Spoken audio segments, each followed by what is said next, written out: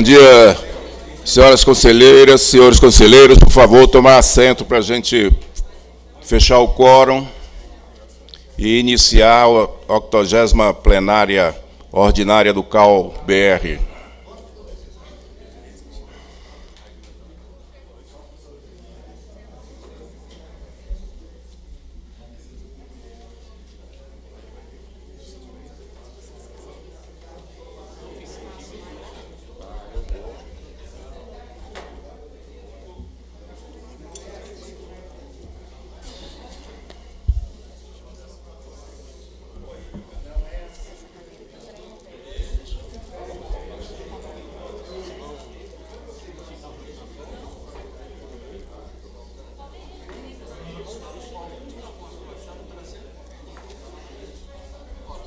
E aí, Val? Tudo bom? Descansou? Tudo bom.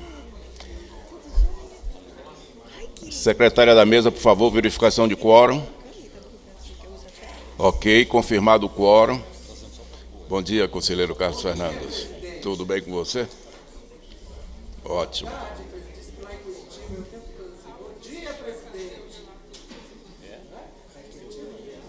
É. Verificado o coro, passando para o item 2, execução do hino nacional.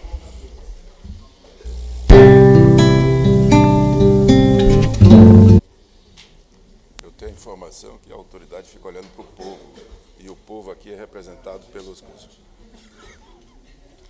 A gente tem algum problema em botar a bandeira lá? Não, sério. Vamos...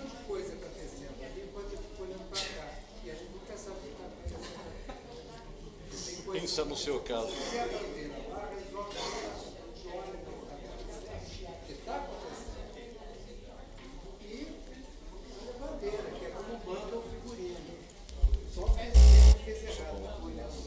Vamos averiguar isso aí, porque a informação que eu tenho é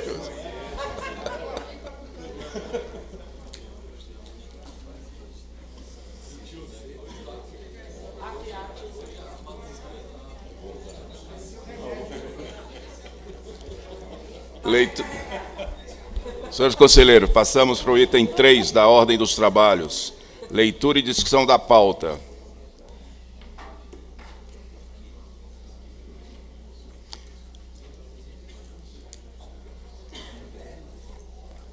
Discussão e aprovação da ata da 69ª reunião plenária ordinária. Por favor.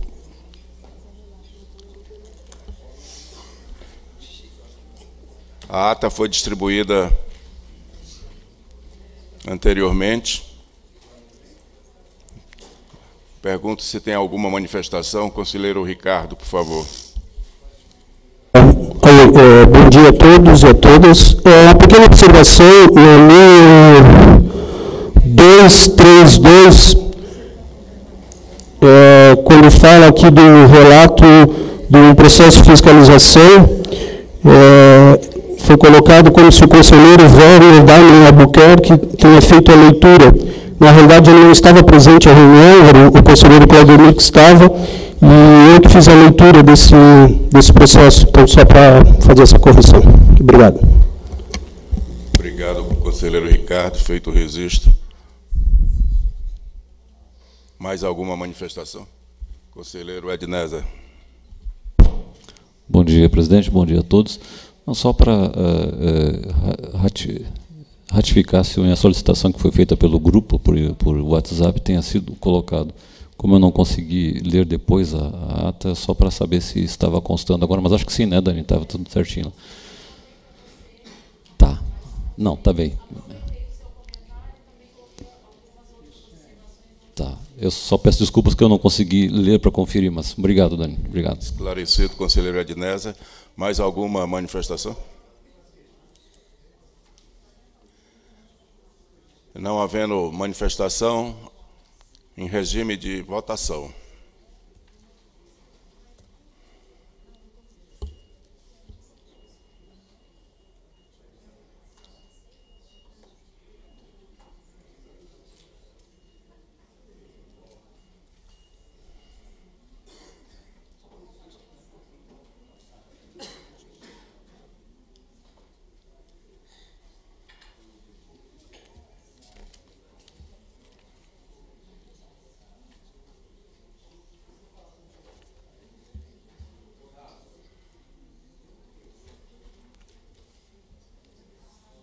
Por favor, em regime de votação.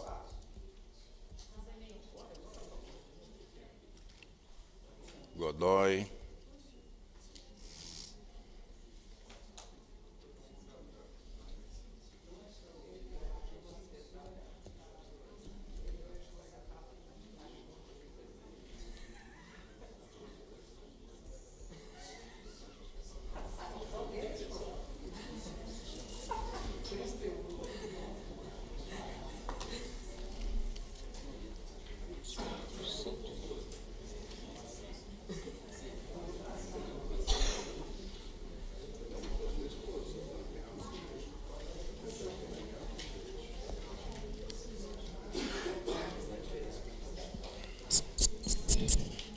Pará, Espírito Santo, Roraima, representantes do Mato Grosso do Sul e das instituições de ensino estão licenciados na sessão de hoje.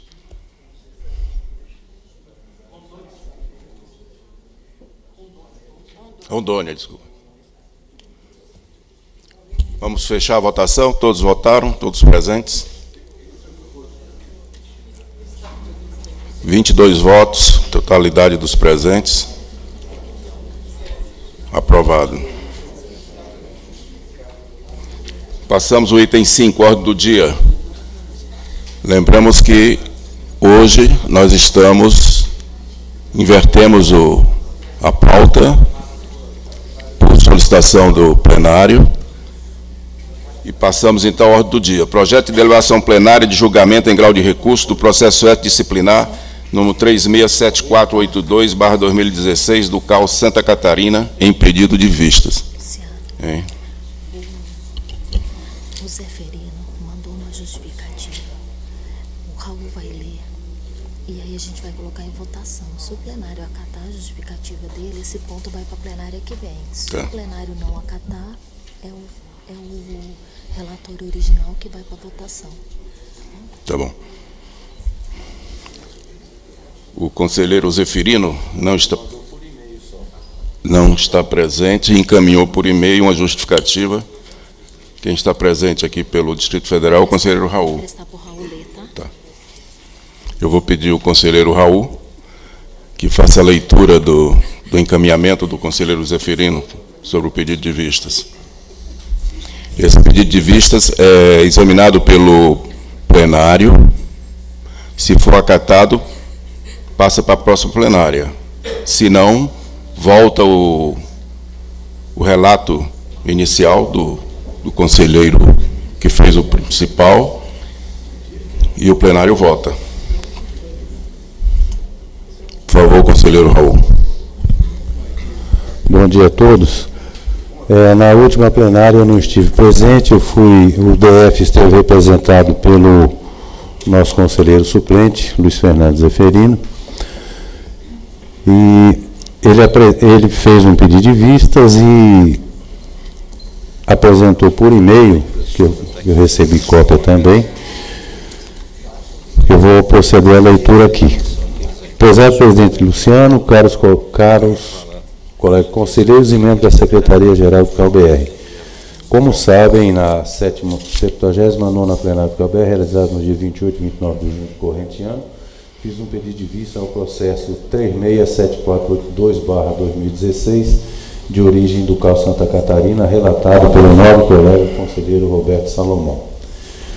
No entanto, devido ao prazo reduzido entre as plenárias 79 e 80, devido ao curso de trabalho no final de semana do UNB, onde sou aluno do mestrado, aí ele põe as justificativas todas, e devido à grande importância do tema a ser relatado, que pode suscitar debate sobre o centro da questão de enquadramento ético-disciplinar do profissional envolvido, por encontrar no processo declarações falsas e exageradas que podem ter induzido a erro os colegas relatores, e por acreditar que posso contribuir com uma decisão mais justa, baseada na reconstrução dos autos e com uma argumentação bem fundamentada, solicito à presidência e à plenária soberana do CalBR a compreensão e a dilação do prazo para apresentação do meu relatório e voto para a 81ª plenária deste Conselho. Com isso, além de poder embasar melhor minha argumentação, cumpriria o prazo de disponibilização do meu parecer no Dropbox e poderia ter tempo hábil para discutir o parecer com o meu titular e ver como iremos proceder na apresentação do mesmo, sem mais respeitosamente, Luiz Fernando Zeferino, conselheiro suplente do DF. É, esse é, essa é a justificativa e solicitação de dilação de prazo feito pelo conselheiro suplente do DF, Luiz Fernando Zeferino, que eu apenas procedi à leitura. Algum esclarecimento a mais? Não havendo em regime de votação o pedido de adiamento feito pelo conselheiro Zeferino.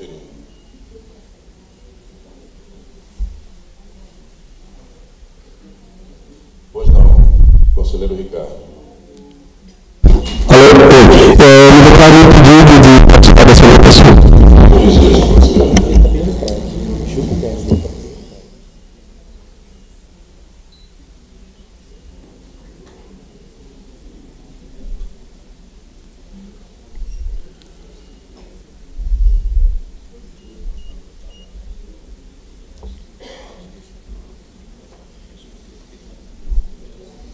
Todos votaram?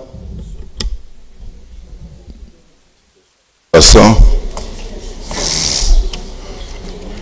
Aprovado, acatada a manifestação, pedido de am- ampliação do prazo para o pedido de vista do conselheiro Zeferino. 17 votos, 4 abstenções.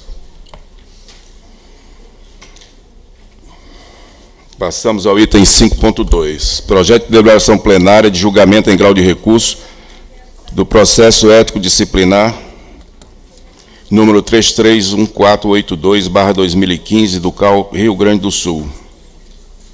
Conselheiro Matusalém Santana, por favor.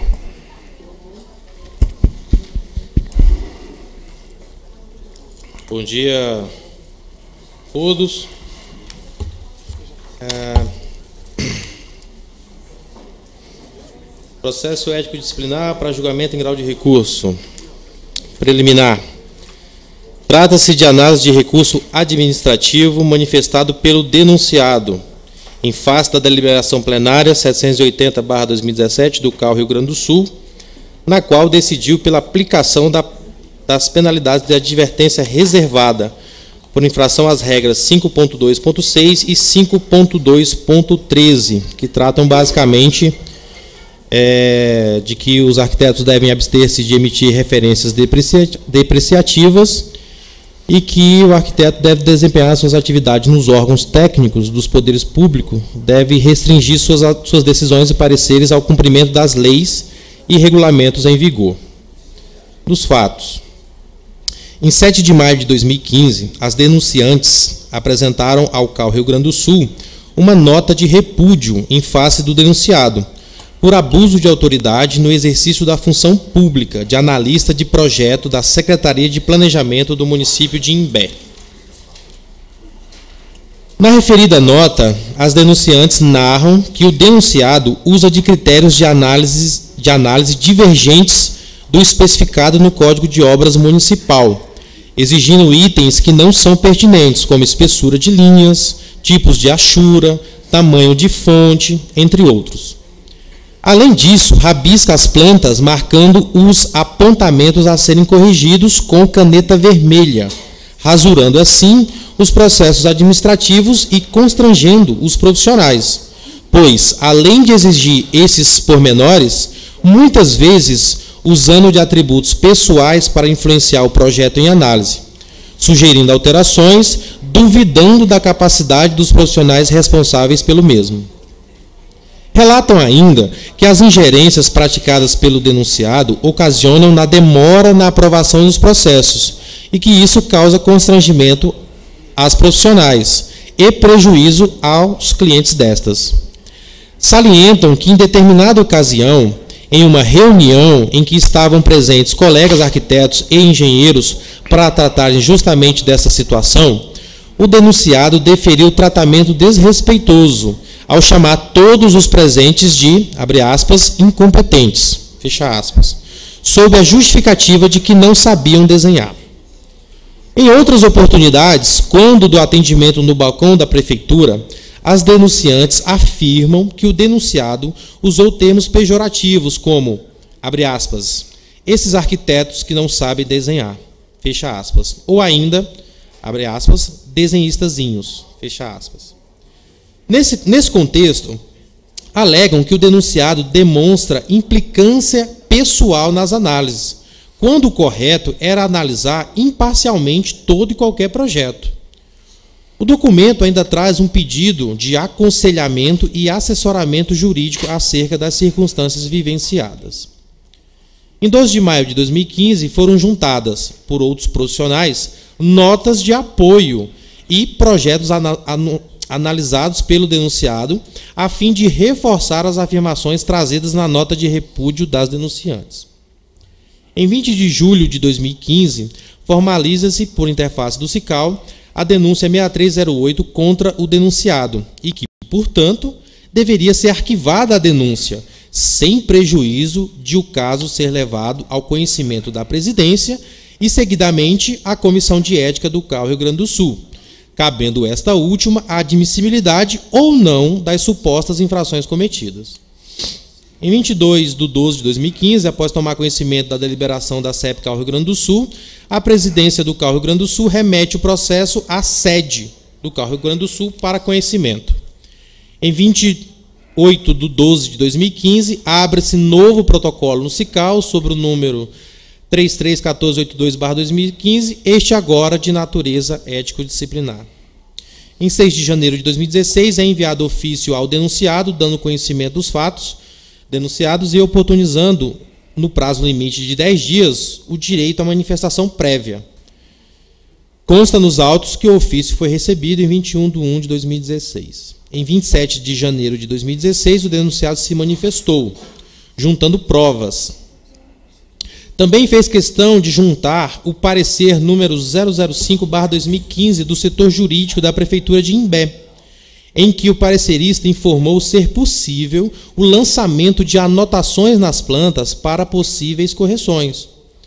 Outros documentos abonadores de conduta foram juntados, sendo que o secretário de Planejamento Urbano, Habitação e Regularização Fundiária informou, através de ofício, que o denunciado, abre aspas, cumpre suas funções na mais perfeita lisura, fecha aspas. Em 18 de 2 de 2016, a sede do CAU Rio Grande do Sul solicita que o processo siga para conciliação. As partes tomaram ciência, as partes tomaram ciência. A pedido de uma das denunciantes, foi solicitado nova data de conciliação. Acatado o pedido, as partes foram novamente oficiadas da nova data de audiência de conciliação. Em 11 de 4 de 2016, ocorre a audiência, registradas em ata e áudio gravado em mídia digital, um CD e DVD. A audiência contou com a presença das denunciantes, denunciado, acompanhado do seu advogado. As denunciantes apresentaram como propostas: 1. Um, que o denunciado repasse, passasse a realizar correções nos projetos utilizando grafite ao invés de caneta vermelha. 2. Que as análises, até a sua aprovação, pudessem ser feitas apenas com a apresentação da cópia dos projetos. E que 3. Que houvesse retratação por parte do denunciado pelo uso da qualificação de incompetente, proferido em reunião anteriormente relatada. O denunciado, por sua vez, não acatou as propostas apresentadas sob o argumento de que não era possível alterar procedimentos administrativos da prefeitura, que isso não era uma decisão particular dele, mas sim do secretário da pasta. Quanto ao pedido de retratação, alegou não ser, é, não ver necessidade, porque na ocasião em que qualificou os demais colegas de incompetentes, não estava se referindo à capacidade técnica, mas sim à falta de atenção na apresentação da documentação necessária.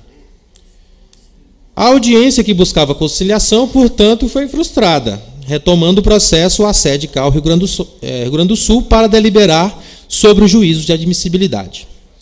Em 27 de 4 de 2016, a sede do Rio Grande do Sul deliberou pela admissibilidade do caso, tendo em vista a frustrada tentativa de conciliação e a possível existência de falta ética cometida por parte do denunciado, fundamentada nos itens 5.2.6 e 5.2.3 do Código de Ética e Disciplina do CalBR. Em 25 de 4 de 2016, o denunciado apresenta manifestação de defesa. A defesa trata de exemplificar o porquê de se fazer as observações nas pranchas. Traz ainda troca de e-mail entre o setor de análise de projeto e outros profissionais, onde estes elogiam o procedimento adotado em se apontar os erros nas pranchas e a presteza no atendimento. Junta declarações de arquitetos e engenheiros elogiando a postura profissional e ética do denunciado. Traz também o relato de outros profissionais que participaram da referida reunião, onde afirmam que o denunciado, ao chamá-los de incompetente, foi mal interpretado.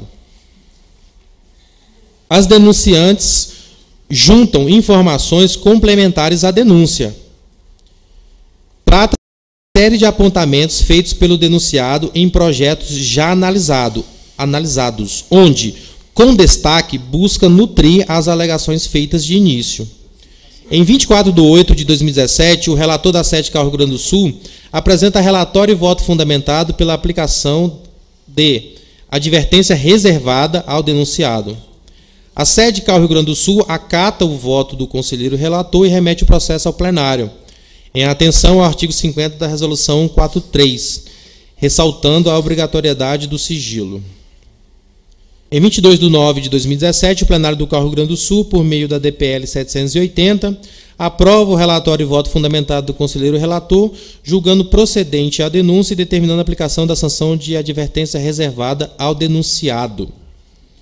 Em 20 de 10 de 2017, o denunciado protocola recurso ao CalBR em 21 de 2 de 2018, as denunciantes estavam vinculadas a processo ético disciplinar exposto na internet. Antes, em suas contrarrazões, rebatem os apontamentos feitos pelo denunciado em seu recurso. Alegam que, abre aspas, o que se objetiva com este processo, grosso modo, é aparar os excessos e um tratamento igualitário e impessoal. É a mudança de postura por parte do recorrente, que representa a municipalidade, já que é o único profissional incumbido das análises. Aproveita para ratificar os motivos que fundamentaram a denúncia, trazendo inclusive novas provas, projetos analisados pelo denunciado. Traz também cópia do Código de Obras Municipal. Parecer. Considerando que o próprio denunciado reconheceu, tanto em manifestação escrita quanto na audiência de conciliação, ter proferido a palavra incompetente para qualificar os profissionais, justificando-a pela falta de atenção na apresentação de documentos para aprovação, considerando que o denunciado assumiu ter feito comentários em tom jocoso acerca da, acerca da qualidade da representação gráfica dos projetos por ele analisados, sob a justificativa de tê-lo feito em tom de brincadeira, ainda que no ambiente de trabalho exercendo a função de analista, Considerando que após a leitura do Código de Obras do município foi constatado ter havido excesso de rigor nos apontamentos marcados nas panchas, com exigências que destoam e até extrapolam as regras gerais ali previstas, voto. Ante o exposto, conheço do recurso apresentado e, no mérito, nego-lhe provimento para ratificar a deliberação plenária número 780-2017 do Carro Rio Grande do Sul, em que se decidiu pela aplicação da sanção de advertência reservada ao denunciado, por infringir as regras 5.2.6 e 5.2.13 do Código de Ética e Disciplina do CalBR. É como voto. Brasília, 6 de julho de 2018. Obrigado, conselheiro Matusalém. Com a palavra, o membro do plenário para pedidos de esclarecimentos ao relator. Ednesa, conselheira Ednesa, depois Godoy, Ricardo. Presidente, eh, se me permite, não seria. Claudemir.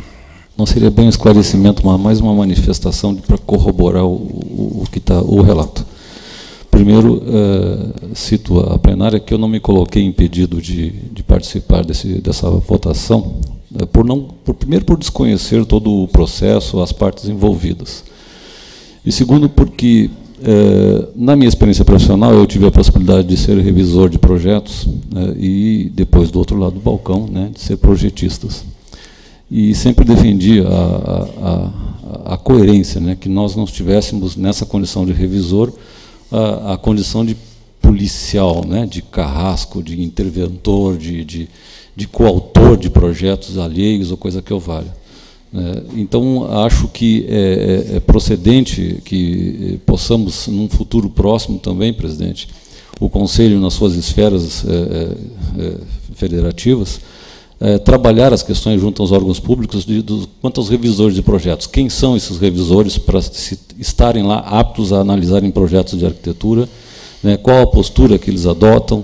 Esse, esse tipo de procedimento também tem que ser trabalhado nas, nas questões de fiscalizações. Né? Nós temos aí, no Brasil inteiro, é, profissionais da área, e sem demérito aos, aos, profissionais que estão lá, que passaram em concurso público, mas nós é, nos deparamos com profissionais da área de engenharia elétrica, engenharia mecânica, é, outras atividades, analisando projetos de arquitetura por estarem na condição de servidor público que lá foram colocados.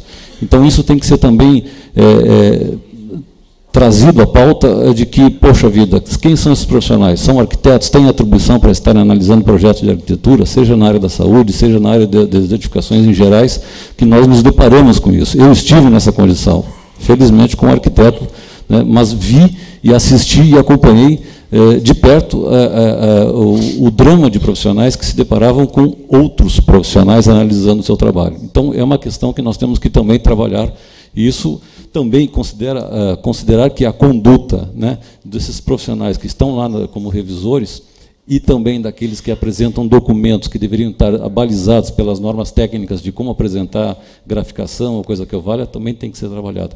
Então é só um registro de, primeiro, não me sinto impedido de poder eh, votar no sentido de que desconheço as partes e o processo, uh, mas tenho essa vivência de que esse tipo de conduta de achar que eh, de, de, depreciar o trabalho dos colegas, muitas vezes por estarmos na condição de revisores é, é, escondido no manto do, da esfera pública, é, não dá para se deixar levar essa condição de sermos né, a prepotência do revisor de projetos quanto àqueles que estão lá apresentando. Mesmo que sejam projetos equivocados ou que tenham que ter, mas tem que ter essa conduta moderada e, e e reta, né, pelo menos. Obrigado. Obrigado, conselheiro Genésio. Feito o registro e a proposta de. Conselheiro Godoy. Tem escrito Godoy, Ricardo e Claudemir. Presidente, eu me vi em todo esse relato. Ontem eu passei por isso. Em 37 anos de arquitetura hospitalar, Poucas vezes fui tão humilhado na minha vida. Eu gostaria de pedir ao CalBR um grupo de trabalho, eu já tinha falado isso com o Haroldo, e para acompanhar, apurar estas questões desses desrespeitos que extrapolam as raias sabe, do, do, do que está definido em Código de Obras, Lei de Uso Ocupação do Solo, Vigilância Sanitária, é, Prevenção e Combate a Incêndio, enfim. Presidente, urge isso. Seria um grupo de trabalho convocar as. Eu não sei se estaria em alguma comissão, na CEP. Eu, eu queria uma coisa, se fosse possível, à parte, para a gente lidar com esse assunto, que é muito sério. Sabe? A gente sofre na pele que um engenheiro eletricista analise o teu projeto e palpite. Você tem que aceitar, porque senão você vai ser perseguido. E engenheiro civil virar para você e falar: bom, vocês tiraram a atribuição nossa de aprovar, mas eu sou analisador, a lei me deu, eu sou, passei em concurso. Agora, vocês vão ver aqui. aqui. Isso está em geral em Minas Gerais e vários outros estados. Esse caso, a advertência reservada é muito pouco para esse colega cidadão. Me perdoe. Sabe? É, chega desses super-homens de prefeituras, sabe? É, eu fui secretário de planejamento, diretor de secretaria de obras particulares, secretário de planejamento, e fui um pouco disso. Eu faço a minha culpa. Eu errei muito no meu começo, no afã de querer. E depois, à medida do possível, a Prefeitura de Uberlândia, nós tentamos o máximo colocar os colegas em contato direto, sempre reciclando e aceitando as críticas para que seja o mínimo da ingerência na criação daquele colega que está ali, tem que se submeter, uma das poucas profissões que você tem que submeter o teu trabalho a terceiros, em nome de segurança, de prevenção ao combate incêndio, vigilância sanitária, etc, etc. Então, desculpe o desabafo, presidente, mas eu gostaria muito que hoje a gente saísse com esse ou grupo de trabalho, ou dentro, sabe, dessa questão chega de colegas serem humilhados por ditos super-homens poderosos com a caneta na mão. Chega disso pelo Brasil afora. Em Minas está um absurdo. Em prefeitura, vigilância, e aí vai. Tá, presidente? Me desculpe o tempo. Obrigado, conselheiro Godoy. Feito o registro da proposta do grupo de trabalho. Vamos analisar. Conselheiro Ricardo. A, a, minha fala também vai um pouco em direção do que os colegas anteriores falaram. Tanto o Ednésio quanto o Godoy tocaram dois aspectos, a meu ver, fundamentais. Primeiro, o empoderamento dos revisores analistas, é, e, em segundo, a, a, falta de preocupação deles com a repercussão que determinadas posturas podem trazer. Ah, o caso específico de uma pequena cidade em que só tem um analista, ah, provavelmente toda a classe eh, já, já passou por situações muito parecidas. As, as denunciantes provavelmente vão ser perseguidas agora pelos próximos projetos que forem protocolar na prefeitura. E a postura do denunciado na, no momento da conciliação, em não reconhecer ah, com humildade que, que exagerou nas colocações e observações, para mim, demonstram que ele não vai mudar a postura e vai continuar agindo da mesma forma. É, a minha observação maior seria com relação à sanção aplicada de advertência reservada. Se não seria o caso de uma advertência pública, para que se pudesse, inclusive, se, se utilizar desse caso como uma referência nacional de, de profissionais que extrapolam e muito as suas competências. Ah, talvez a dosimetria ah, possa esclarecer o porquê da, da advertência reservada e não a advertência pública. Né? É, fica só o meu questionamento com relação à dosimetria adotada.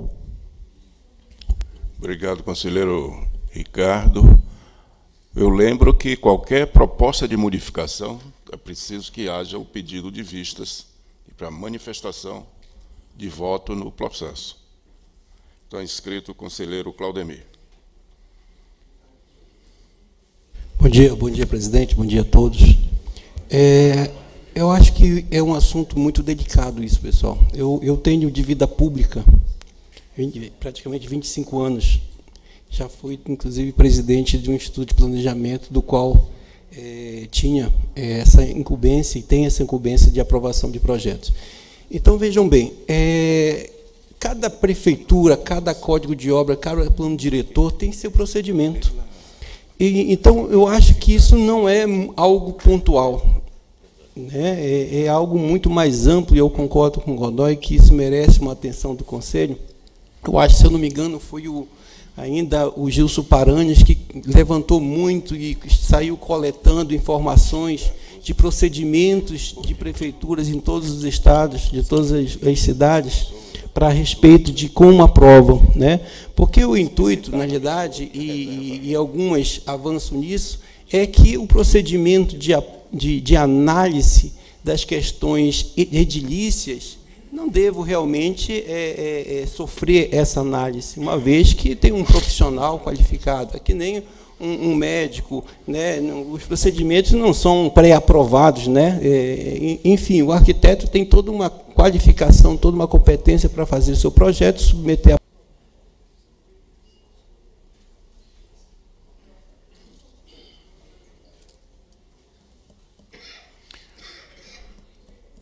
Todos os conselheiros votaram, fechada a votação. Aprovado com 22 votos.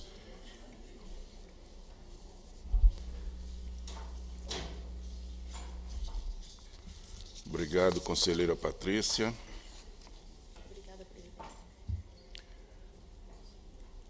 Passamos ao item 5.4, projeto de deliberação plenária que aprova o projeto de resolução que dispõe sobre alterações no registro de profissionais nos CAUF, com proposta de alteração das resoluções número 118, de 2 de março de 2012, e de número 146, de 17 de agosto de 2017. Origem, Comissão de Exercício Profissional, relator é a conselheiro Ricardo Fonseca. Por favor, conselheiro. Uh, na realidade, eu queria passar a palavra para a coordenadora da comissão, que tem uma manifestação para fazer. Lana? Pois não, conselheira Lana.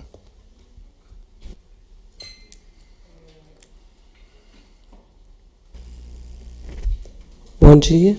Bom, é, me parece que tem uma manifestação do jurídico sobre essa matéria. Se eu não estou enganada. Pelo menos foi isso que me foi informado agora de manhã. Por favor. Doutor Medeiros, é, para esclarecer.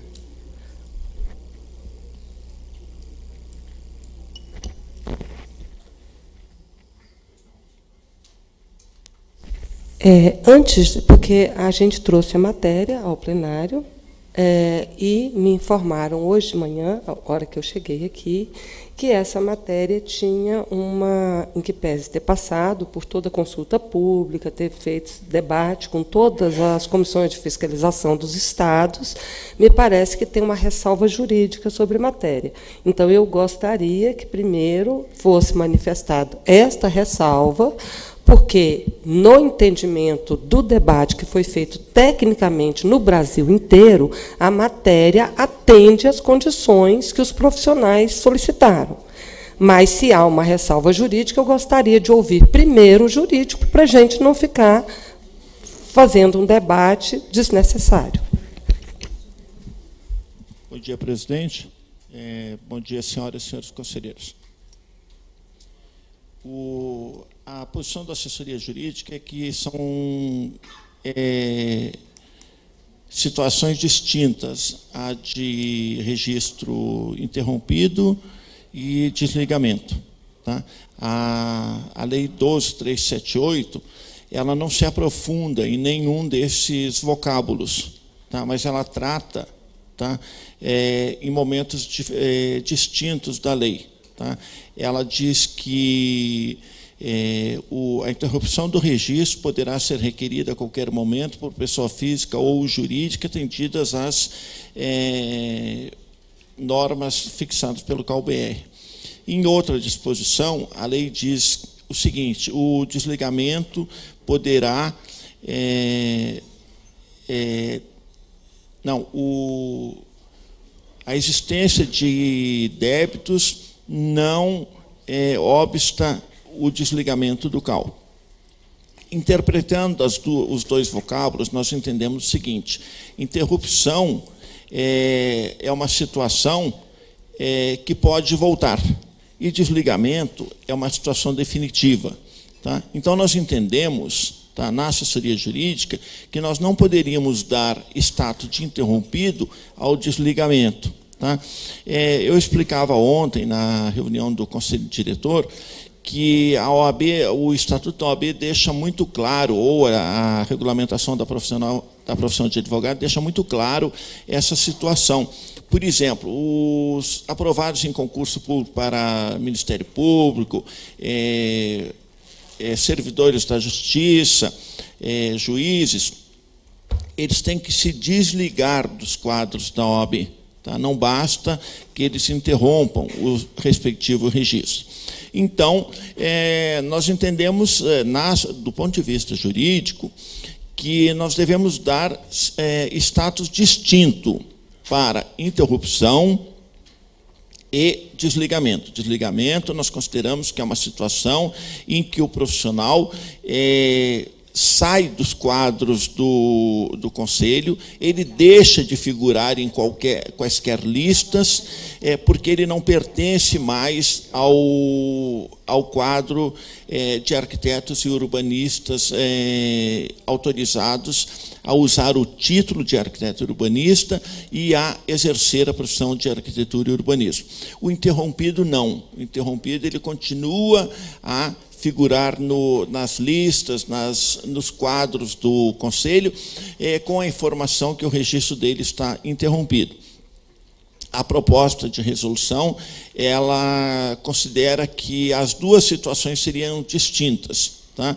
E data vênia a posição da, da comissão, do ponto de vista jurídico, nós entendemos que são situações distintas. Uma é interrompida, que não é definitiva. Outro é o desligamento, que é definitivo. O profissional que se desliga, se ele quiser voltar aos quadros do conselho, ele tem que fazer um novo registro, porque ele já perdeu o registro anterior. O profissional que interrompe, ele continua com o seu registro, com o número, a sua antiguidade, e a hora que ele voltar, ele atende às regras é, que forem impostas pelo conselho. Muito obrigado. Obrigado, Medeiros. Conselheira Elana. Bom, eu vou esclarecer um pouco mais do que, que se trata isso. Bom, a resolução 18 é a resolução que dispõe sobre o registro de profissionais, ou seja, a forma como nós somos registrados. E essa discussão foi uma discussão que veio, inclusive, em toda a gestão anterior, com todos os conselhos dos estados. E a tentativa é, de que a gente faça resoluções mais compactas, resoluções que sejam mais palatáveis para, para os conselhos dentro da lei. Nesse sentido, é, a resolução ela considerou, com base em todo o debate, que tem tudo catalogado, ela considerou que a gente teria é, três condições para que o. Porque a universidade ela dá a qualquer profissional a capacitação. Ela capacita a. Quem habilita são os conselhos. Você só está habilitado a exercer a profissão através dos conselhos. Então, nós consideramos três situações: a de interrupção, a de suspensão e a de cancelamento. Sendo que a suspensão e o cancelamento são é, imposições ético-disciplinares. O cancelamento pode até não ser no sentido de que quando o profissional vem a óbito, ele tem o seu título cancelado, certo? Então ele pode não ser só ou pode ser também por ordem judicial. O cancelamento pode acontecer por ordem judicial. A suspensão e o cancelamento, portanto, ou ele, é, a, a suspensão é por falta ética. O cancelamento ele pode ser por morte ou pode ser também por alguma questão jurídica ou ética. Bom, a interrupção, como a interrupção na nossa legislação, na nossa lei, ela, ela fala da interrupção é, por tempo indeterminado, foi considerado, diante de todos os debates, que a interrupção por tempo indeterminado ela funcionaria da mesma forma que um, é, um desligamento. Por quê? Porque você, ao interromper por tempo indeterminado, você cessa, você não tem mais é, acesso ao SICCAL, ninguém tem acesso às suas informações, e você, como no, no país não existe a figura nem da prisão perpétua e nem da pena de morte, independente de ser cancelamento ou interrupção, é, quando você quiser voltar, você tem direito a voltar. Claro que você tem que passar por todo um processo, e isso está previsto na resolução. Você tem que passar por todo um processo de pedido, de, de entrar, de cadastro, de tudo. Ok. Não estou discutindo é, porque, em que pese a minha base jurídica, eu respeito profundamente a base jurídica deste Conselho.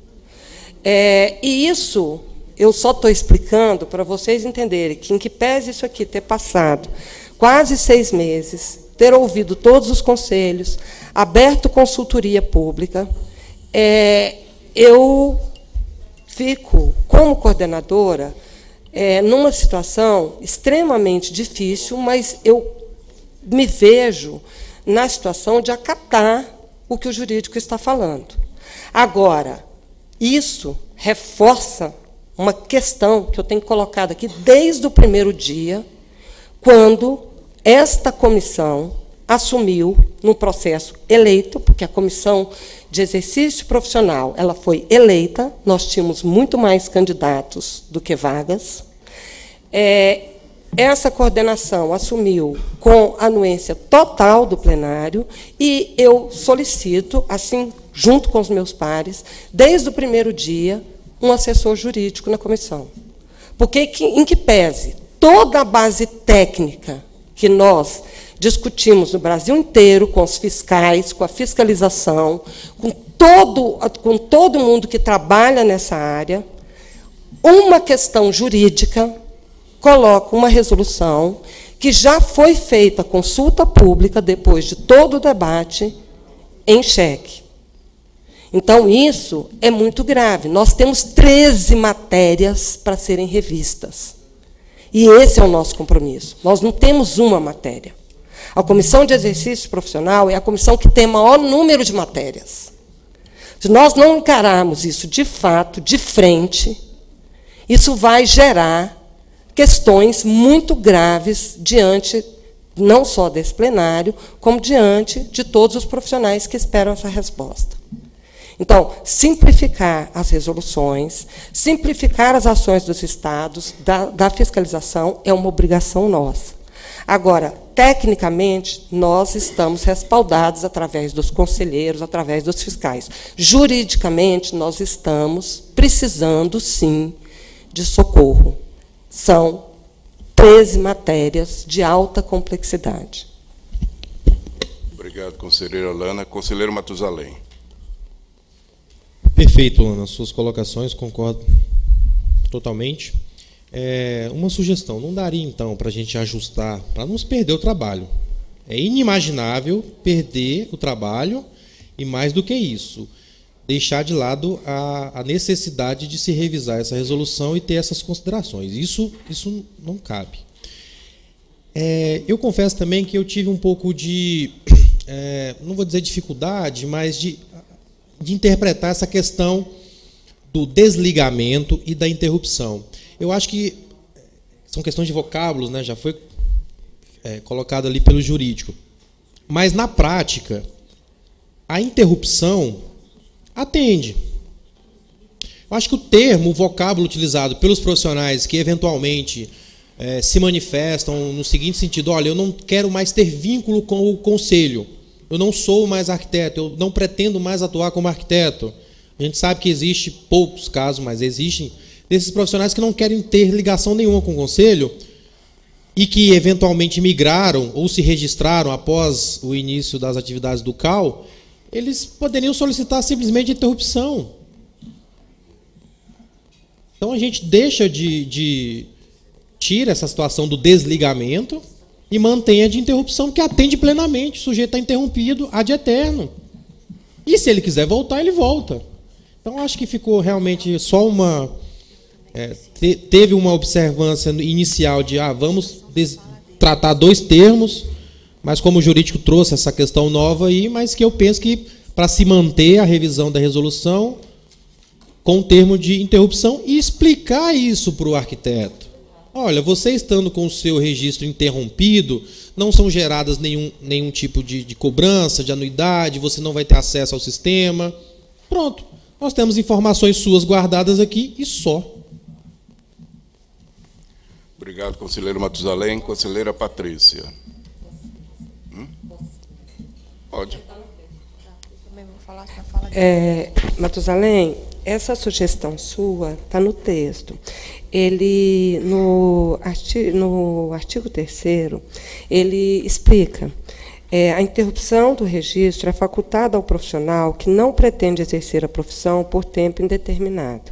Ou seja, pode ser um mês, pode ser o resto da vida.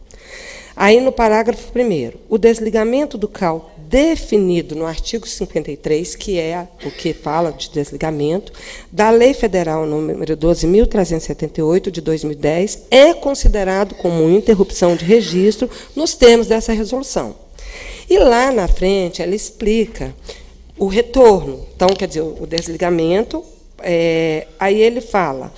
A, a interrupção, no artigo 9, a interrupção do registro será efetivada no CAUF pertinente, mediante a inserção no SICCAL do documento de decisão de deferimento e da data de início da interrupção do registro, aplicando-se ao profissional a restrição de acesso aos serviços no SICCAL no ambiente profissional, com exceção da emissão da certidão negativa de débitos e de abertura do protocolo. A interrupção do registro terá como termo inicial a data do requerimento na qual consta a data de decisão que deferiu a solicitação. É, artigo 10. É facultado ao profissional requerer a reativação do seu registro no CAL, que deverá ser solicitada por meio de um preenchimento de formulário específico disponível no CAL, desde que não tenha débitos pendentes com o CAL. Então, e esse formulário vem com todas as exigências. Mesmo assim, ontem, doutor Medeiros é, considera que dentro da, da, das questões jurídicas de, desse país, ainda assim nós temos uma situação diferente. E essa simplificação foi uma das questões que foi mais debatida com os fiscais. Certo? Então, por isso que eu volto a insistir que a questão técnica nossa nem sempre é capaz de atender às questões jurídicas. Então, e essa é a grande questão que a gente tem colocado aqui. Mas adequar o texto não é uma questão é, que eu vejo como tão complexa assim. A gente vai ter, se a gente acata essa questão jurídica, a gente vai ter que fazer uma, adequação dessas questões, não dá para fazer isso agora, porque isso é uma resolução que vai é, de encontro à fiscalização do nosso conselho no país inteiro, certo? Então, nós não podemos fazer isso de forma apressada, há risco de fazer novamente com erros com falhas, mas eu volto a insistir na questão fundamental dessas revisões, que são 13 matérias, da importância do jurídico estar ali junto, e não da gente estar enviando, esperando, aguardando, nesse vai e volta. É importante que a gente esteja monitorado o tempo inteiro, tecnicamente, é, nós temos capacidade de resposta, mas juridicamente nós precisamos da capacidade do corpo jurídico. Obrigado, conselheira Lana. Conselheira Patrícia.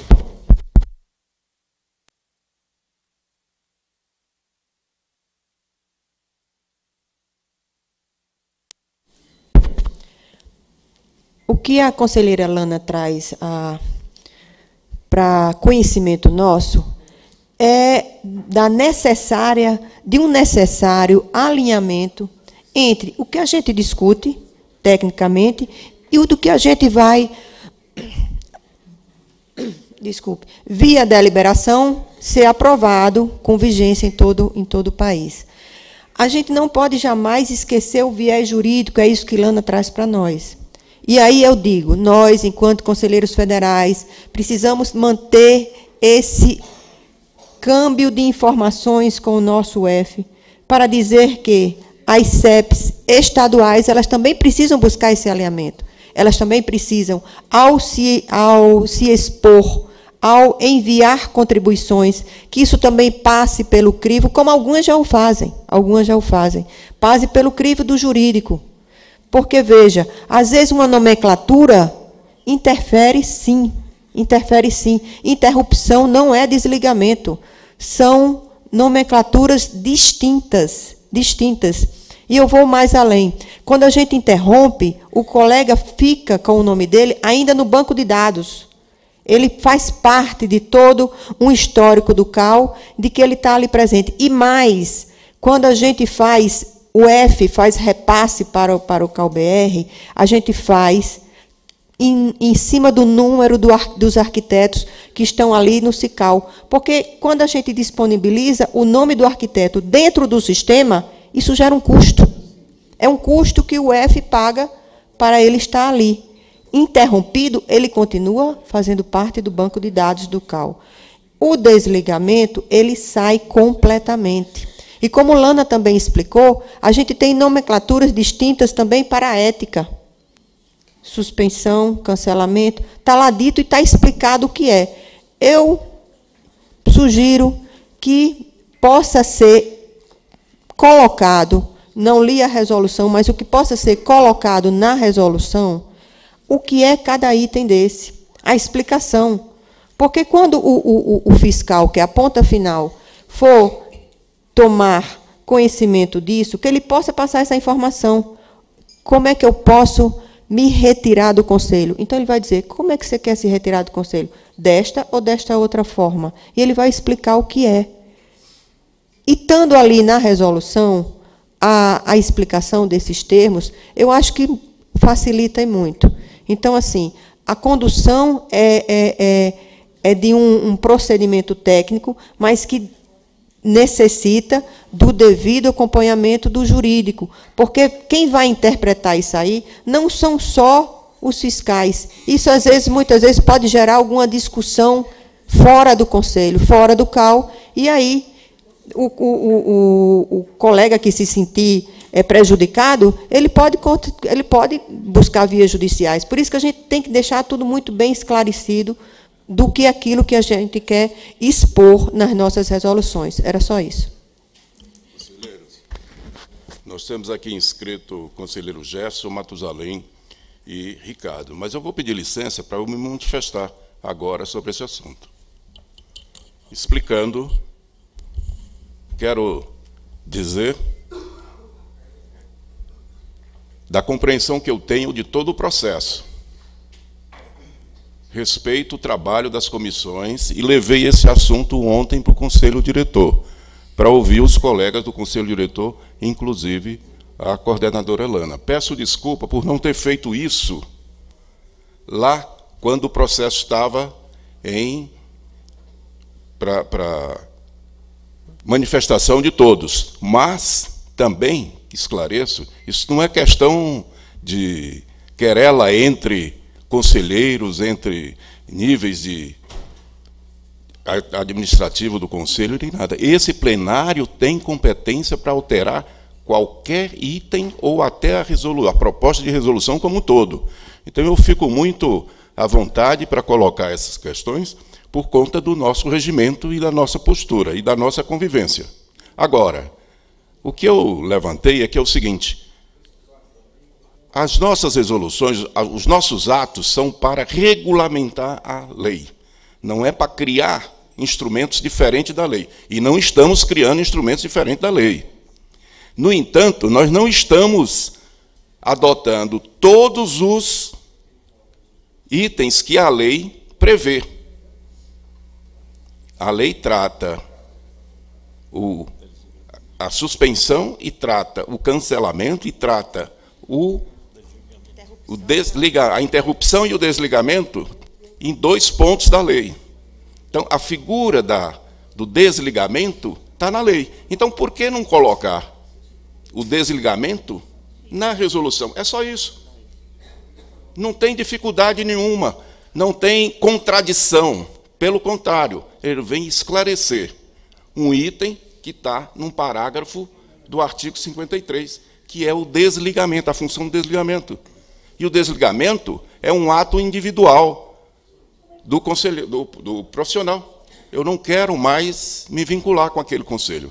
É só essa questão. Não tem maiores complicações para fazer. E o plenário tem toda a competência para esclarecer e para acatar ou não qualquer proposta aqui. Continuando, eu queria fazer esse esclarecimento porque foi provocar, foi provocado por mim no sentido de evitarmos futuros constrangimentos para algum profissional que queira se desligar do conselho. E como a figura do desligamento está na lei, não tem dificuldade em torná-la também inserida nessa resolução.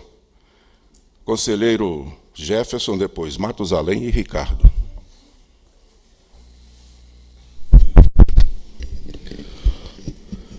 Presidente, eu quero como me manifestar agora com, com como membro da COA e gostaria que os demais integrantes aqui presentes, a coordenadora, inclusive, que compõe a mesa, o, o nosso coordenador adjunto Godoy, que nós uh, assumíssemos um, uma responsabilidade com, com, claro, com aprovação dessa plenária e, e em condições de iniciais, de nós podermos uh, contribuir com o departamento jurídico no sentido da sua maior estruturação. Trago como justificativa a experiência do Cal Paraná, aonde o setor jurídico ele é fundamental e a, a, demanda é muito grande, desde uh, pareceres, ações judiciais, compras, licitações, assessoria, comissões de plenária.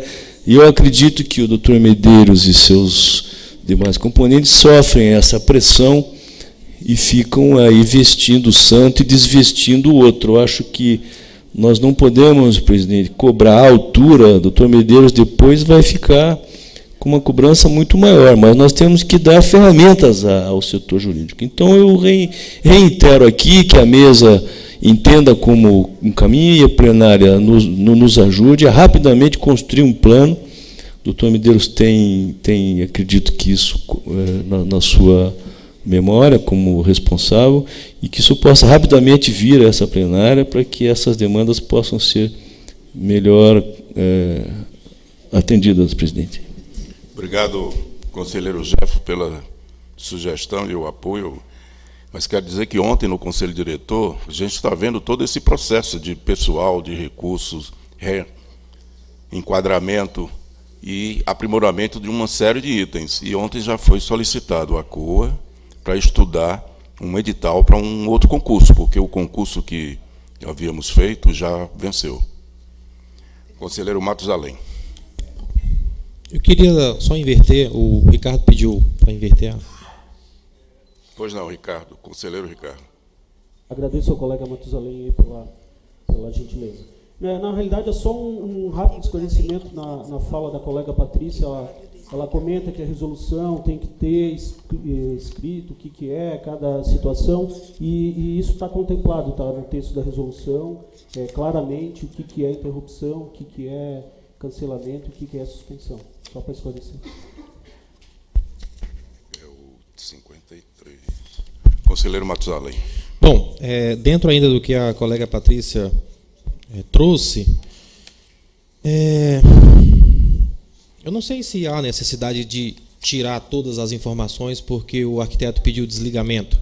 Até porque, é, havendo aí a prática do exercício legal, é muito melhor para a fiscalização ter as informações desse sujeito que eventualmente venha voltar a, a exercer a profissão estando desligado do conselho sem nenhuma informação disso, ele pode ser enquadrado, inclusive, de maneira errada, por exercício legal e não por falta ética. Porque você ser profissional, estar com seu registro suspenso, ou no caso, nessa nova modalidade de desligado e volta a exercer a profissão, você comete uma falta ética e não exercício legal. E eu não vi isso é, expressamente dito na resolução. Então, não sei se realmente o desligamento vai obrigar o sistema a deletar as informações do arquiteto. E eu acho que a gente tem mecanismos de se é, programar para que esses recursos que são repassados aos CAL em função do número de arquitetos, seja feito esse filtro de quem está com o registro é, é, interrompido ou desligado sem nenhum problema. Até porque essa situação de desligamento é uma curiosidade apenas, né? Quantos profissionais no Brasil solicitaram desligamento? Né? Eu sei que há necessidade de regulamentar disso, mas não sei se é uma demanda que implicaria realmente numa situação de haver um repasse financeiro a mais por conta de um número absurdo de profissionais que solicitaram é, desligamento. Então é só uma sugestão, é no sentido de é, se manter os dados, as informações desses profissionais, ainda que desligados, sem nenhum problema. Não vai, não vai trazer um efeito para o profissional nenhum, mas, eventualmente, como eu disse, né, o acervo técnico, essa coisa toda, não tem por que deletar o sujeito do sistema. Obrigado, conselheiro Matusalém. Mais alguma inscrição?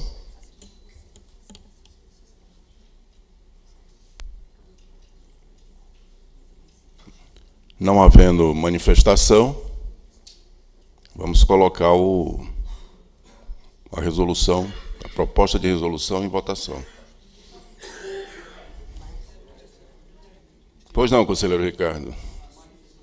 Intempestiva, é, mas na realidade me parece que seria de retirar de pauta para se fizesse a adequação da resolução e trouxéssemos na próxima plenária, e não mais fazer a leitura dela. Estava pedindo manifestação do plenário. A é, sugestão. Que, que viesse a conselheira Lana está. Então, eu faço essa proposta de retirada de pauta. Pois não. Conselheira Lana, por favor, conselheira Patrícia. Conselheiro Ricardo está sugerindo a retirada de pauta e retorno na próxima reunião com as alterações fundamentadas. Questão de ordem? Bom, então, em votação, a proposta do conselheiro Ricardo. Retirada de pauta para tornar na próxima reunião com as alterações discutidas aqui.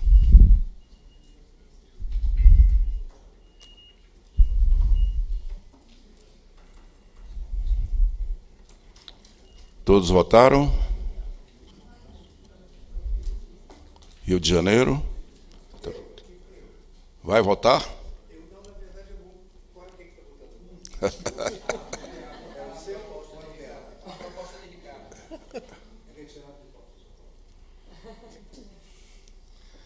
Muito obrigado, conselheiro Carlos Fernando. Todos votaram, fechada a votação.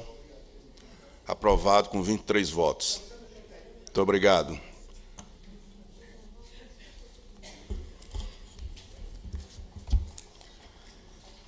Passamos ao item 5.4 não, 5.5, projeto de deliberação plenária que aprova as diretrizes para a elaboração do plano de ação e orçamento do CAL exercício 2019. Origem Comissão de Planejamento. O, o Raul pediu para adiar ah, esses dois. Desculpa. O conselheiro Raul, o, o conselheiro Oswaldo, ele está de licença médica, fez um procedimento de saúde ontem, está bem, tivemos a informação que ele está bem, e o conselheiro Raul é que iria relatar, mas ele teve um chamado do, da autarquia onde ele trabalha e vai pediu para transferir, transferir isso aqui para o início da tarde. Conselheira Nádia, por favor. Posso relatar e, e, passar a palavra para a Filomena, mas se o Raul pediu para ser de tarde, a gente espera ele. Bom, obrigado pela disponibilidade, mas como ele foi solicitado, ele ia fazer o trabalho. 5.7. Projeto de liberação plenária que altera a data e local de reunião de comissões dos colegiados do CalBR. Origem, Conselho Diretor. Explica também que o 5.6 também, por solicitação do conselheiro Raul. É, o 5.5 e o 5.6, por solicitação do conselheiro Raul, estão adiados para o início da tarde. 5.7. Daniela, por favor, você faz um.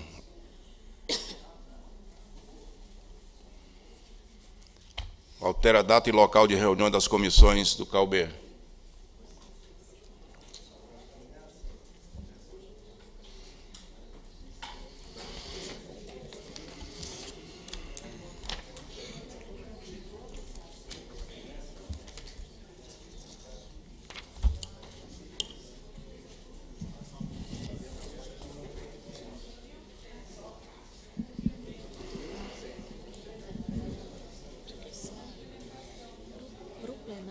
Vem as reuniões que mudaram de local, Sim. saíram de Brasília. As que mudam só de data, elas só passam pelo conselho diretor. Sim, então, por favor. Aí você quer que coloque também o calendário para eles darem uma olhada? Sim, porque muda tudo, né? É, mudou bastante coisa. É, Estou pedindo aqui para a Daniela passar o, cal... o regimento, o calendário. o regimento determina que as comissões deliberem as mudanças, alterações de datas e local de reunião, e os colegiados também, né, o Fundo de Apoio, o CSC e o CEAL. Para o conselho diretor, vai, é, ele, ele mesmo aprova as reuniões que alteram só a data, mas as reuniões que alteram o local, já que o regimento ele, ele solicita que as reuniões aconteçam em Brasília, tem que vir aqui para o plenário. Então, essa deliberação ela só mostra a reunião da CPP, da COA, da sede, que elas estão saindo de Brasília, indo para São Luís, São Paulo e Palmas. É, por solicitação do Luciano, a gente preparou um calendário que contempla todos os eventos. Lu, bota em exibição de. Não, é, tira esse print. Bota aqui, ó, exibição. Tira layout da. É, não, quebra de página. Aí tira esse print. Peraí que.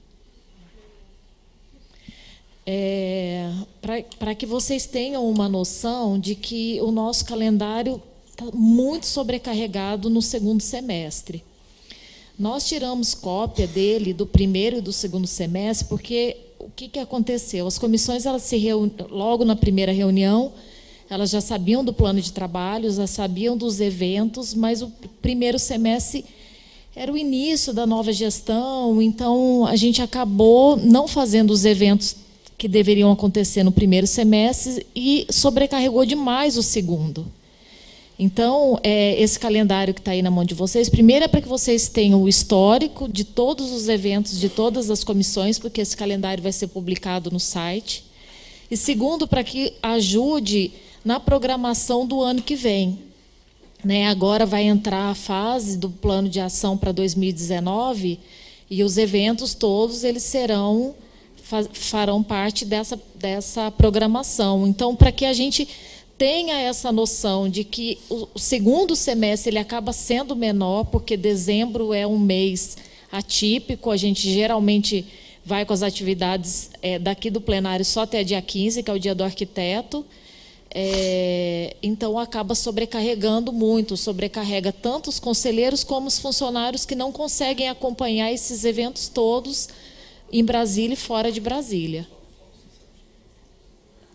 Tem al, alguma coisa, Luciano? Conselheiro Matusalém. Daniela, é só uma correção dessa alteração da sede para Palmas. Agora há pouco eu vi que está correto aqui nesse documento, é, né? É, é, o calendário. 3, 4 e 5 e o calendário é, foi impresso. A Cris, ela viu, ela já nos avisou, a gente Tudo já bem. alterou. Ótimo. A reuni... Põe lá no calendário, Bela. Essa, essa reunião de agosto, que está para o dia.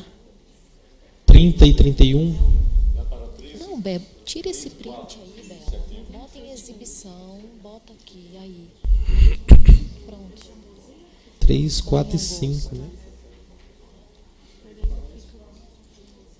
Na verdade é 4 e 5, coordenador, e dia Isso, 3 é o evento era aqui no calendário de vocês está Três. 30 e 31, mas o evento na realidade é 3 e 4 de setembro. 5, não? 3, 4 e 5 de 3, setembro. 4 e 5. A gente já corrigiu o que vai ser publicado, já está correto. Obrigada, tá?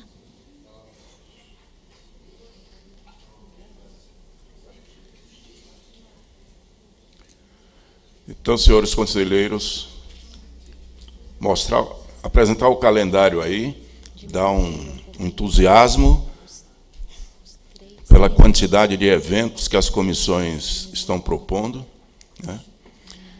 e que nos obriga a uma participação semanal no Conselho. Aí eu, toda semana tem uma série de eventos. Eu pedi só uma comunicação, uma, avi- uma informação, eu pedi para a secretaria também fazer um painel com todos os eventos já realizados nesse primeiro semestre.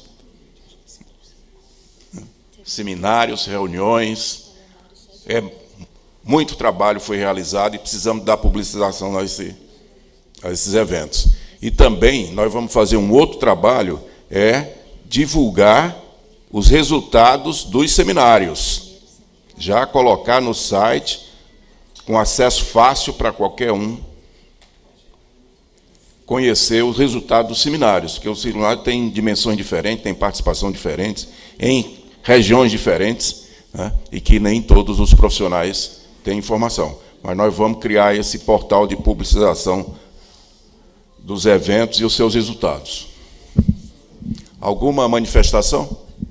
Pois não, conselheiro Ricardo. É, bom, é enriquecedor saber que essas ações todas das comissões estão é, buscando um alinhamento de ideia com os KUF.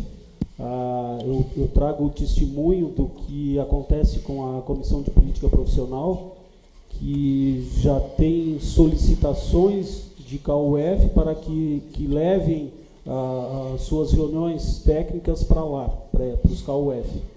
Ou seja, há já um entendimento que a aproximação com o KUBR pode, pode e deve acontecer sim.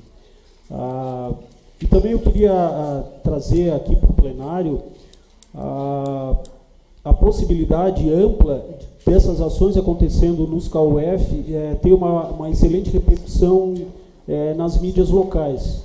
Ah, cada seminário que acontece nas pequenas cidades, e não só nas capitais, ah, coloca a arquitetura e urbanismo na pauta de, desses meios de comunicação.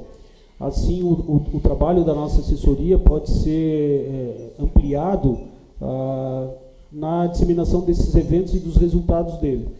É, é, recentemente teve esse encontro de alinhamento com as, as, as comissões de, de, comunicação dos KUF e talvez a, a, anteriormente à realização dos eventos já se faça uma, uma linha de, de raciocínio do evento para que os KUF possam então já ir pontuando nas mídias locais as ações que vão acontecer, para que os arquitetos e eh, urbanistas da, da região possam se apropriar do evento, participar, colaborar, contribuir e o resultado, enfim, ser muito mais é, capilarizado do que simplesmente aqueles que estão presentes é, nos eventos. Obrigado, conselheiro Ricardo. Isso aí é a intenção. Né? Ampliar nos estados, junto com os CAUDF, Pernambuco tem feito já eventos com mais somando Piauí, somando outro Bahia, né? e isso é interessante que seja reproduzido em outras regiões, em outros caos. Conselheira Josemê. Estão vendo? É, bom dia a todas e a todos. Só complementando o que o Ricardo falou, tá, eu vou falar especificamente em, em relação à CPP. É, além dessa capilaridade com a imprensa e, o, o, e a população, né, e os arquitetos locais, é, a gente está começando a buscar agora, presidente, é, a aproximação do CAL, não que a gente estivesse distante, mas tentar é, é alinhar com as outras entidades de arquitetura é, no sentido de que a gente possa ter uma discussão mais ampliada sobre as questões de arquitetura e não ser o que é que o CAL pode tratar, o que é que o IAB trata, o que é que o sindicato trata. Então, a partir de agora, a gente já na última reunião, eu participei da última reunião do Conselho Superior e já comecei a, a, a alinhavar, vamos dizer assim, com alguns alguns é, é, IABs para a gente tentar fazer essas reuniões de ACPP junto do, do, do COSU, junto de, de alguma, é, algum evento dessas, dessas entidades, para que a gente possa é, começar a trabalhar, a chegar mais próximo, não só dos arquitetos, como das entidades também. É só isso. Obrigado, colega Josemê. O trabalho do, que o CEAL vem fazendo é relevante. Né? Acho que o número de eventos já realizados com colégios de entidades nacionais nesse primeiro semestre já bateu o recorde. E vamos continuar nessa linha. Alguma manifestação mais? Não havendo, em votação, as alterações de reuniões. Deliberação plenária DPO-BR número 0080-07-2018. Aprova a alteração da data e local das reuniões ordinárias do, da sede CalBR, COA CalBR e CPP CalBR. O plenário do Conselho de Arquitetura e Urbanismo do Brasil, CalBR, no exercício das competências e prerrogativas que trata dos artigos 2 4 e 30 do Regimento Interno do CalBR, reunido ordinariamente em Brasília, DF, nos dias 19 e 20 de julho de 2018, após análise do assunto em epígrafe e, considerando o disposto no, no artigo 97 do Regimento Interno do CalBR, que define em seu inciso 5, que compete às comissões ordinárias e especiais do CalBR, propor, apreciar e deliberar sobre o calendário anual de eventos e reuniões e respectivas alterações para apreciação do Conselho Diretor, considerando disposto no artigo 116 do Regimento Interno do CalBR, que define em seu parágrafo 2 que as reuniões ordinárias das comissões ordinárias e das especiais serão realizadas na cidade de Brasília, Distrito Federal, onde se localiza a sede do CalBR, ou excepcionalmente em outro local mediante decisão do plenário e, considerando a deliberação número 12, barra 2018 do Conselho Diretor, que aprovou a alteração do calendário oficial do CalBR, deliberou. 1. Um, aprovar a alteração da data e local da 77ª reunião ordinária da CPP do CalBR para o dia 30 de julho em São Luís, no Maranhão. 2. Aprovar a alteração da data e local da 74ª reunião ordinária da COA, CalBR, para o dia 2 de agosto em São Paulo. Aprovar a alteração da data e local da 75ª reunião ordinária da sede CalBR para os dias 3, 4 e 5 de setembro em 2018 em Palmas, Tocantins, e encaminhar esta deliberação para publicação no sítio eletrônico do CalBR. Esta deliberação entra em vigor na data de sua publicação. Brasília, DF, 19 de julho de 2018. Em regime de votação.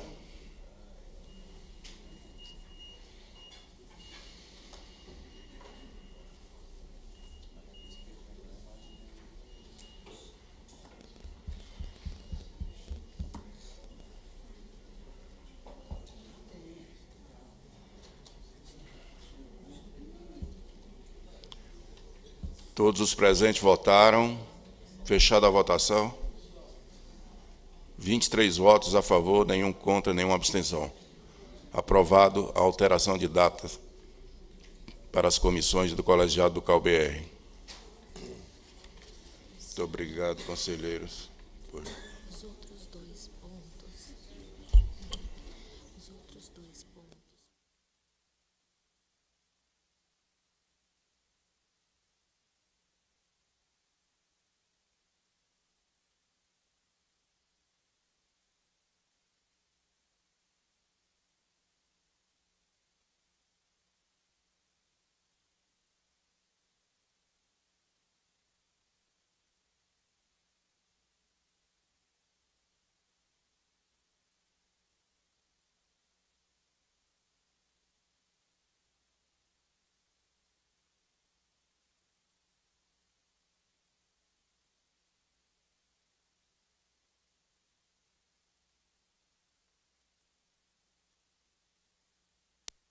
Senhores conselheiros, o próximo ponto da ordem do dia é o 5.8, projeto de deliberação plenária que aprova o documento a ser apresentado aos candidatos das eleições de 2018. Esse ponto está sendo trabalhado e eu estou vendo o horário aqui. Né? Então, eu vou sugerir apenas passar a palavra para o colega Wilson, para o colega Nivaldo, presidente Nivaldo, tá? fazerem uma introdução sobre o, o andamento do trabalho e a gente pautá-lo para a tarde, ou em função do que os, os dois colegas sugerirem aqui. Conselheiro Wilson. Bom, é, nós tivemos o seminário em São Paulo, foi do conhecimento de todos, um seminário bastante é, intenso, com muitas informações, pessoas bastante capacitadas que participou da, das mesas e uma participação do, do, do, de um público bastante consistente também, né? Todos os dias, dois dias, é, todas as, as apresentações tiveram bastante gente contribuindo e, enfim, a gente considerou muito positiva a realização desse seminário em parceria com o IAB e Cal São Paulo e que é, alimentou a, a, a, nossa é, as, as, informações né, para a construção desse documento para os candidatos, com muitas informações. É, nós fizemos um cronograma em decorrência do próprio calendário eleitoral, nosso cronograma ficou muito justo. Né? Então, teve o seminário nas, nas terça e quarta, e nós abrimos para consulta do, do, público e dos conselheiros até no domingo. Na segunda-feira, então, começaríamos já a construção da carta. Uh, mas a gente não conseguiu exatamente cumprir esse cronograma e conseguimos, de fato, é, chegar no, no, no, numa minuta é, agora, nessa segunda-feira. Ontem nós tivemos uma reunião técnica, é, onde participou eu, o Nixon, pela Comissão de Política Urbana, participou o presidente Nivaldo é, com o Túlio, que é o presidente do IAB São Paulo, e a nossa colega Cláudia Pires, é, a colega Ana Maria, que é presidente do Sergipe e coordenadora do, do Fórum de Presidentes, e a nossa assessoria técnica, Isabela, e o apoio do Júlio na comunicação.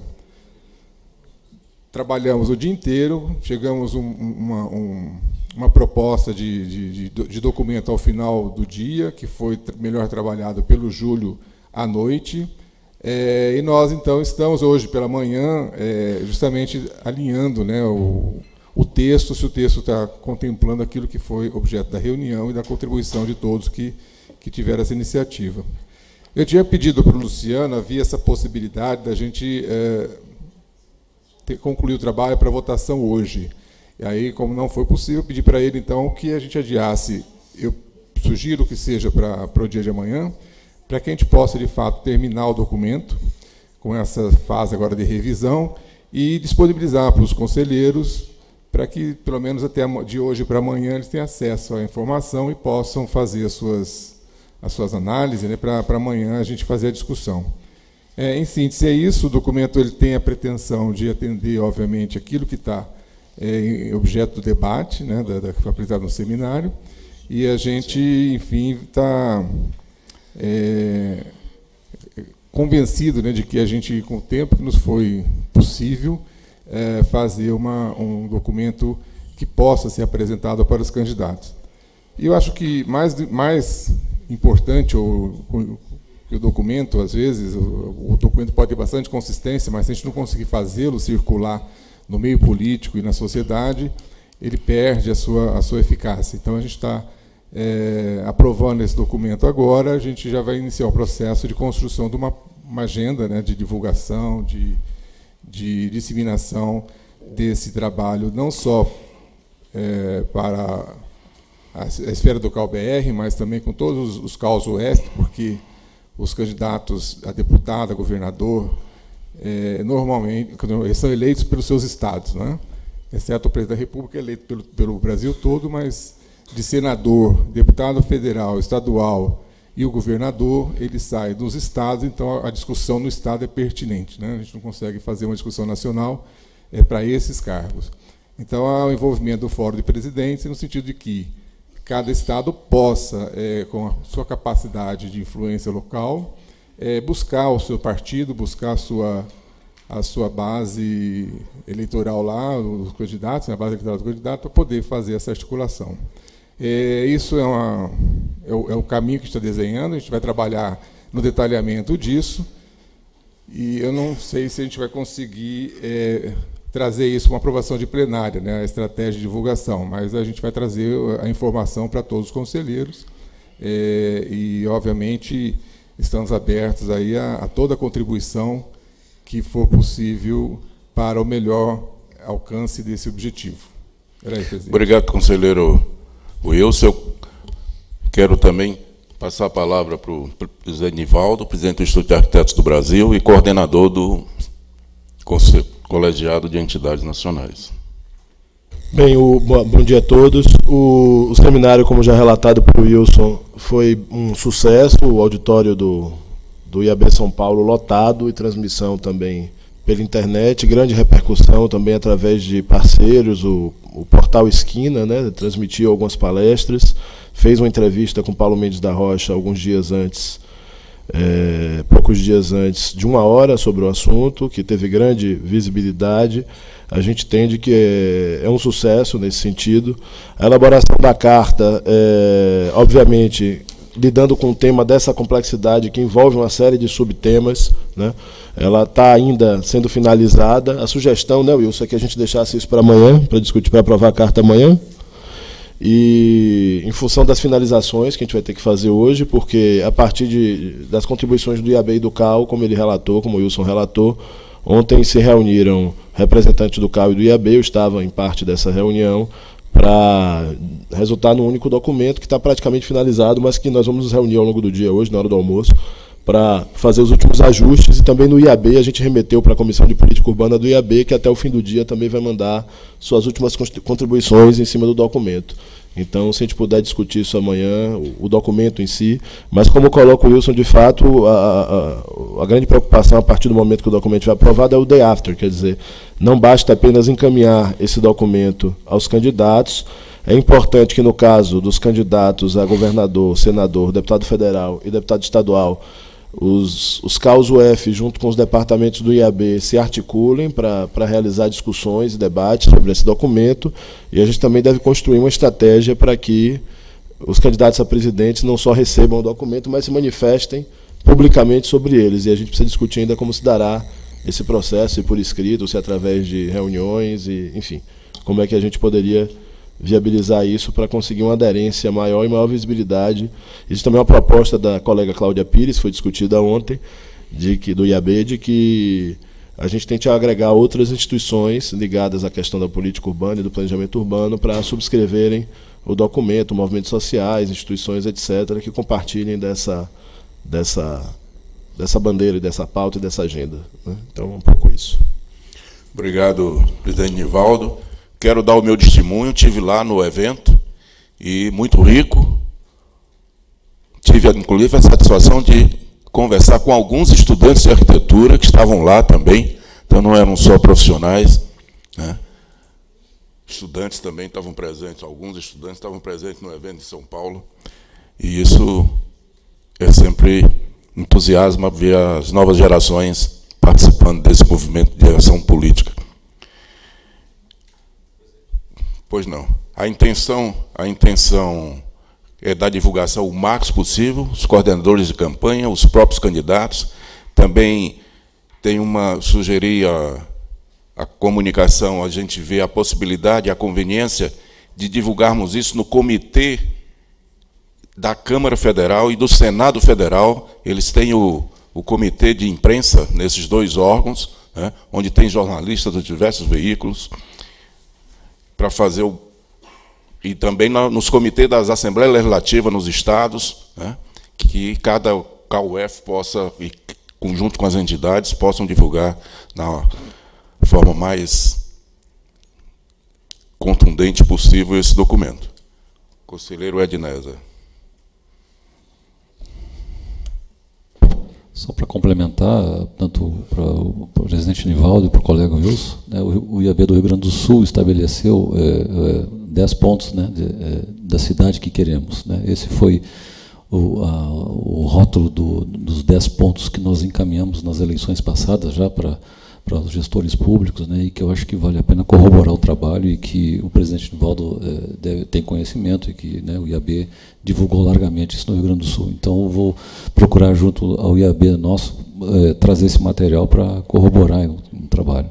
Foi muito eficiente, foi muito bem acolhido, evidentemente que é, entre acolhimento e botar em prática por, pelos gestores públicos tem um longo caminho mas eu acho que é um trabalho, é uma minuta rica que pode colaborar nessa, nesse trabalho de agora. Obrigado, conselheiro Adnésio. Conselheiro Jefferson.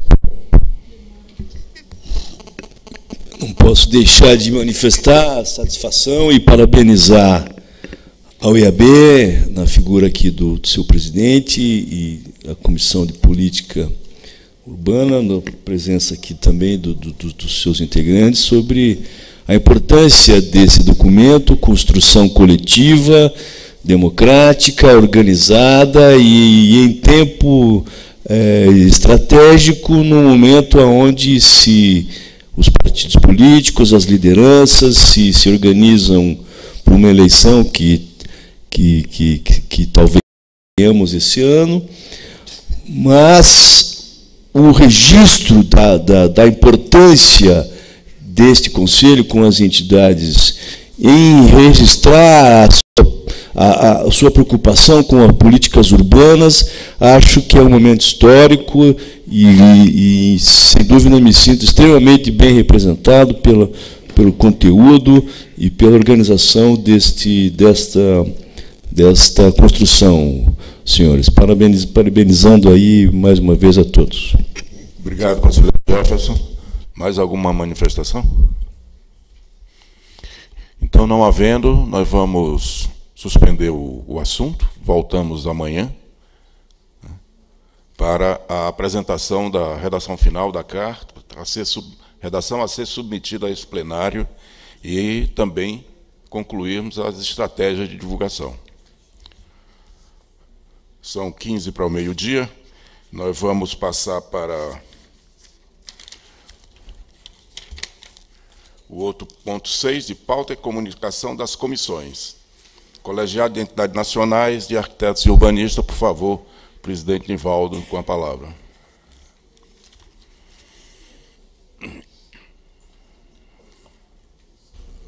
Um minuto só, presidente. Deixa eu só abrir aqui meu, minha memória. Fique à vontade.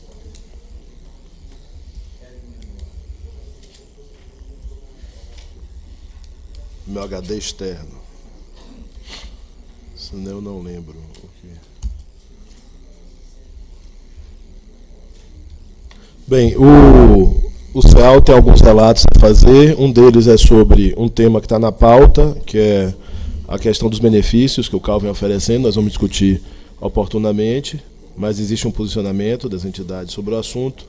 É, nós temos dois eventos do CEAL é, que acontecerão, um agora e o outro em agosto. Esse de agora, na verdade, faz parte de um evento maior chamado, que é um seminário sobre ensino, realizado no Rio de Janeiro, chamado Cidade igual Universidade, que foi iniciado hoje pela manhã e se desenvolve até sábado, sendo que a programação de sábado é organizada em conjunto pela BEA do Rio, pelo CEAL do CAU-RJ, junto conosco do CEAL do CAU-BR. Nosso presidente estará lá e outros conselheiros também.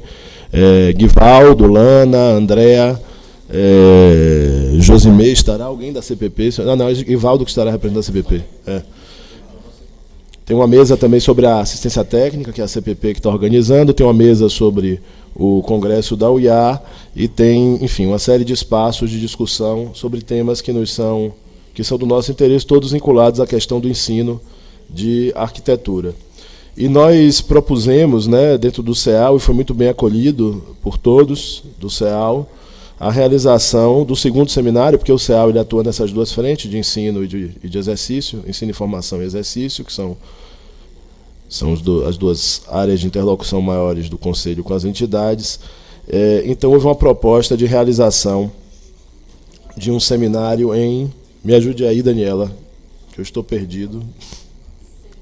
Setembro, eu falei que era agosto, mas é setembro. Eu estou absoluto. Isso. 5 e 6 de setembro foi uma proposta do CEAL de realizar um seminário para discutir a relação entre ensino e o que determinam as diretrizes curriculares mínimas do Ministério da Educação na nossa área e as atribuições profissionais justamente para é, fazer frente a todo esse debate da forma equivocada que ele vem sendo conduzido por, por algumas entidades e por algumas pessoas com relação à Resolução 51, as atribuições profissionais dos arquitetos e urbanistas. Então, o título provisório é da, da formação à atribuição profissional, não é isso, Dani? E ele vai acontecer em São Paulo, de 5, dia 5 e 6 de setembro, com mesas focadas em cada, cada uma das quatro das quatro grandes áreas de atuação que estão sendo objeto de discussão, o projeto de arquitetura e urbanismo, a patrimônio cultural, é, arquitetura paisagística e arquitetura de interiores, além de palestras, e a ideia é que esse seminário resulte também num documento que sintetize é, um, um, esclarecimento sobre o assunto. O local em São Paulo não está fechado, Dani, teve algum avanço? Não está fechado ainda. A ideia de fazer em São Paulo era no sentido de tentar atrair maior, público maior possível, fazendo a maior cidade brasileira, tendo em vista a importância desse tema, e já que o seminário de ensino já seria no Rio, e aqui em Brasília tem um seminário parlamentar e tem outros eventos do CAL que acontecem aqui. A ideia de fazer em São Paulo foi um pouco é, nesse sentido. Outros temas é, importantes que a gente tem discutido. O IAB informa aqui que deliberou na última, na última reunião do Conselho Superior é, solicitar ingresso como amicus curiae na, na ação que está em, em, em, andamento no Supremo também sobre esse tema das atribuições, entendendo que é a entidade mais antiga de, de arquitetos do Brasil é, e que pode testemunhar sobre, inclusive, o fato de que desde os anos 70 que essas atribuições já eram nossas dentro do Conselho Pretérito. Então, é, nesse sentido, nossa advogada pro bono, a Cláudia Dudek, conselheira superior do IAB do Paraná, ex-presidente do IAB do Paraná, tem, tem nos apoiado nesse processo e vai ingressar, claro que sempre em contato com o doutor Medeiros e com a assessoria jurídica do CAL, porque nesse sentido o IAB entende que entra para reforçar o entendimento que nós já temos conjunto sobre é, o assunto. Né? E um outro tema é que Deixa eu olhar minha, minha pesca aqui, porque não quero esquecer. Um minuto só.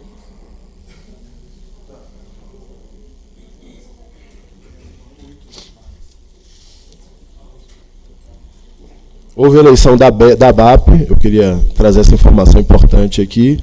A colega Luciana Schenck, que já era da diretoria e que já vinha representando a BAP no CEAL, problemas de saúde da colega Nina Weisman, foi eleita presidente da BAP recentemente, acho que é uma semana atrás, e, portanto, consolida a sua representação. Isso é particularmente importante porque a coordenação adjunta do CEAL está com a BAP nesse, nesse ano, e no ano que vem a BAP assumirá a coordenação. Então, a colega Luciana Schenck representará o CEAL quando não puder participar, e no ano que vem certamente será a coordenadora e estará aqui participando é, das plenárias. Né? É... Como nós não tivemos reunião do CEAL desde a última plenária do CAL, a nossa última reunião do CEAL foi 14 e 15 de junho, portanto, antes da última plenária, não tem mais muito o que relatar. O sucesso do evento de São Paulo, teve o apoio das demais entidades, o de política urbana, acho que é basicamente isso. Obrigado, presidente Nivaldo. E aproveitar para registrar Congratulações à colega Luciana pela eleição da presidência da ABAP.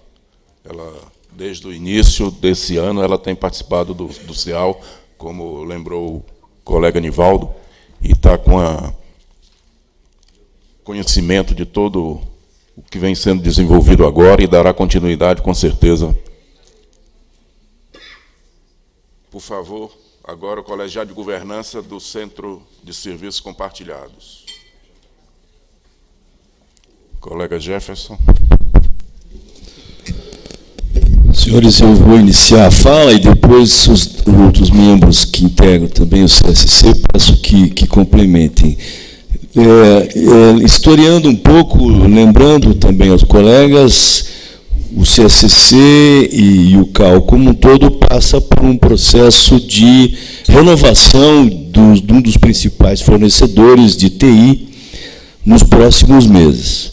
Nesse sentido, se fez inicialmente um chamamento aos UF que pudessem indicar uh, seus especialistas em TI presencialmente num seminário que aconteceu aqui em Brasília, onde se, se pôde atualizar a sensação que esses técnicos de, de TI têm em relação ao desenvolvimento atual das nossas ferramentas, em especial o CICAL. Esse material foi tabulado, está à disposição.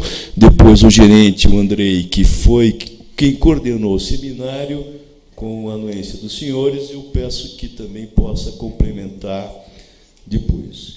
Em consequência deste seminário e também uma demanda que vinha de gestões anteriores, este plenário autorizou a efetiva participação oficial dos UF no que se chamou aqui o Fórum Permanente de Consultoria em TI. Ah, isso nos, nos vai dar, com certeza, uma perspectiva de aumento de qualidade nas demandas, já que vão chegar aqui agora não apenas como GAD, que são as, a, a, a, os relatos de, de pequenos e às vezes até nem tão pequenos defeitos ou falhas que o sistema apresentam, mas na perspectiva maior de agora fazer contribuições ao sistema. Então, nesse sentido, estamos na perspectiva de termos uma condição muito mais democrática e muito mais transparente de construção desta renovação destes fornecedores. O passo seguinte, que também já estamos avançando, dependemos ainda de posição do nosso jurídico sobre o tamanho desse passo, mas, ao meu ver, como a origem desta movimentação se deu a partir de um encontro Cal-Paraná TCU, sob a perspectiva de termos de cooperação e é, termos de convênio entre o CAL e instituições de pesquisa de desenvolvimento de TI, eu não acredito que tenhamos dificuldades ou óbices jurídicos em nos autorizar também a essa mais essa amplitude aí de desenvolvimento tecnológico. Eu quero enfatizar, senhores, que passamos de compradores de tecnologia a parceiros para instituições de pesquisa de desenvolvimento tecnológico. É um avanço muito grande, com todos os cuidados que estamos tomando, legal, jurídico e democrático de participação, eu tenho certeza que os passos serão muito mais largos e muito mais é, assertivos.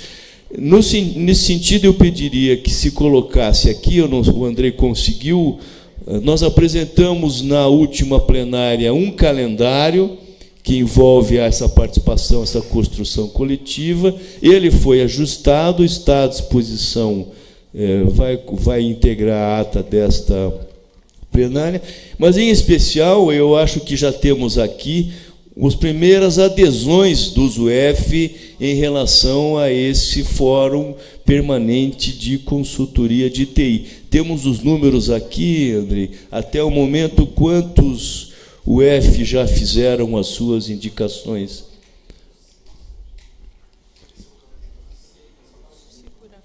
Apenas seis UF formalizaram as suas indicações ao fórum. Então, gostaria que os conselheiros aqui presentes insistissem com seus presidentes, com o corpo técnico, que em atendimento ao calendário, o calendário não é muito elástico, façam essas indicações para que a proposta de construção coletiva se torne um, uma realidade. O calendário. Diga, Carlos. Já vamos saber. Pode apresentar uh, quais os seis estados que já Está em sequência?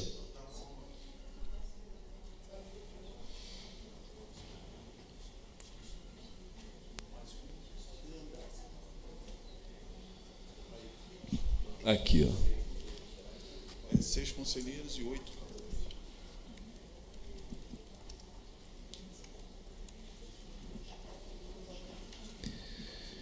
Validação de, de indicações.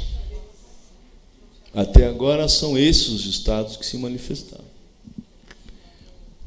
Então eu, eu insisto, o presidente, o calendário é muito apertado, você está participando pessoalmente disso, talvez mereça aí mais uma manifestação aos presidentes, que foi feita com muita qualidade em tempo, quero ressaltar. O calendário, o corpo técnico seguiu a risca até agora, todas as, as, as tarefas que ficaram a, a, a, juízo do corpo técnico do CalBR foram atendidas em tempo e com qualidade. Então eu peço que os conselheiros, repito que os conselheiros façam esse, também esse chamamento e talvez aí a nossa comunicação, Morena, eu acho que o, o, o, o Júlio, talvez não, tem, precisemos aí sim da sua ajuda no sentido de dar destaques, pintar, fazer colorido, piscando.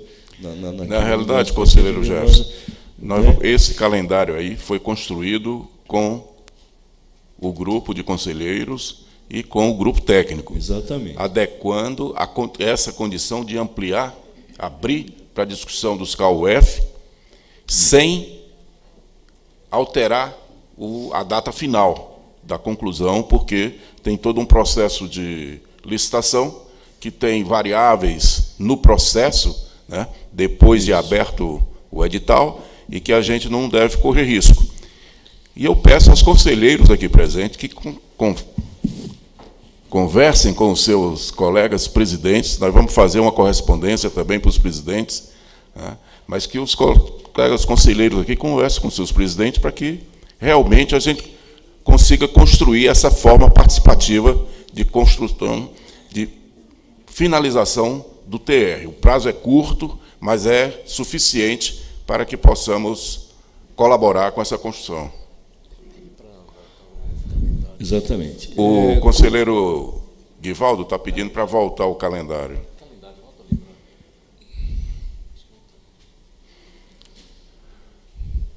Complementando, depois eu gostaria que o Matusalém e os demais colegas também se manifestassem. A, a, a, mudança ela deve vir, eu acredito, senhores colegas conselheiros, também na, na ampliação do, do enfoque da nossa tecnologia. Hoje, os senhores sabem, a gestão de cidades passa por um processo muito veloz e rápido e abrangente de de, de digitalização de sistemas de gestão de cidade, as famosas cidades inteligentes, todos os nossos processos, como falávamos há pouco, até de correção de projeto, é inevitável que esta tecnologia chegue a esses órgãos de gestão com muita rapidez, muita velocidade. Então, eu creio que se nós ampliarmos o enfoque, envolvendo ainda mais a questão da atuação profissional com tecnologia, com os órgãos de controle, prefeituras, etc., o CAL pode ser, inclusive, uma fonte de informação, presidente, às pequenas prefeituras, aos órgãos que não têm corpos técnicos, e que, que possamos aí sim ampliar em muito essa capacidade que o, que o CAL tem no, no entendimento da gestão do território, da administração do território profissional, valorizando arquitetura e urbanismo. Então, essa amplitude do, do, do enfoque eu também vejo com, com muito é. bons olhos essa iniciativa de podermos sim sermos aí um catalisador, um desenvolvimento de tecnologia, de gestões. É importante a gente, importante, conselheiro Jefferson e demais conselheiros, que nós temos um sistema comparado com os demais conselhos, né, ele está muito à frente dos demais conselhos. Portal de transparência, relacionamento com os profissionais e a sociedade, mas ainda temos que construir muito mais. E temos consciência de que esse processo busca conciliar com algumas instituições especialistas no assunto para darmos velocidade nas alterações que temos que fazer no processo. Então, a fábrica de, de software está na na pauta, o edital é para construção, para, para a contratação dessa fábrica de software, mas a, a assessoria, o link com instituições especialistas em produção de TI, nós estamos buscando, né, ou nas universidades, ou com empresas especializadas, isso está sendo tratado e vai ser voltar aqui à pauta do plenário, quando a gente tiver mais informações. Matusalém, por favor. Não, é, eu só espero que realmente os colegas tenham percebido nessa fala do Jefferson e do presidente essas mudanças que nós temos proporcionado, essa nova, esse novo modo operacional daquilo que se espera do CSC. É um anseio nosso e a gente, é, de certo modo, percebe que essas mudanças vão ocasionar num modelo de de sistema, de portal de tecnologia que a gente espera enquanto arquitetos, por mais que realmente nós já temos esse reconhecimento de estar um pouco além em termos de tecnologia do que outros conselhos. Né? É, eu queria só destacar também que o Jefferson falou numa linguagem de TI, e eu sei que alguns CAL aqui, pelo tamanho, pelo porte, nem tem esse profissional de TI. Mas não necessariamente quer dizer que esse CAL deve se abster de tomar conhecimento e de contribuir é, numa consulta pública que está em aberto. Eu peguei um link aqui do Mato Grosso que fez essa divulgação então acho que é um dever nosso, eu também me incluo aí nessa, nessa, nessa tarefinha de casa aí de, é, junto ao presidente, fazer essa indicação, não necessariamente de um TI, mas daquele que tem um conhecimento, que pode trazer uma, uma informação necessária para subsidiar essa contratação da fábrica de software lá. Então, não necessariamente precisa ser alguém somente focado em TI o próprio gestor do conselho, gerentes, fiscalização, todo mundo pode contribuir com isso. Inclusive, essa consulta pública está em aberto. Tá? Já cliquei lá no link, é bem rapidinho, é, intuitivo, o cidadão pode ser uma mensagem qualquer que o Andrei vai captar essa informação, essa sugestão,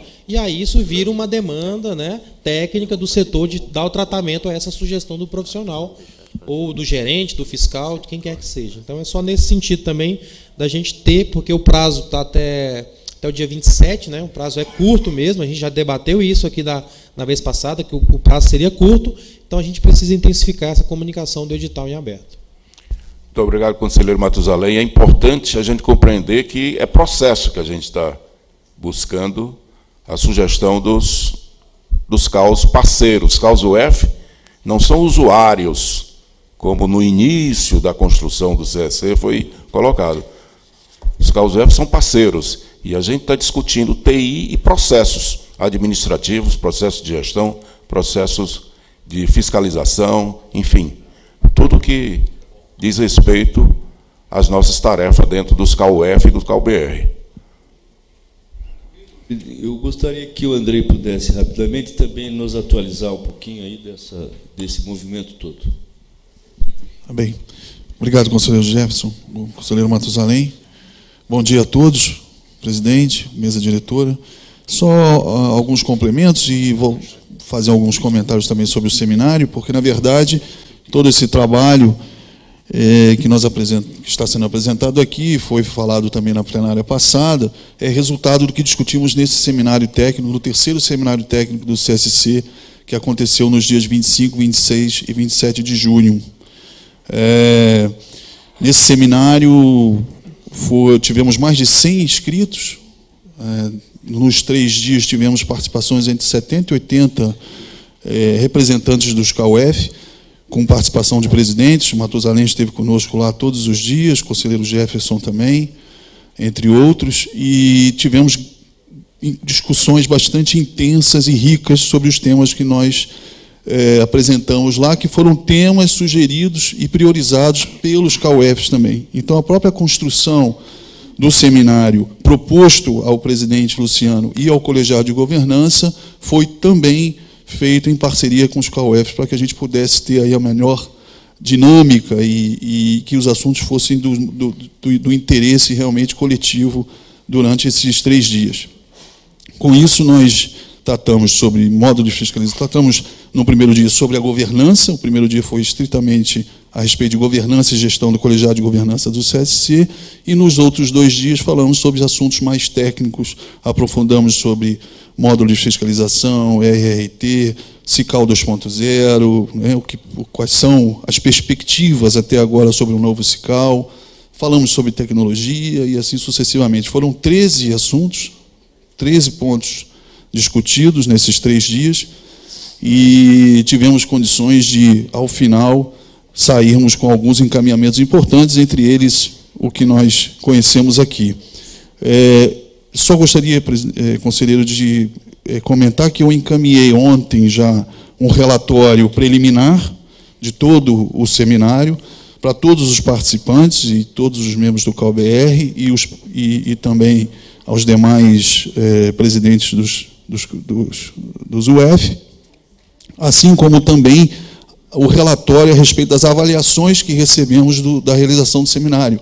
Nós fizemos questionários eletrônicos para cada dia com as avaliações e tivemos uma aceitação muito boa, entre 70% e 80% é, opinaram como bom ou excelente o resultado ou a realização do, do evento. Então, isso nos deu uma satisfação muito, muito boa.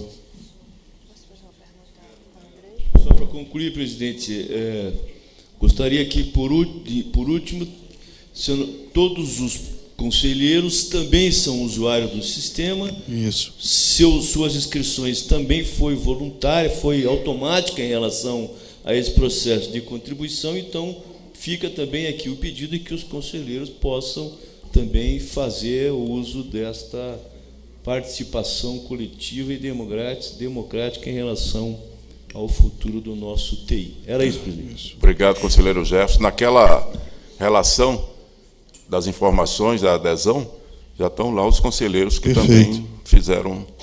Eu queria também comunicar que semana passada houve o pedido de afastamento solicitado pelo Cristiano, que, que era o gerente de TI, e quem está conduzindo agora a gerência de TI é o nosso funcionário Tiago. Ele está respondendo interinamente, está ali também. Se quiser fazer alguma, dar alguma informação, Tiago, por favor. Depois tem a conselheira Patrícia e o conselheiro Carlos Fernando inscritos. Obrigado, presidente. É, bom dia a todos.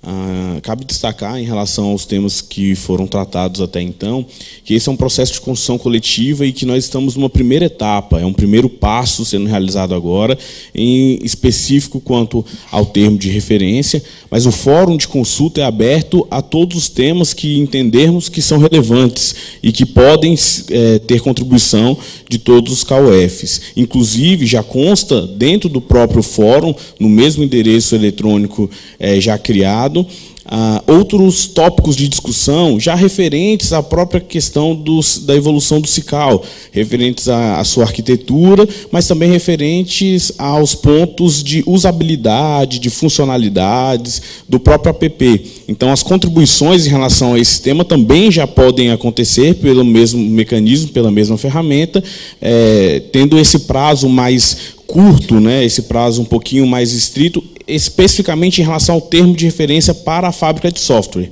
Os outros temas continuam em discussão e a gente vai estar é, tá acompanhando, e como o conselheiro Matusalém colocou, é, prestando suporte técnico e o encaminhamento, então logo haja a consolidação disso, o reporte das contribuições em relação aos temas colocados ali. Obrigado. Obrigado, Tiago. Conselheira Patrícia, por favor. Na verdade, é só para transmitir uma, uma pergunta que me chega lá dos colaboradores do RN e que participaram desse evento. Então, é só para saber se, junto a esse relatório, também foi enviado é, orientações de como se inscrever, que foi dito lá durante o evento, que seria enviado. Isso aí foi junto ao relatório, essa orientação? Sim, é, nós encaminhamos, é, conselheira Patrícia, é, essa orientação de como acessar o fórum, tanto para os presidentes dos CAUFs, para todos os conselheiros federais titulares e suplentes, para todos os técnicos que estavam inscritos e que participaram do evento, e ainda para toda a nossa a rede de comunicação nos CAUFs, que já recebem os nossos comunicados que são emitidos pela RIA.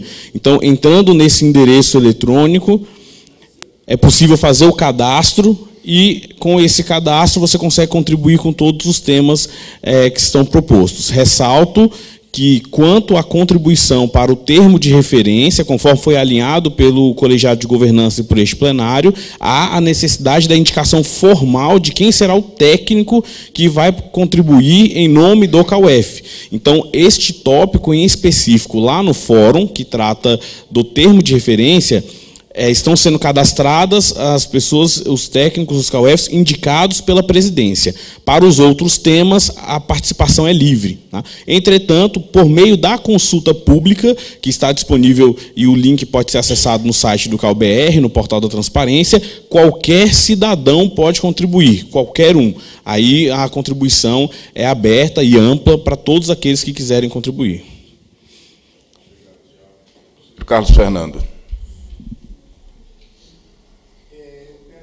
Especial atenção ao companheiro Jefferson Navolar, porque a questão do CICAL, principalmente o uso dele, ele não é apenas um instrumento de informática, ele não é um liquidificador, não é?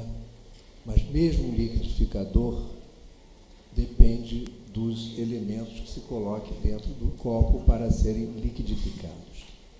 Então, o, o Cical, na verdade, ele interpreta. Lana está aí? Tá. Presta, presta atenção também, Lana. Uma série de questões não é, que vêm do próprio, da própria construção, por exemplo, da RRT. Já falei isso com você, né? De uma confusão profunda de conceitos que a RRT nos traz. Confunde, por exemplo, com o que é meio ambiente e gestão e projeto e ensino. Isso está na mesma coisa. Quando um é, um é uma questão, é uma ciência, e o outro é uma atribuição. Não é? Então, desde isso, quer dizer, eu acho que a gente tem que passar também por esse tipo de repensar a receita do que vai no liquidificador e não só o liquidificador. Por exemplo, eu fui surpreendido recentemente que agora a gente pode voltar atrás numa RT que já se deu baixa. Corrige-se o passado. Por quê? Porque, na verdade, a gente está corrigindo a correção. Não é? Então, esse tipo de coisa, Jefferson, é que me preocupa um pouco, porque esta questão não é só de informática, é de uma profunda releitura da, de como foi construído esse arcabouço da prática profissional e de como é que nós a registramos. Muito obrigado. obrigado Acho que isso tem que constar também do seu fórum, do grupo de trabalho, e eu peço uma especial atenção à comissão de exercício profissional tão bem coordenada, eleita, com meu voto, inclusive, para essa coordenação. Muito obrigado. Obrigado, conselheiro Carlos Fernando. Essa observação do conselheiro é, é de fundamental importância e é preocupação da presidência e do grupo de trabalho. Não. Mas vamos aguardar sua colaboração também para esse tema. Conselheiro Jefferson, quer fazer alguma. Não. Mais alguma manifestação? Não havendo, muito obrigado, conselheiro Jefferson e demais colaboradores. Passamos para Colegiado de Governança do Fundo de Apoio.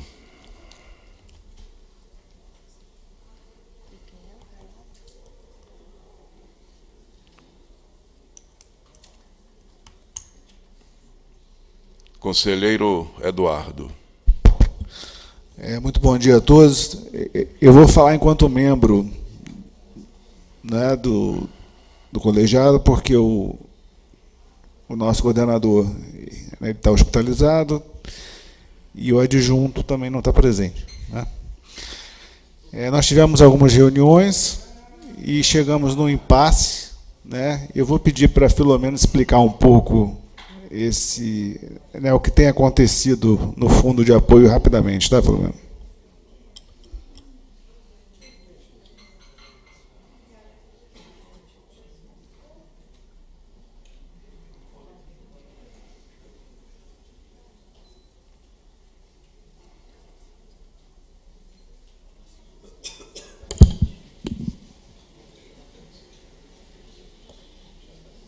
Conselheiro Eduardo.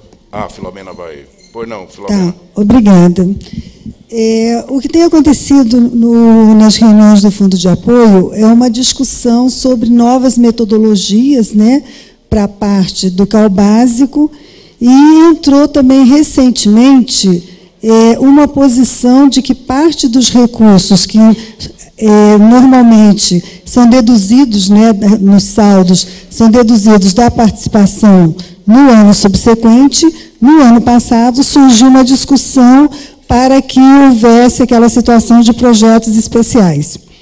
Isso daí foi feito inicialmente uma consulta né, aos estados, mas não teve nenhuma posição, porque isso impacta em alterações normativas, e o colegiado solicitou que fosse levado à reunião do Fórum de Presidentes que ocorreu recentemente no Rio de Janeiro. É, esse assunto teve uma discussão bem ampla, né, intensa, e essa, a proposta do, dos projetos especiais não foi aprovada, e houve uma outra proposta que houvesse uma devolução dos recursos de forma inversamente proporcional. Isso daí acarreta né, uma série de, de implicações, mesmo que venha isso a ser efetivado no momento futuro, né, que ele não é viável nenhuma alteração nos procedimentos para 2019, isso futuramente, porque teria que ter toda uma aprovação, mudança de resolução, é, e aprovação em plenária ampliada. Só que isso daí causou vários problemas com os estados, efetivamente, que estavam lá, e também foi, de uma forma assim, surpresa, retirado o CalBR para ser beneficiário dessa devolução. Quando o CalBR é o segundo maior né, aporte de recursos. Então, se no fundo, né, o que, que tem sido a posição é, econômica, né? Se no fundo a participação é de acordo com a a arrecadação, então, todos pagam, mas a arrecadação é que dá os aportes, o suporte. A posição, quando é da devolução, que é deduzido no ano subsequente, que é o que ficou, inclusive, para 2019, né, que é ainda a regra que é sempre aprovada, todos se beneficiam na mesma proporção de suas participações. Uma, uma, devolução não mais de forma inversamente proporcional, ou seja, quem contribui menos recebe mais, lógico, isso daí pode até vir numa discussão, mas isso tem que ser uma discussão muito ampla, até porque os estados e o CalBR, eles estariam se é, reduzindo né, a sua contribuição e seu direito que ele já tem numa parte de fundo. E em relação a isso também, bom, então, essa ficou a discussão. E nesse momento, na reunião também, o conselheiro Heitor né, pediu para sair do, do conselho, do colegiado do conselho, aí assumiu o suplente, que é o, o conselheiro do CAL Maranhão, Marcelo, né?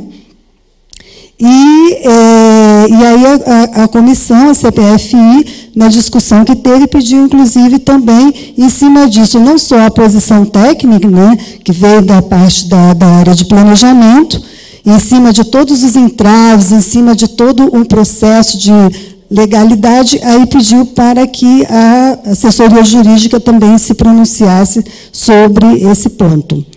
Então, é, por enquanto, continua valendo a mesma regra até que esse assunto venha a ser bem discutido tanto na parte técnica quanto legal. Efetivamente que o colegiado né, e o plenário, ele é soberano, e a plenária é ampliada, porque aí tem que ser a participação de todos. Mas aí envolve muita coisa nessa proposta de uma devolução na forma que eles estavam solicitando que é encabeçado, inclusive, pelo, pelo presidente do, do Mato Grosso, né? que é ele que está responsável por tratar no colegiado de todo o assunto com alterações nos procedimentos atuais do fiscal básico e fundo de apoio.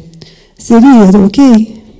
É isso mesmo. Muito obrigado, Filomena. Obrigada. E, e o que e o que dá para complementar na fala dela só é que nós recebemos o documento lá né, da eleição né, do, né, né, que, né, que, né, que, ocorreu no Fórum né, dos Presidentes. Fórum dos Presidentes. E a eleição não foi unânime. Então, assim, estados como São Paulo, Rio de Janeiro, Santa Catarina, Santa Catarina eles foram contra essa forma que foi sugerida. E o presidente do.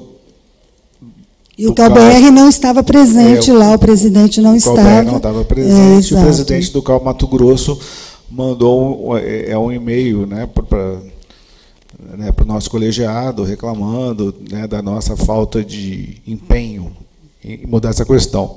Então é importante essa fala para que todo mundo tenha realmente o conhecimento de que isso não é falta de empenho nosso. Nós estamos seguindo as regras, né, as normas, e, e, o que não pode é, é, mudar as regras do jogo no meio do jogo. Né? Então é isso que nós estamos falando. Obrigado. Obrigado, conselheiro Eduardo. Conselheiro Wilson, por favor. Alô? Inclusive, o, o nosso coordenador Oswaldo ele estava muito preocupado com essa, com essa situação, ele até fez contato é, comigo desde antes de ontem. É, e ele tem adotado uma, uma, uma, uma decisão, tem encaminhado esse problema de uma forma muito isenta. Eu queria registrar isso aqui. Não existe assim, nenhuma uh, tendência de, de, de, de buscar uma, uma, opção ou outra, e sim analisar todos os prós, os contras, como foi colocado, com pareceres, de forma que subsidie de fato uma, um documento, uma decisão é, que seja aquela que, que deva ser tomada. Não é? É, ele me, foi, me, falou essa questão da pressão do, do presidente do Mato Grosso, mas eu entendi que talvez até seja um caso propriamente isolado do, da, da, do, da, do, presidente, como integrante do, do, da turma que está analisando esse, esse, essa, essa proposta no, CS, no Fundo de Apoio, e eu apoiei a, a, a, a decisão do Oswaldo de caminhar as coisas tecnicamente. Né? Não podemos atropelar o processo, é analisar as resoluções, se tiver que fazer alteração, vamos estudar alteração, trazer para o plenário, para depois dar uma, uma fala definitiva. Então, só para registrar de fato que está havendo isso, é, reforçar o que o colega Eduardo falou de que a comissão tem trabalhado com bastante empenho né, e responsabilidade para que a decisão tomada seja aquela que atenda de fato o interesse do CAL. E como nesse caso vai é, mexer com o orçamento do, de outros, né, então não nos cabe a decisão é, isolada aqui de Conselho Federal. Né, tem que ter, é um fundo é, é que une né, recursos de todos os, os, estados, então tem que ter a concordância de todos né, para poder fazer, tomar essa decisão que eles estão é, pedindo para que seja tomada, de alguma forma até pressionando a comissão para que é, embarque nessa, nessa proposta. Só para reforçar os depoimentos aqui passados. Obrigado. Obrigado, conselheiro Wilson. Conselheira Patrícia.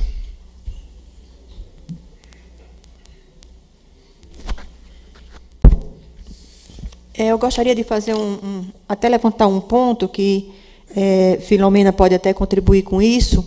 Eu tive a oportunidade de, por dois anos, integrar o fundo de apoio e vários estudos iniciaram, foram iniciados lá, no intuito da gente rever essa questão dos aportes que os, conselhos, os conselhos estaduais fazem para a devida manutenção dos CAL básicos. Né?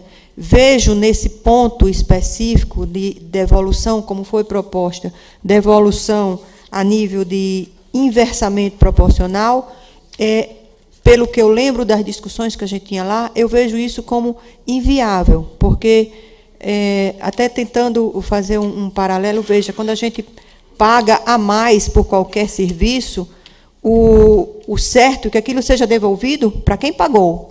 A gente não pode dispor de um dinheiro que não é nosso. Então, esse aporte é feito por cada um dos estados. Se ele foi, se houve sobras de sair desse aporte, tem que ser devolvido para a origem, para quem contribuiu com aquilo ali. Essa é uma parte. A discussão que eu, que eu vejo dentro do fórum, dentro do grupo de governança do fundo de apoio, é com a relação dessa, dessa parte do aporte, como hoje ele está posto. Então, o que é isso? é se debruçar sobre a resolução 119, que trata especificamente do, dessa questão do fundo de, de, de apoio.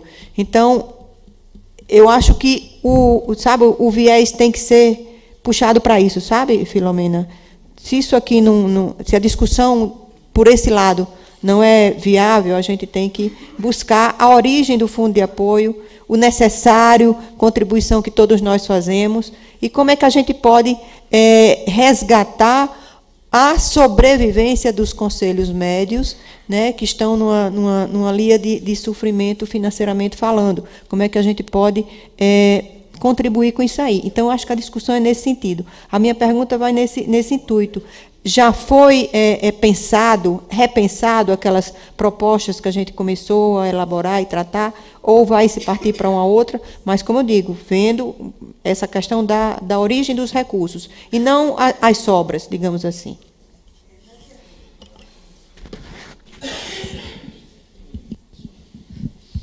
Tá. Na verdade, o que acontece? Então, a gente colocou logo na primeira reunião né, do colegiado esses pontos todos, e o, e o presidente do CAL Mato Grosso assumiu esse papel. Ele trouxe na última reunião uma proposta, então nós passamos para ele todos, todos aqueles trabalhos, todas aquelas discussões, e a base inicial que era para o CAL estar com porta aberta em todo o território nacional, como é a política e a estratégia que o CAL implementou.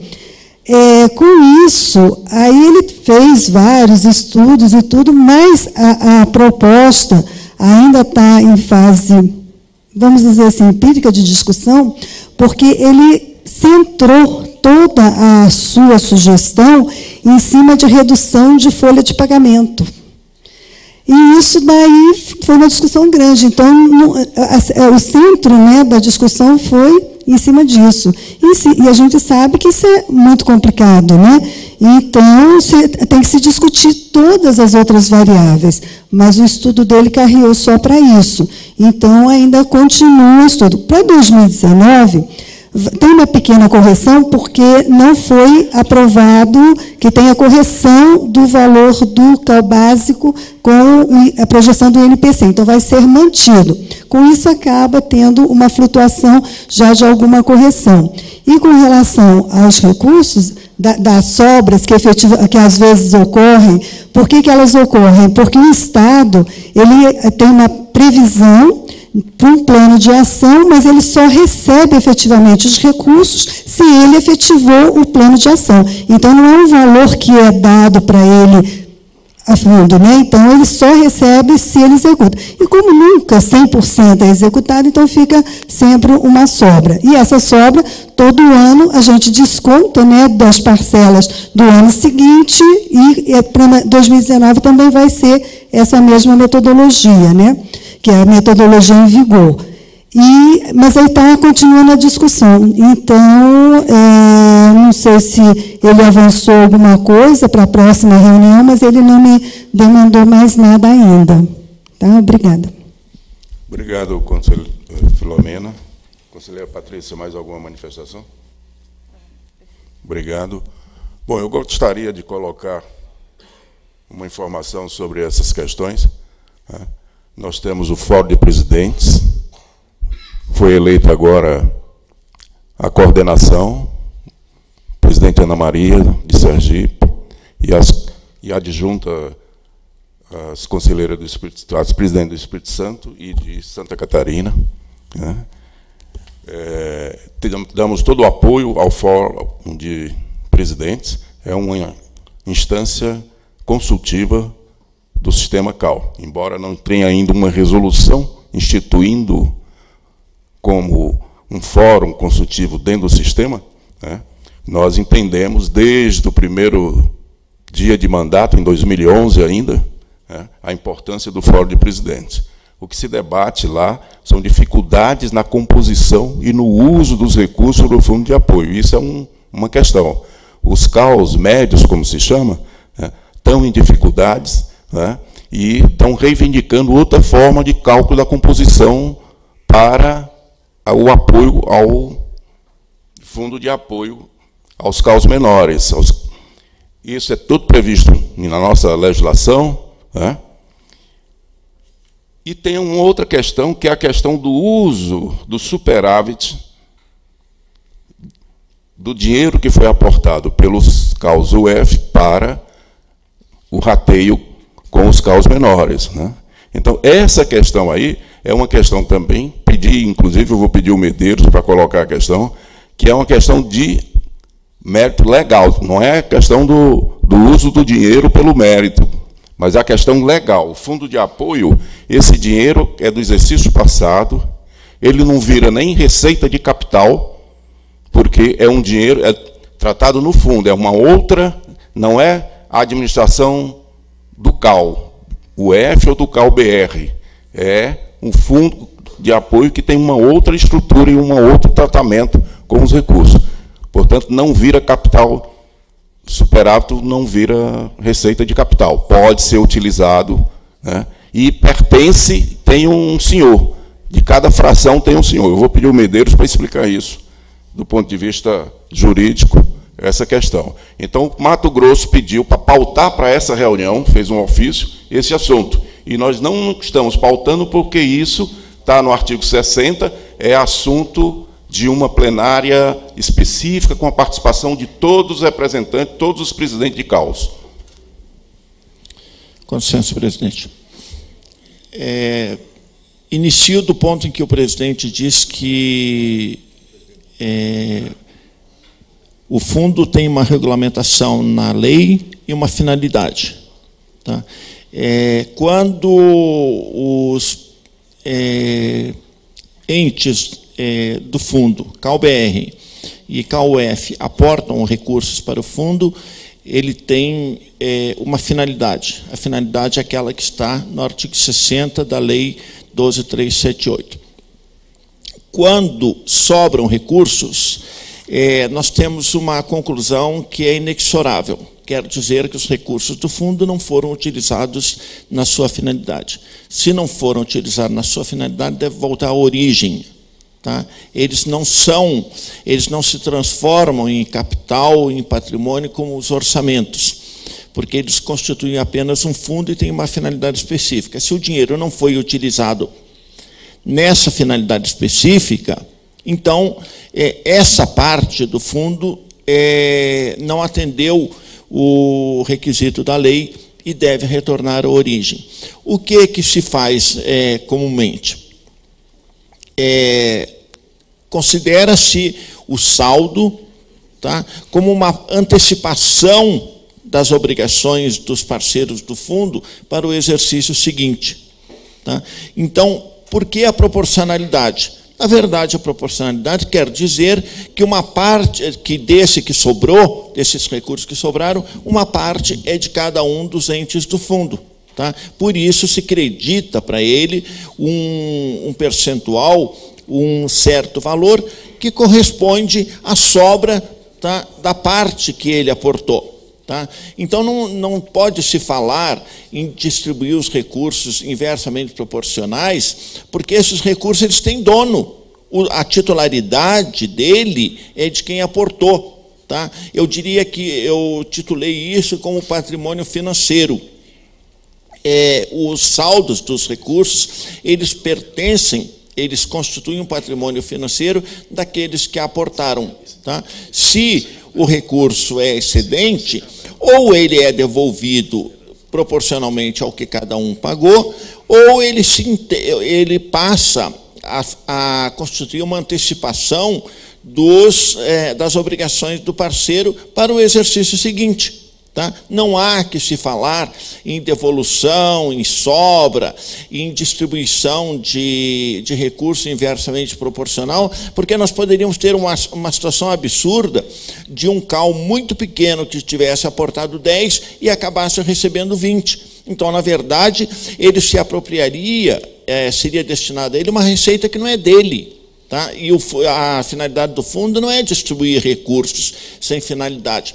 A finalidade do fundo é contribuir para o funcionamento dos conselhos é, de, é, de arquitetura e urbanismo dos estados e do Distrito Federal, que, na literalidade da lei, não tenham condições financeiras de atender a todas as suas finalidades. Tá? Se os recursos sobraram, tá? é porque essa parcela do fundo não atendeu esse, esse preceito legal e os recursos devem voltar à origem, tá? porque esse recurso é do é, aportante. Uma forma que o CAL tem feito e que atende a esse princípio, que de certa forma o recurso volta à origem, que é considerar um crédito para o, o, os entes do fundo para o exercício seguinte é a única solução que nós podemos é, dar a, esse, a esses saldos. É, quer dizer, são duas soluções. Ou devolvemos proporcionalmente ao que cada um aportou, ou consideramos uma antecipação da parcela que cada um é, deverá aportar no exercício seguinte, também seguindo a mesma proporcionalidade, porque aquilo é um patrimônio financeiro de quem aportou os recursos. Tá? Aquilo não é um dinheiro de ninguém, aquilo é um dinheiro que pertence a quem fez os aportes. Obrigado, Medeiros. Alguma Conselheiro Eduardo. É, depois de nós ouvirmos tudo isso, ficou muito claro, não há dúvida. Né? Eu penso só que, que deve ser importante que, no, né, que na próxima plenária isso seja repetido, né, né, para que os presidentes ouçam também isso. Muito obrigado. Obrigado, conselheiro Eduardo. A intenção é essa. Hoje é uma informação sobre o assunto, tendo em vista que houve a manifestação do presidente André, do Caldo Mato Grosso, para que a presidência pautasse nessa reunião. Mas nós estamos trazendo as informações e vamos pautar na, na reunião seguinte, que é a reunião ampliada. Né? Mas com esses dois, com essas duas questões básicas. Uma é a composição do fundo de apoio, uma discussão que passa pelos presidentes dos CAUF, passa pelo colegiado, passa pelo plenário do CAU BR, e a outra questão é o uso do superávit do exercício anterior. Mais alguma pedido de esclarecimento? Não havendo, passamos então para o item seguinte. Nós temos agora o item D da ouvidoria. Eu vou propor que a gente ouça o arquiteto Simão e depois a gente faz a suspensão e voltamos às duas horas. Às 14. Hum? 14h30? 14h30 o retorno, por sugestão da conselheira Lana.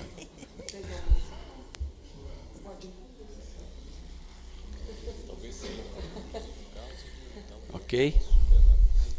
É, boa tarde a todos, os presentes. É, eu gostaria, é, presidente, pedir autorização da mesa e do plenário é, para tentar, dentro desse tempo, é, fazer duas. Cinco minutos? Isso, tentar dentro dos cinco. É, uma, destacar as questões mais importantes assim do momento na ouvidoria, já entendendo que muitos desses assuntos é, já estão percorrendo as nossas comissões e ou setores né, para a solução, mas dois que eu acho que são importantes para depois fazer é, uma solicitação de, de fazer comentários sobre a, a estada em Nova York, junto com, a, com o Conselho, né, como vice-presidente. É, nós estamos alterando o nosso teleatendimento qualificado tá, a partir de 6 de agosto.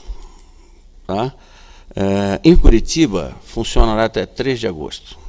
Então, teremos aí um delay, um hiatozinho mas já estamos estruturando lá, já tem gente indo para treinamento, etc. E conseguimos que a colega que é, capitaneava isso em Curitiba se desloque e vá morar em é, Porto Alegre para atender o nosso teleatendimento, que facilitará muito a nossa transição. Né? A nova empresa chama-se Alô Serviços, e atende aos órgãos públicos com alto nível de qualidade. Nós fizemos essa checagem, alguns exemplos, e esses exemplos me parece que são muito importantes porque mostram que ela está é, preparada para atendimento em velocidade. Um deles é o SAMU, que é o Serviço de Atendimento Móvel de Urgência daquela região, né? a Sulgás, que envolve inclusive vazamentos etc. de gás com perigo, risco de vida, etc né, a EGR, que é a Empresa Gaúcha de Rodovias, e a SAEB, só como exemplo, que é a Secretaria de Administração do Estado da Bahia.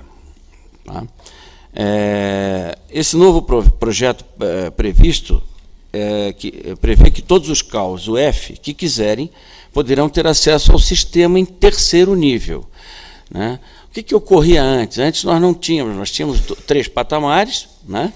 Eh, de, eh, que seria o chamado back-office, né? mas agora todos os estados poderão efetivamente acessar. Então, assim, é uma transição que vem com incremento. Né? Nós vamos melhorar muito a nossa área de atendimento e de relacionamento, que eu acho mais importante. Né? É, obviamente, a equipe da RIA e da ouvidoria ela vem atuando em conjunto, né? que fazem e formam o último patamar né, de interligação com esse sistema. E, é, como, como já vínhamos fazendo há algum tempo, ela vem monitorando as respostas dos estados. os atendimentos dos estados. Uma espécie de auditoria sistemática para evitar que as respostas sejam diferentes né, das que deveriam ser é, processadas. Né? Isso, obviamente, com a introdução de um CRM ainda com maior qualidade do que nós tínhamos é, anteriormente. Né? É, também, curiosidade, a empresa vem buscando, é, em vez de contratar atendimento de pessoas de formação diferente, é de trazer estudantes de arquitetura, etc., já de última fase, para poder trabalhar conosco e ter um conhecimento maior da profissão para poder conversar com os colegas. Um segundo ponto que eu destaco, né, que é importante colocar, porque já estamos chegando perto, é que em novembro, fim da, é, presidente, o nosso contrato, o nosso plano de saúde deve ser renovado, eu não, né? aí vai depender, obviamente, da, do interesse. Nós temos hoje, é, e aí é que está o maior, é, a, a, o que me chama mais atenção, é que nós estamos aí quase há quatro para cinco anos com o plano, e estamos só com 2 mil é, cadastrados. Né? É, na minha opinião, um número muito pequeno, quase 1%, ou pouco mais que 1% do nosso contingente é, global de colegas no país. Né? É, então, o que, que eu penso? É, obviamente, é que a gente avalie isso tudo. Eu recém soube também que o Instituto de Arquitetos do Brasil parece que fechou um convênio a nível nacional. É, parece, são informações que eu tive agora do presidente, pode até me corrigir, que deve no, no, no, Rio Grande do Sul deve ter por volta de 700 já. Então, quer dizer, é um número expressivo, né, vinculados àquele é, plano deles, e o nosso não está prosperando. Não sei se por falta de comunicação e, ou, ou outros elementos que. Né, mas, enfim, acho que são para reflexões. A própria FNA também tem um plano que segue no mesmo rumo, tem um número bastante expressivo. Né? Acho que a gente tem que avaliar cada passo sempre que a gente avança para deixar melhor os colegas. Se não estão optando, por que não estão? Né? Será que estão melhores nesses outros, é, nessas outras entidades? Né? Então, talvez prestigiar. O meu tempo estourou, não sei se posso fazer alguma consideração Três a mais. Minutos. Três minutos.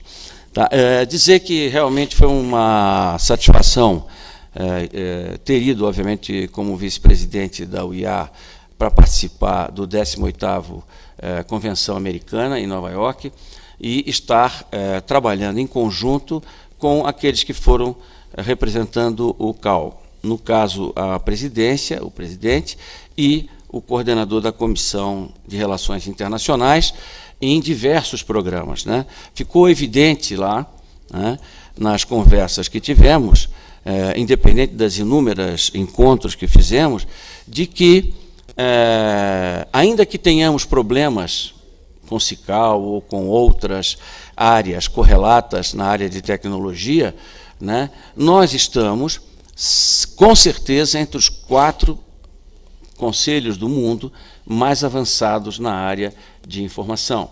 Então, dá para melhorar? Dá para melhorar e devemos melhorar, mas é interessante conhecer, saber que nós estamos junto com os, os maiores países, ou os países mais desenvolvidos na área de tecnologia. Né? É, nós conseguimos fazer isso com esse pouco tempo que temos. Né? É, e, e, não só isso, interessados nos passos que demos né, para poder também impor aprimoramento naqueles países. Certo? É, no que diz respeito à minha participação como vice-presidente, né? É, nós tivemos um encontro e que tive a honra também de contar com a participação dos colegas representantes do CAU lá, né? a apresentação de três projetos que envolvem tecnologia, um é Big Data, né? que foi desenvolvido pela empresa Nelway, e vem sendo desenvolvido pela empresa Nelway no Brasil, é, gamificação e Martech, que é marketing tecnológico, junto com a Dot Digital Group, que é outro grupo grande ambos em Nova York, onde uh, finalizamos alguns trabalhos lá, né, para fazer essas apresentações especiais ao, ao que, no que diz respeito às Américas. Tá? É, é, importante salientar que novas tecnologias elas estão muito presentes, então é importante que a gente aqui também pense como possa alavancar coisas desse tipo em projetos eh, que vêm sendo tocados por, eh, por essas comissões com tanto afinco, mas que envolva a realidade virtual, que envolva a realidade aumentada, porque isso tudo é um novo momento. Não só mais o BIM, mas outras áreas devem ser abordadas, entende? É, por nós, refletidas e disseminadas. Né? Mais um detalhe importante: o Fórum Internacional de Presidentes, também do qual eu tive a, a honra de participar, junto com o presidente Luciano e o colega Fernando, né, dessa vez teve um formato completamente inovador. Né?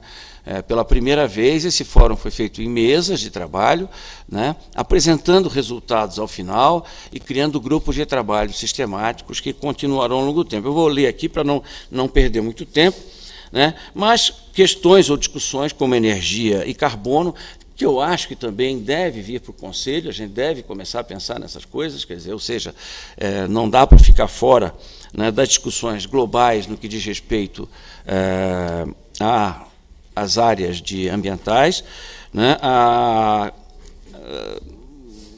a diversidade, a equidade, inclusão, obviamente que a gente já vem falando, já vem discutindo aqui, né, mas também projetos na área da saúde e etc. Né? Saúde no que diz respeito às nossas emissões e o resultado delas, dos 30% das emissões de carbono e, e, e, outros elementos, a partir da construção civil, que é, obviamente, está conectada ao nosso trabalho.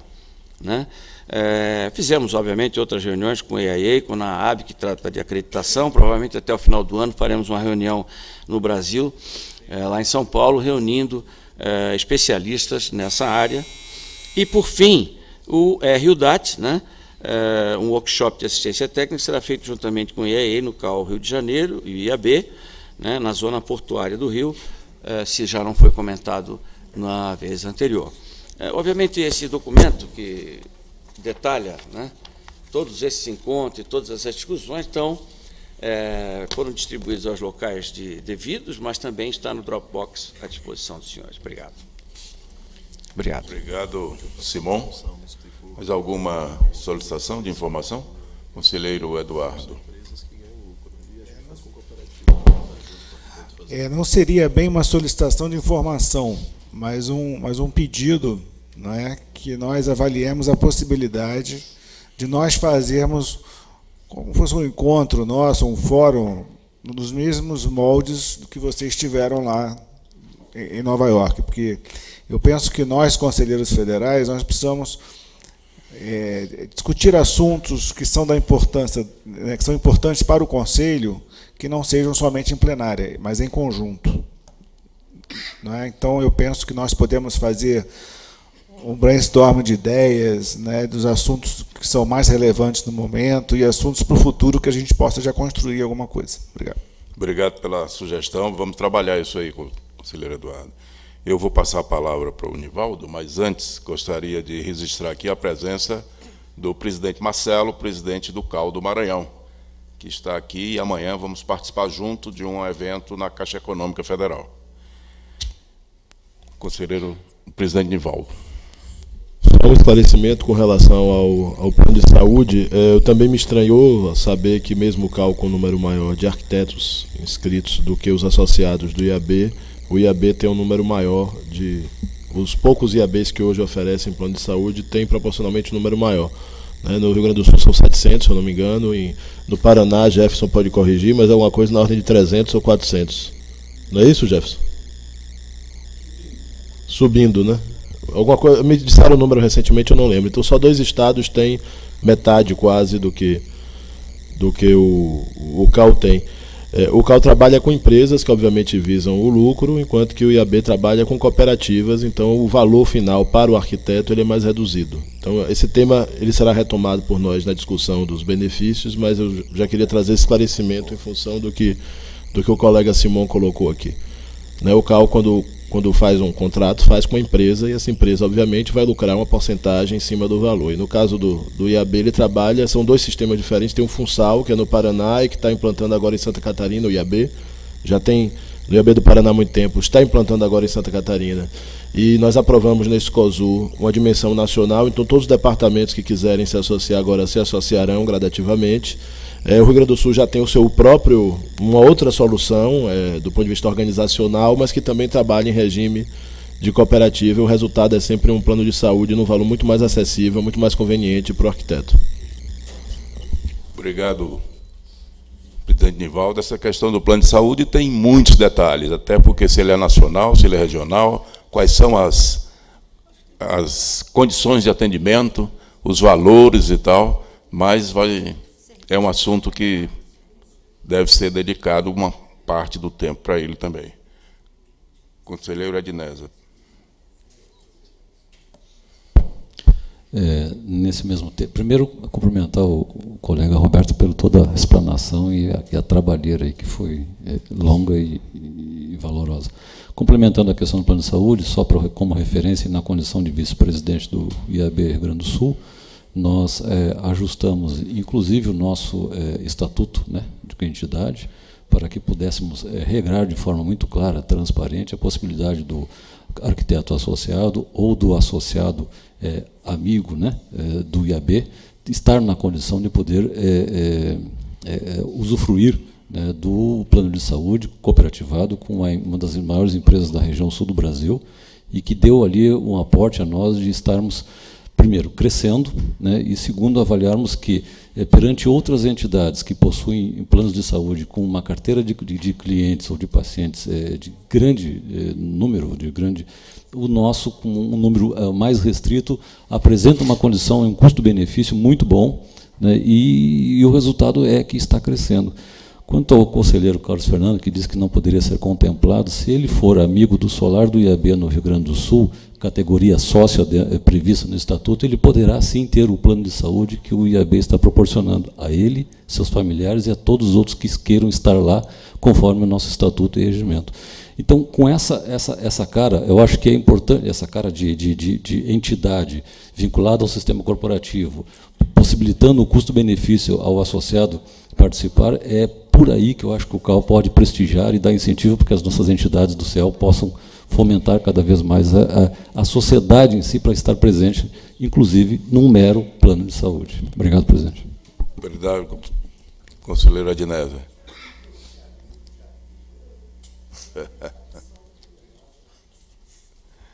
Bom, não havendo mais manifestação, nós vamos suspender a reunião e vamos voltar às 14h30 com os itens 5.6 e 5.7. Depois damos continuidade com as comunicações.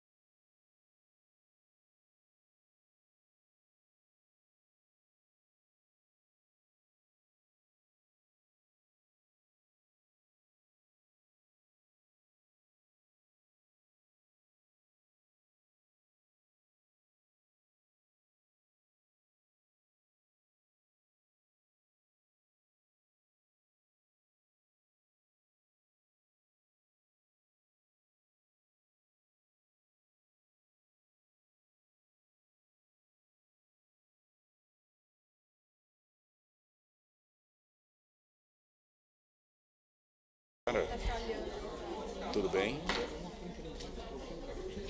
Minha filha, eu queria que você visse aí o, aquele negócio do meu computador. O-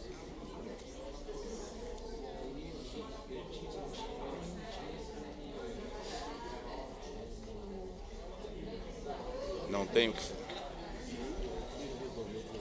Ah, sim, tudo bem então. Então eu vou.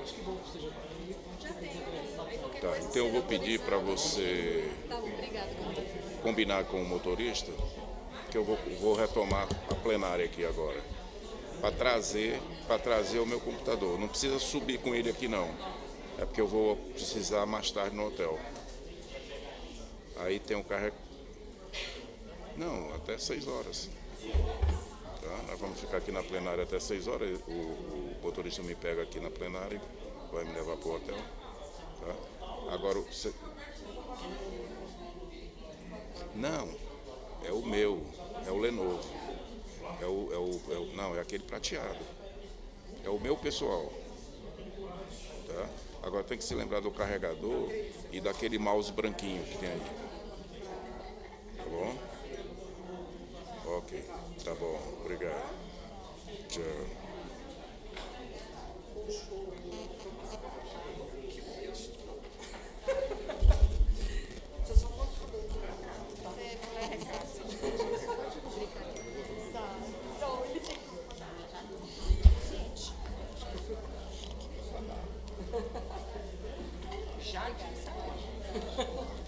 Senhores conselheiros, vamos tomar assento. Vamos dar continuidade à plenária agora com os itens 5.6, 5.5 e 5.6. Conselheiro Raul, por favor, para relatar.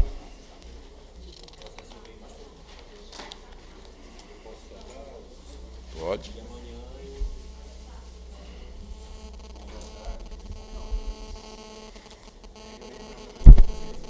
Boa tarde. Ah,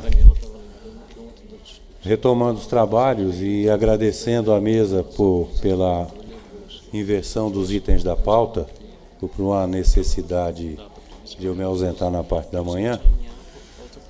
Ah, o item 5.5, então, que tem origem na CPFI, ele trata da uma deliberação plenária que aprova as diretrizes para a elaboração do plano de ação e orçamento do CAL exercício 2019.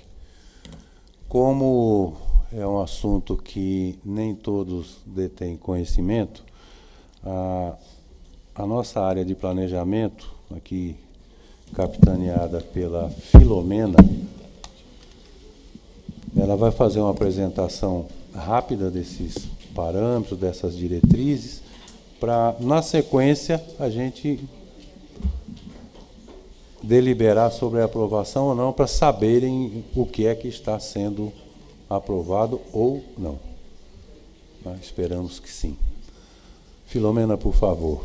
Obrigada, Nós vamos conselheiro. ter, no máximo, 10 minutos. A Filomena, a apresentação é bem mais longa, mas ela vai fazer uma síntese bem apertada e esse material vai ser disponibilizado para todos e também para os presidentes do, dos CAL UF, em função de que na, no próximo, a nossa próxima plenária vai ser uma plenária ampliada, então o, esse material tendo alguma tendo alguma dúvida ou alguma necessidade de esclarecimento, ele poderá ser feito pelos conselheiros agora aqui, com a Filomena, e pelos presidentes dos CAUF, por a gente ver uma forma aí de formalizar, é uma maneira de formalizar essas consultas, talvez através de e-mail aí para a área de planejamento, né? Mas isso tudo a gente combina direitinho e vai dar certo.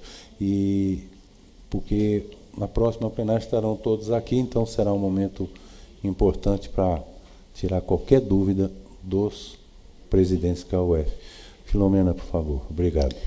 Obrigado, conselheiro. Boa tarde, presidente. Boa tarde a todos.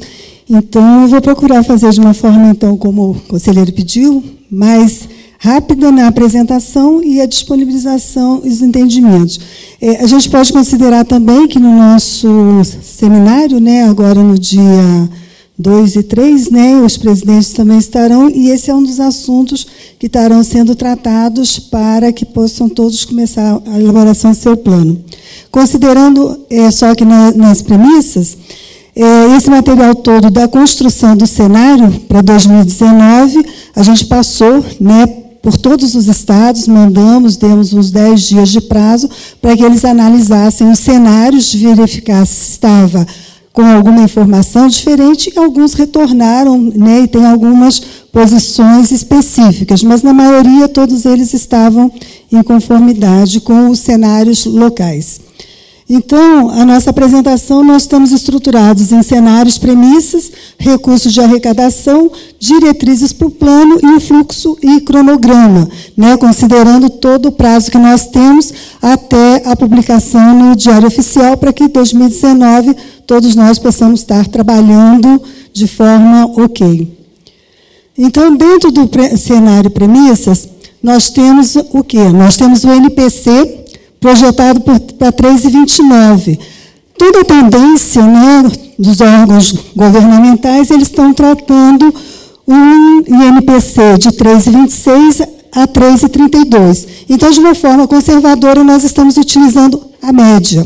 Considerando que o INPC que projeta os nossos recursos não é o exercício, ele é 12 meses, ele vai de novembro vai de dezembro a novembro do ano subsequente, porque no, o NPC efetivo de novembro, em dezembro, a gente publica, então, o valor efetivo da anuidade RRT e demais taxas que o CAL é, receba de seus profissionais. Então, para isso, com isso, então, nós temos o valor do, da, da anuidade para 2019 nós estamos projetando em 55134. Hoje é 533,78. O RRT passa para 94,51. Hoje ele é 91,50. Com pagamentos à vista, nós estamos considerando que 65% dos profissionais, que isso tem todo um processo da série histórica, né, que a gente está construindo desde 2012. Então, os profissionais, 65% pagam à vista, e aqui tem uma parte já da inovação que hoje é o primeiro mês, só tem desconto no primeiro mês em janeiro, que é de 10%, e de acordo com todas as discussões né, que vieram ocorrendo ao longo do período, então nós teríamos então o segundo mês, que é o mês de fevereiro, com 5% de desconto. A partir da sequência, então, a unidade cheia. As empresas, elas têm 67% paga à vista. Então, eles têm os descontos, mas aí, no caso das empresas, é no primeiro mês. E a base de projeção é a média, então, de 2013 a 2018, com ênfase em 2018. Por que, que a gente deu ênfase em 2018? porque é, houve um crescimento de dois pontos percentuais nos pagamentos à vista, que interferiram na série histórica, por conta de nós termos dois meses de pagamento à vista, que esse ano ficou janeiro e fevereiro. Então, isso acabou impactando, e, na regra, para o ano que vem, nós teríamos dois meses também de desconto, só que o primeiro mês com 10% e o segundo mês com 5%. Então, por isso que a gente deu ênfase na parte das premissas.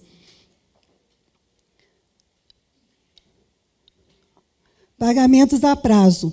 Então, com isso, nós temos 35% né, dos profissionais projetados pagam a prazo e o pagamento continua sendo em cinco parcelas. As empresas, então, 33% pagam a prazo e também em cinco parcelas. Com relação ao pagamento parcelado, não tem alteração. É, também a mesma coisa, né, a média de 2013 a 2018, com ênfase em 2018. Que no caso das empresas também é, houve essa mesma variação que teve nos profissionais, teve nas empresas dos dois pontos percentuais. Taxas e multas, então a gente está considerando uma média de 4,5, que é a média de 2013 a 2018. Isso daí pode ter uma tendência, ou não, que a gente ainda não sabe, é, equiparar bem por conta da dívida ativa e das, né, dos pagamentos das unidades em atraso, que ainda está de uma forma muito espontânea, vamos dizer assim. Né? Então, a gente não tem uma tendência ainda efetiva, até por conta de que os estados têm uns que estão atuando efetivamente na cobrança e outros ainda não. Mas isso daqui a gente está estimando que os 4,5. É, no caso de São Paulo e Goiás, eles pediram, né, dentro de todo o trabalho que foi feito com antecedência, é, Goiás pediu para ficar em 3,5 e São Paulo pediu para ficar em 4,1. Então, os demais estados estão com 4,5 e esses dois estados, frente ao cenário que eles estruturaram lá de recebimento né, das anuidades, a parte dos processos da dívida ativa, então eles pediram para ficar com 3,5 e 4,1. E o ressarcimento de taxas bancárias, nós temos aqui também a projeção para o ano que vem, esse ano de 2018, está em 511 mil. Para 2019, o que, que aconteceu? A gente também projetou, né, junto com a área financeira, que é eles que fazem o ressarcimento dessas taxas bancárias aos KUF, projetamos também os menos 511 com base na arrecadação no 3,29. Então, a gente está fazendo a mesma correlação e vamos ver exatamente como agora, esse ano que a gente está começando a devolver o recurso, vamos ver efetivamente como fica essa relação. Bom, pois não. Não tem a ver necessariamente com a apresentação, tem alguns colegas que estão fotografando, é, fiquem à vontade, mas esse material vai ser disponibilizado para todos a íntegra dessa apresentação. Tá? Já está lá no Dropbox. Está vendo? Atrasado. Isso, que aí todo mundo recebe sem dúvida. Tá? Estou correndo, estou correndo.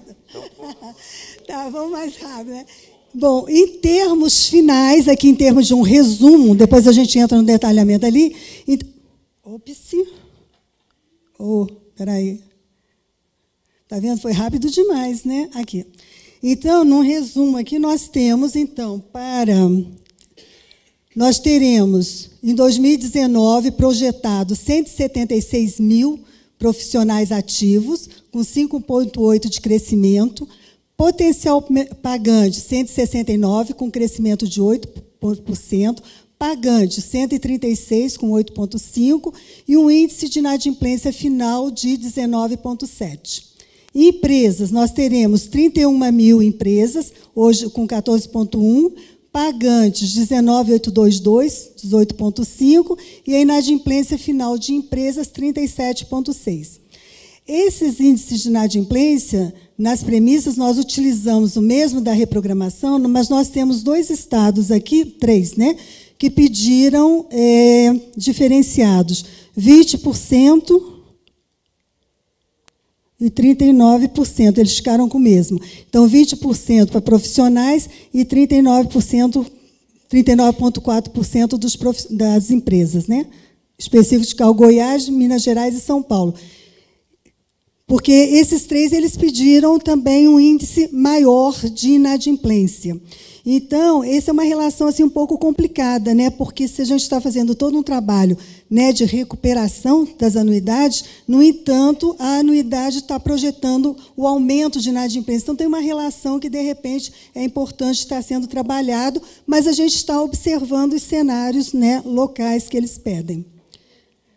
É, ok, então aqui então nós. E o RRT, o RRT, então, nós ficamos com 898, ficou uma redução de 1,2, mas também com um impacto, porque, na média, também eles pediram uma redução. É pequena, mas no total ele impacta. Né? Uma redução de 0,1 RRT para o profissional é pouco né, na relação, mas quando você pega total Brasil, então ele dá essa relação. Talvez é, isso daí mude né, ao longo do exercício, porque efetivamente está havendo uma, uma leve recuperação, mesmo que leve, mas está havendo uma recuperação econômica. Isso daí vai privilegiar os serviços e mais a atuação toda que o CAL fizer junto ao Estado. Bom, então aqui, deixa eu ver aqui. Bom, ah, nas premissas, então, nós temos. Eu vou passar esse rápido, porque já tem o resumo lá atrás de como ficou.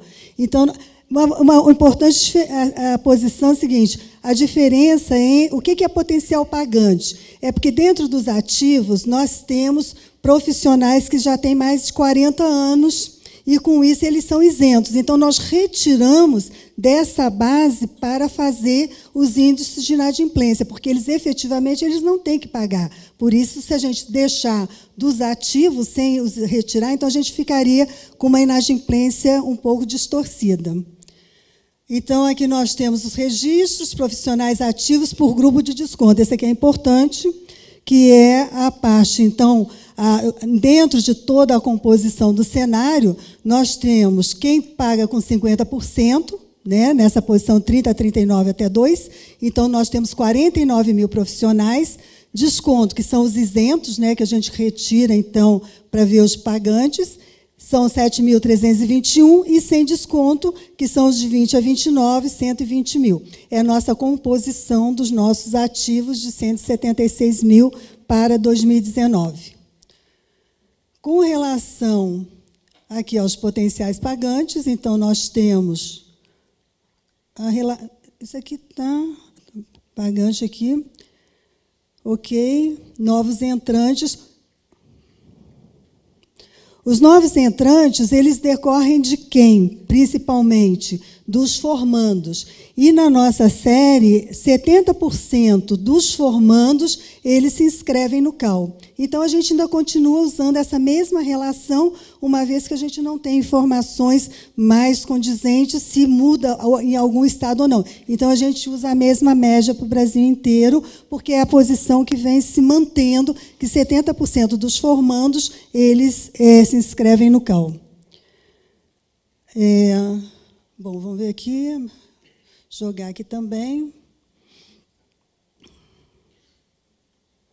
Então, a parte dos cenários a gente já tratou, e nessa posição aqui nós tivemos o Cal Goiás, que pediu para ficar em 22, né? nós usamos a média de 20%, 22 Minas pediu para ficar em 21,3%, e São Paulo é que pediu para aumentar mais a inadimplência, como eu tinha falado anteriormente, então ele pediu para ficar em 28,1%. Para as empresas, então, nós temos aqui como é que a gente projeta? Ah, porque é, o cenário de empresas ele é muito obscuro ainda no caso. A gente não tem uma clareza de quais são as empresas efetivas né, que deveriam estar registradas no CAL, sejam empresas puras ou empresas mistas. Né? E esse é um trabalho que a gente vem tentando fazer. Fizemos né, lá atrás o recadastramento, que não deu sucesso, mas é um ponto que a gente precisa trabalhar ainda para conhecer efetivamente os, as empresas. Né? Então, nós, dentro da, da série histórica, a gente vem tendo um crescimento ano a ano, que é isso que a gente está usando, porque é espontâneo ainda, né? a gente não tem como interferir nesse, nesse mercado, então a gente vem vendo a evolução ano a ano. E, de forma conservadora, nós utilizamos 70% dessa evolução. Então, se deu, por exemplo, de um ano para o outro deu 30%, eu considerei 70% desses 30%, ainda de forma conservadora, justamente porque a gente não tem domínio ainda efetivo sobre esse nosso público. É, e para 2019, também para a parte de empresas, entrou a situação de que empresas ativas de sócio arquiteto com dois anos de, até dois anos de criação e que o profissional também tem até dois anos de registro, ficam enquadrados no grupo de 50%, porque o grupo de desconto era só para os profissionais. Então, 2019 foi inserido também isso daí para tentar toda a parte do empreendedorismo, formalização, para que a gente possa ter um incentivo para o profissional né, recém-formado, que tem até dois anos, ele também possa ter sua empresa formalizada. Então, esse daqui é um ponto para 2019.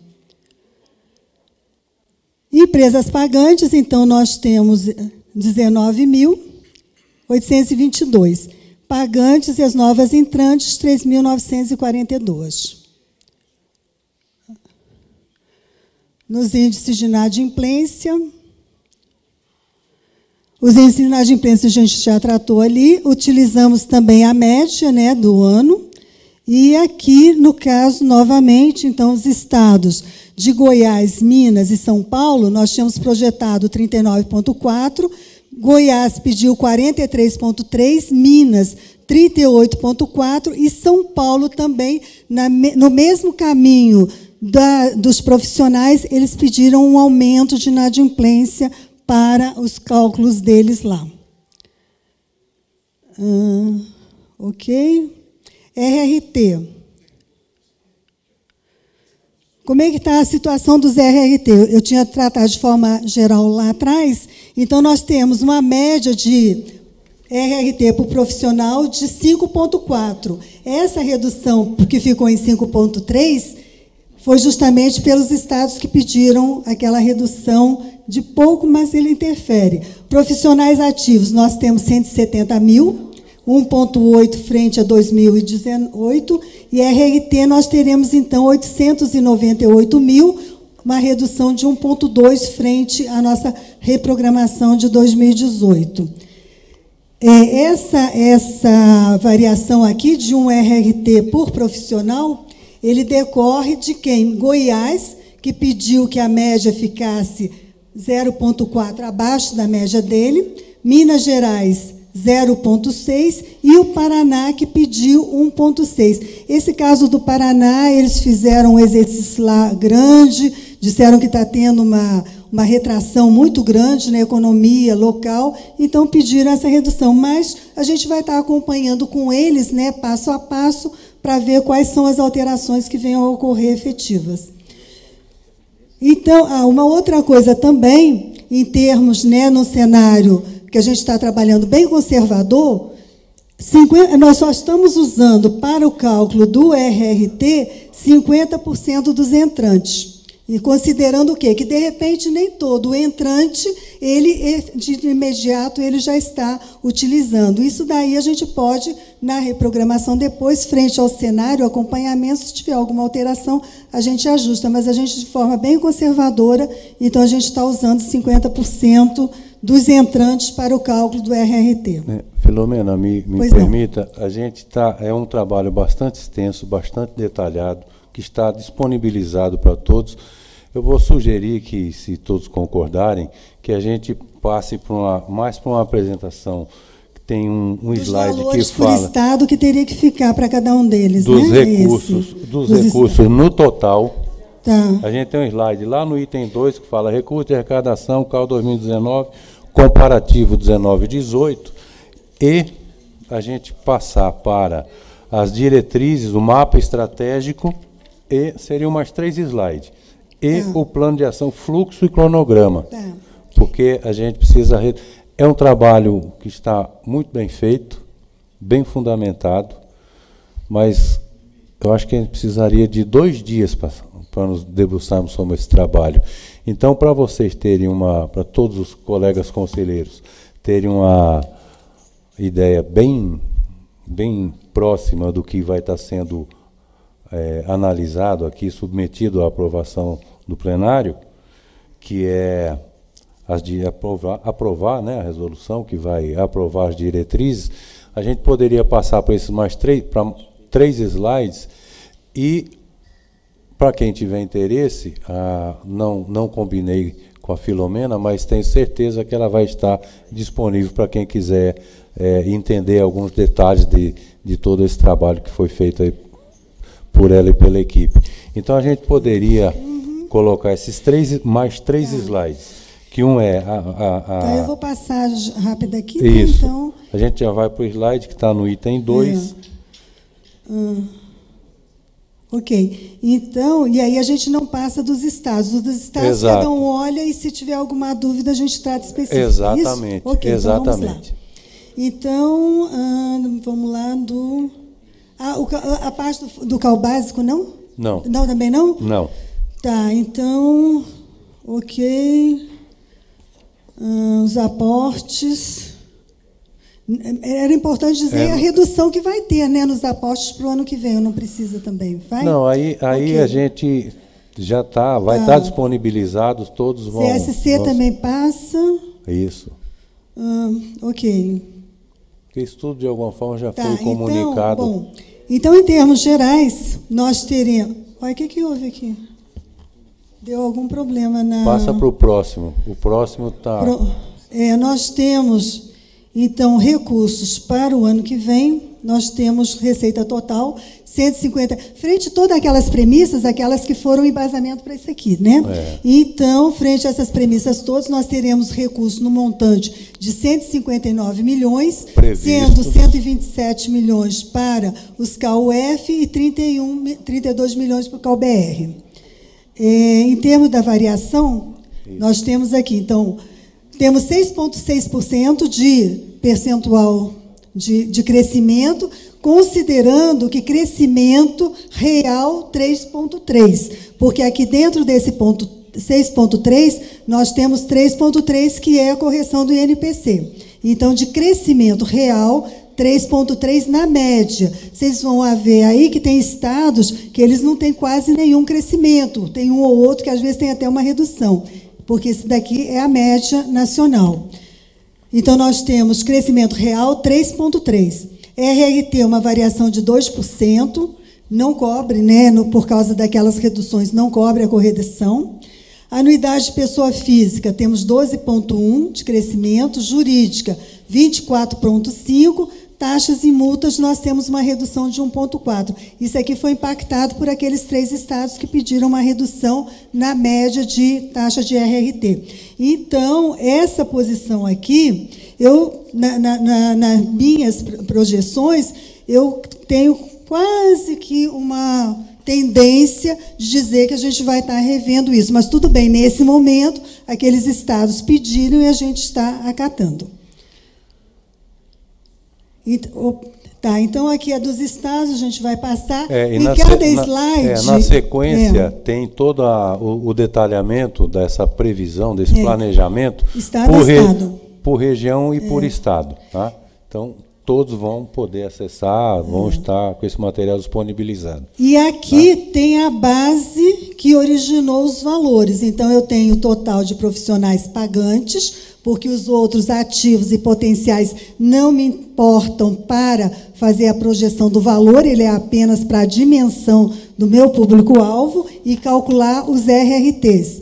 E aqui eu tenho as empresas pagantes também e tenho o RRT. Então, esta é a base para este cálculo aqui de valores e variação. Então, vamos passar Aí aqui na sequência a gente tem, tem esse detalhamento. sudeste. Tem a, o, o Carlos, você vai. Você está recebendo, já está no Dropbox, você vai ter isso no e-mail. Eu estou querendo Bom. que a gente ganhe tempo para as outras discussões. Você concorda? Ou você prefere fotografar? Não, então, então, se é assim, vamos tocar. Vamos, ah, o próximo tem. va- Então, vamos seguir como a gente estava conversando. Estava tocando. Tem as diretrizes aí para Agora nós temos o as planejamento. diretrizes. Então, nós tivemos todo o cenário, que deu toda a base né, das premissas, dos valores que nós teremos disponíveis para eh, eh, trabalhar 2019, em termos de arrecadação. Receitas próprias, cada estado depois projeta as suas de acordo com a sua realidade local. Eh, nós estamos no quinto ano né, do Planejamento Estratégico 2023 projetos e atividades, metas, resultados, indicadores.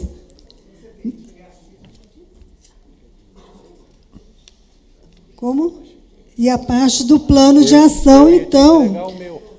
O que, que a gente sempre pede para os estados? Porque a gente faz a análise cenário econômico, né, socioeconômico e em âmbito nacional. Mas a gente pede para cada estado, na hora de montar o seu planejamento, né, frente a todas as premissas, as diretrizes e orientações, que eles façam efetivamente uma análise do cenário local, potencialidades, mercado, né, nichos, né, tudo o que for impactante né, no foco da arquitetura e urbanismo.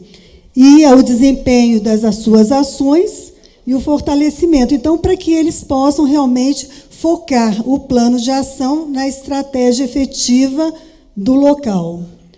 Bom, 2019. Vamos para o mapa estratégico. Vou, estou indo, tô, foi só um ponto aqui da. Aqui, vamos lá, mapa estratégico. Bom. Hã? Vou tomar. Pronto. daí, daí. É, mapa isso... estratégico, cheguei lá. Então, nosso mapa estratégico, nossos dois objetivos nacionais, cada estado, frente às suas prioridades, vai definir quais serão os outros dois objetivos, né, que eles vão estar elencando como prioritários, e quando a gente for trabalhar o plano de ação na reunião né, de dezembro, né, aprovando o plano de ação, então nós vamos ter esse mapa aqui retratado nacionalmente com a posição de cada estado, como está na sua contribuição ao mapa. Bom, isso nos dá a base para os, a destinação estratégica de recursos. Tem duas alterações no, no atual. Então, fiscalização, frente a toda uma discussão que veio acontecendo ao longo do período né, com os estados. Então, a proposta para 2019 é que o índice que hoje é de 20% de aplicação e fiscalização seja reduzido para 15% e, em contrapartida, os objetivos estratégicos locais seja aumentado para 15, passa de 6 para 15 e a fiscalização de 20 para 15. Os restantes continuam os mesmos, né? A parte da comunicação, mínimo de 3, patrocínio até 6, até 5, competências entre 2 e 4, o ATIS 2%. Ah, salários continua também o máximo né, de 55%, reserva de contingência até 2%. Fluxo e cronograma. Então vamos lá direto aqui no fluxo, cronograma. Ok. Então, nós temos aqui, hoje, né, nós estamos aprovando as diretrizes.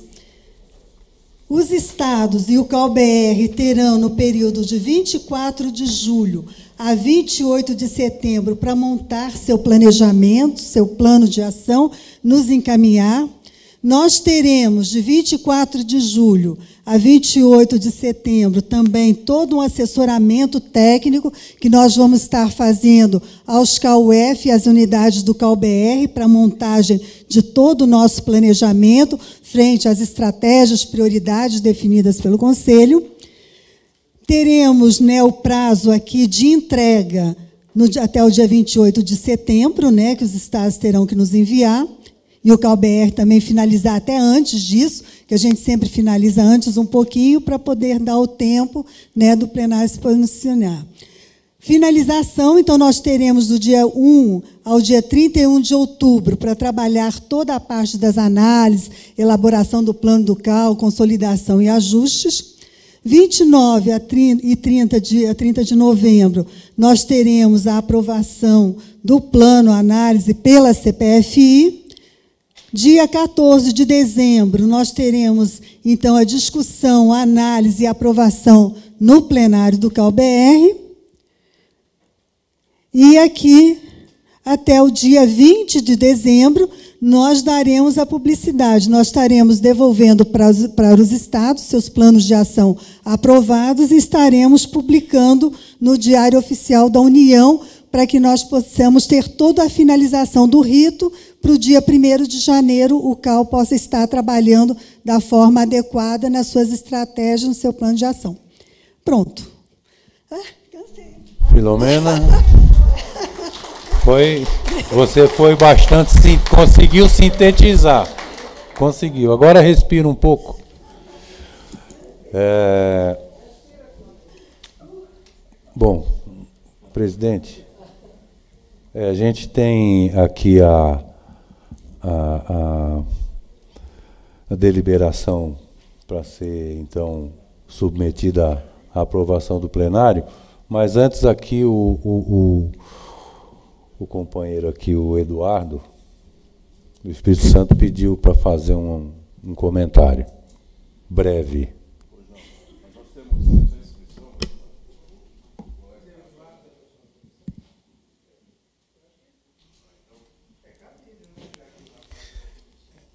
Obrigado pelo rapaz. É, é importante dizer também que, né, que o planejamento dos estados ele vai ter início agora, na primeira semana de agosto, no seminário da CPFI, que vai acontecer. E aí, no caso, o, né, o, os estados como um todo, eles vão iniciar o seu planejamento já junto com o suporte da CPFI do CalBR. Vai ser, vai ser no dia 2 e 3 de agosto. 2 e 3 de agosto. Eu não sei o local, mas é em Brasília. Aqui em Brasília. Mas essas diretrizes, no caso, segunda-feira, sendo aprovada aqui, eu já adianto para os estados, até para que na hora que eles vierem na reunião, eles já tenham posicionamentos, alguma coisa assim. É, o e-mail informando já foi encaminhado, o e-mail estava falando desse evento, viu, Carlos? Tá? Sendo,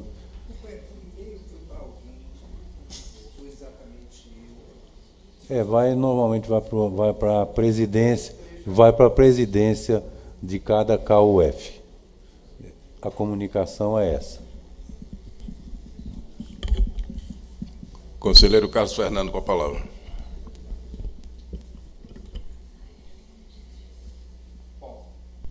É, evidentemente, e eu vou esperar que o presidente do CEAL e a companheira Nádia Somek, que é uma pessoa importantíssima na federação e na comissão, nos ouça, porque eu achei extremamente decepcionante as premissas. Né? É, me pareceu que a gente, logo que eu cheguei aqui em janeiro, né, eu trazia um abaixo assinado de mil e tantas assinaturas e que pedia uma coisa singela, que era o aumento do desconto de 10% para 15%. E me pareceu que vocês votaram, foi para a comissão, discutiu-se muito, etc. E tal. Sabe, Sabia-se que esse impacto era muito pequeno, sempre se soube disso, né? ou pelo menos se ouvia falar, etc. E nem isso me pareceu que foi considerado. É, este ano, hein?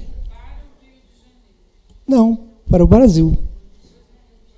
Bom, nós não queremos, não, não existe um desconto específico para o Rio de Janeiro. Isso é completamente é, fora de propósito. Enfim, é,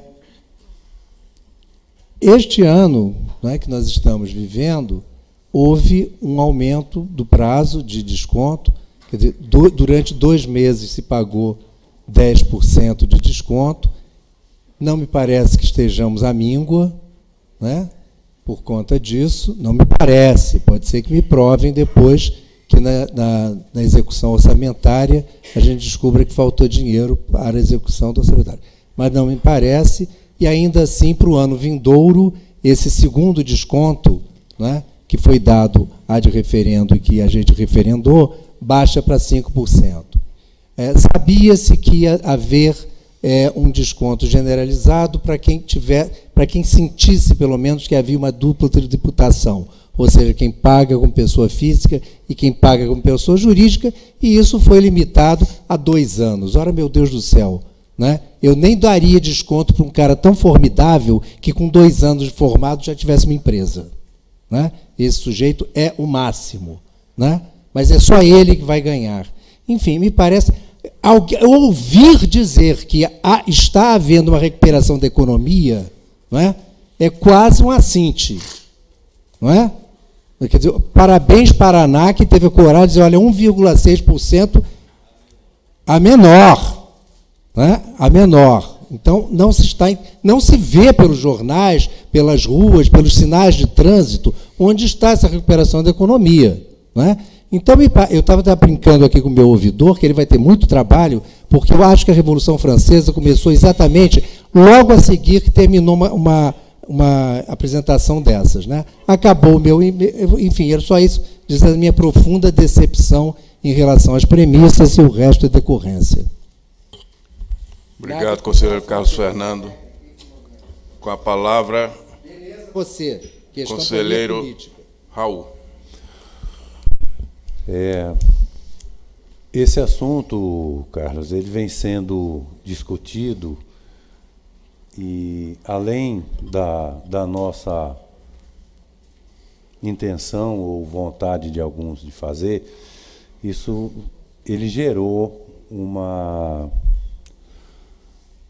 vamos dizer, uma certa reação de alguns KUF em função de perda de arrecadação. Tivemos vários retornos nesse sentido em reuniões de fóruns de presidentes e, enfim, né, em consultas, e, enfim, nesse trabalho que nós estamos fazendo.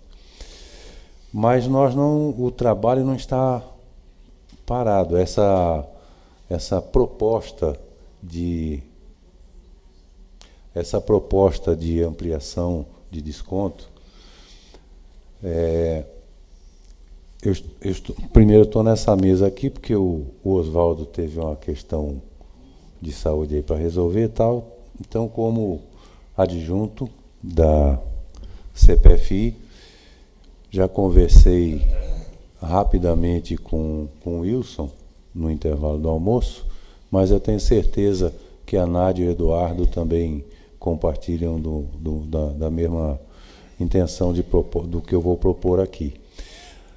Nós vamos apresentar algumas possibilidades de desconto, inclusive essa que você trouxe. Próxima plenária é uma plenária ampliada. E os presidentes, o seu presidente vai estar sentado ao seu lado, o meu ao meu lado, e eles vão poder nos dizer é, uma, e pretendemos é, é, encaminhar antes da plenária para vocês poderem ter conhecimento e não chegar a tomar conhecimento na hora. Então nós vamos fazer alguns exercícios com base nos dados que a Filomena levanta, porque nós estamos trabalhando com índices. Eu também não vejo onde a economia, o país, o que você falou, eu concordo, mas nós temos um mundo oficial ao qual nós estamos submetidos. Então, dentro desse mundo de números, de índices oficiais, a gente pode trabalhar e podemos e números estão aí, números estão aí para ser mexidos mesmo. Nós podemos alterar isso tudo. Uma, nada que uma planilha Excel não resolva, né? Então, a nossa proposta da CPFI, aí eu peço ao Eduardo, ao Wilson e à Nádia, se concordarem, se manifestem já também, que nós vamos trazer para a próxima plenária algumas possibilidades de desconto, incluindo a que você trouxe já do início do ano, que você citou, para análise de todos, porque vai ter uma, um fórum de presidentes, eles vão poder também analisar e se manifestar, porque eu não vou tomar uma decisão aqui diferente do que o presidente da, da, do meu CAL DF entende. Eu não, não, não é assim que nós trabalhamos, pelo menos aqui. Então, nós vamos disponibilizar esse material, Carlos, e para todos os conselheiros, podemos mandar também para os conselheiros suplentes, para todos e para o presidente, para todos poderem, por, por e-mail, ou Dropbox, ou sinal de fumaça, tambor, do jeito que for, nós vamos disponibilizar.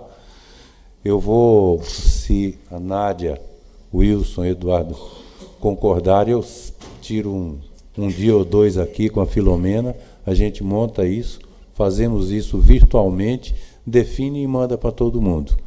Vamos sair um pouco do quadradinho para atender para na próxima plenária essa, essa questão desses percentuais poder ser definido numa plenária ampliada com a concordância da, da totalidade ou da maioria dos presidentes, com orientação deles, com seus conselheiros. Nossos presidentes conosco. Então, a proposta é essa, Carlos. São vários estudos. Essa questão dos dois anos, ela, ela tem uma intenção. A gente tem trabalhado muito a questão de concursos de projeto. E para um profissional novo, um, um recém-formado, ou ele se associa a algum escritório, o seu, ou meu, ou dele, e ele deixa de ser ele, ou então ele se formaliza, porque senão ele não vai ser contratado. Então isso também tem a ver com, com incentivar concurso público, apesar dos embates que a, a, o nosso presidente, junto com a Luciana, tem tido um corpo a corpo intenso no Congresso, mas a gente sabe que é missa encomendada, essa questão da, da Lei 8666, tudo. Enfim, tem. Desculpe, não é, não é uma elocubração da CPFI. A gente está buscando trabalhar em conjunto com os demais cenários que estão sendo trabalhados pelo CalBR. Então, o fato é, na próxima. E, e tem mais descontos que eu mesma propus em outros casos, mas que se achou que não, porque nós temos um outro problema. Um problema que é o contrato com a fábrica de software, isso é tratado no comitê gestor do CSC, ela tem contratualmente alguns prazos para nos atender. Então não adianta eu querer uma coisa para amanhã, porque não vai sair.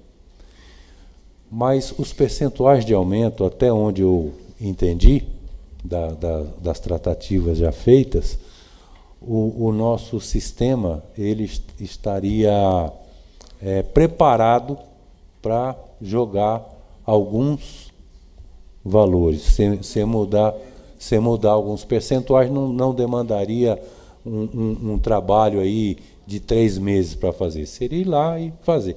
Então, mas isso os presidentes vão participar dessa decisão, porque o repuxo fica lá com eles. Está em cada UF. Isso aqui são coisas diferentes, são coisas diferentes. Isso aqui são as diretrizes para o planejamento e orçamento 2019 que tem que ser feito. Então nós estamos aprovando que essas diretrizes apresentadas, é, que elas não foram criadas da nossa cabeça. Tem um trabalho que já é feito, consultas que são feitas aos CAU-UF, tanto é que o Paraná apresenta um, um percentual diferente, negativo. Minas, a questão da inadimplência percebeu, né? Então, isso aí é a condensação de um trabalho que já vem sendo feito para que cada KUF, segundo as análises que fez e quem não fez, vai ter que fazer agora com base já nisso, mas foram todos consultados, e trouxeram suas contribuições. Então, isso aqui é como o CAL BR e os CAUF vão fazer o seu planejamento, coisa que é feita desde que existe o CAL. Novidade aqui não tem nenhuma. Novidade tem uma coisa ou outra, uma data, um percentual que pediu para ser diferente. Então nós não estamos criando nada. O que nós estamos pretendendo criar é para a próxima plenária, e aí é, nós pretendemos que seja encaminhado com antecedência para que todos possam ver a questão dos percentuais, tal, o que é possível fazer. Vai ser um trabalho é, do ponto de vista de orçamento e de finança e com o CSC, sentar com o Andrei com, com o Cristiano para a gente ver, de repente, falar, não, vamos fazer isso. Falar, o sistema precisa de tanto tempo. Tá? Me desculpa eu acho... se eu me estendi demais. Não, foi ótimo, mas eu tá? queria fazer uma questão de ordem. Se nós vamos votar uma deliberação que fala em aprovar as diretrizes e o nosso conselheiro, Raul, nos explica que parte desses índices ainda vão ser discutidos, inclusive com os CAUS UF e os presidentes, numa próxima plenária, é, e que essas diretrizes começam me falando de premissas que já me trazem números, dos quais eu discordo e estou entendendo que estão em aberto, não faz o menor sentido a gente votar diretriz hoje. Isso é uma questão de ordem. Porque, se são diretrizes tão gerais, isso não, tem, não é objeto de votação, que isso é técnica de planejamento. Todo mundo sabe que um orçamento tem que se votar receitas e despesas e previsões. Não é? E essas diretrizes, no momento em que a gente aprovar essa resolução, qualquer alteração terá que ser votada também. Ou seja, nós estamos votando algo que, em seguida, consonante o que você nos trouxe agora, terá que ser votado também. Então eu não vejo qual é a premência de se, de se não precisa pedir para mim não, é questão, é questão de ordem. O que é que nós estamos votando? Porque, na minha opinião, nós estamos votando nada ou estamos votando tudo. Não, nós estamos votando, se você me permite, nós estamos votando um, as premissas com base, com base nos índices. Isso. Posso continuar? Me deixe posso posso concluir? Sim. É... Você está reafirmando o que eu falei. Eu gostaria de esclarecer, Raul. Você me permite um tá. segundo? O que, o que nós vamos. Isso aqui está. Pode continuar dessa forma. Não altera nada. E tem um prazo para. Está aqui, 24 de julho a 28 de setembro, para os UF trabalharem. Caso haja alteração de percentuais, vai ter que ser ajustado. Que Caso não tenha, continue isso aqui. De, de toda. Não. Isso. Vai alterar os prazos, vai ter que alterar os índices, estão sendo votados agora. Vai esclarecer esse debate, que a minha fala. Conselheiros. Por favor, Nádia. Então, Conselheira Nádia, por favor. Eu, eu perguntei para a Filomena, entendi. Vocês lembram que na plenária ampliada anterior, nós apresentamos o que a gente chamou de pacote de bondades, que inclui todas as demandas e mais alguma coisa. Só que fomos informados pelo jurídico que neste ano não poderia acontecer isso que a gente está pensando. Então, Filomena está alertando que essas diretrizes são para este ano, onde essas inovações não serão incorporadas. E o prazo é hoje para ser, eu não sei bem porquê, mas tem que ser aprovado hoje, senão nós não vamos ter o nosso planejamento. O que a gente ficou comprometido na última reunião, onde a gente apresentou esse pacote de bondades e houve reações as mais diferenciadas possíveis, né? Alagoas foi contra, né? porque a arrecadação poderá baixar em alguns estados e a gente tem que equilibrar isso. Então, o que eu quero esclarecer é que isso se refere ao planejamento que a gente fará este, neste ano. E para 2019. Para 2019. Então não é para esse ano. Esse, o que a assessoria jurídica deve ter dito é que nós não podemos alterar o orçamento de 2018 porque ele está em andamento. Mas o vindouro, nós estamos não alterando, nós estamos preparando, nós estamos elaborando. Então, pelo amor de Deus, Filomena, o que foi explicado é que a assessoria jurídica, muito corretamente, disse que alterar 2018 não pode, não. Mas 2019 está em aberto. É o que nós estamos votando. Bom, o que a gente teria que fazer é articular essas coisas que não foram aprovadas ainda com os estados de serem incorporadas agora. Haverá tempo? Agora. Essa é a questão. E eu não quero votar. Senhores conselheiros, por favor.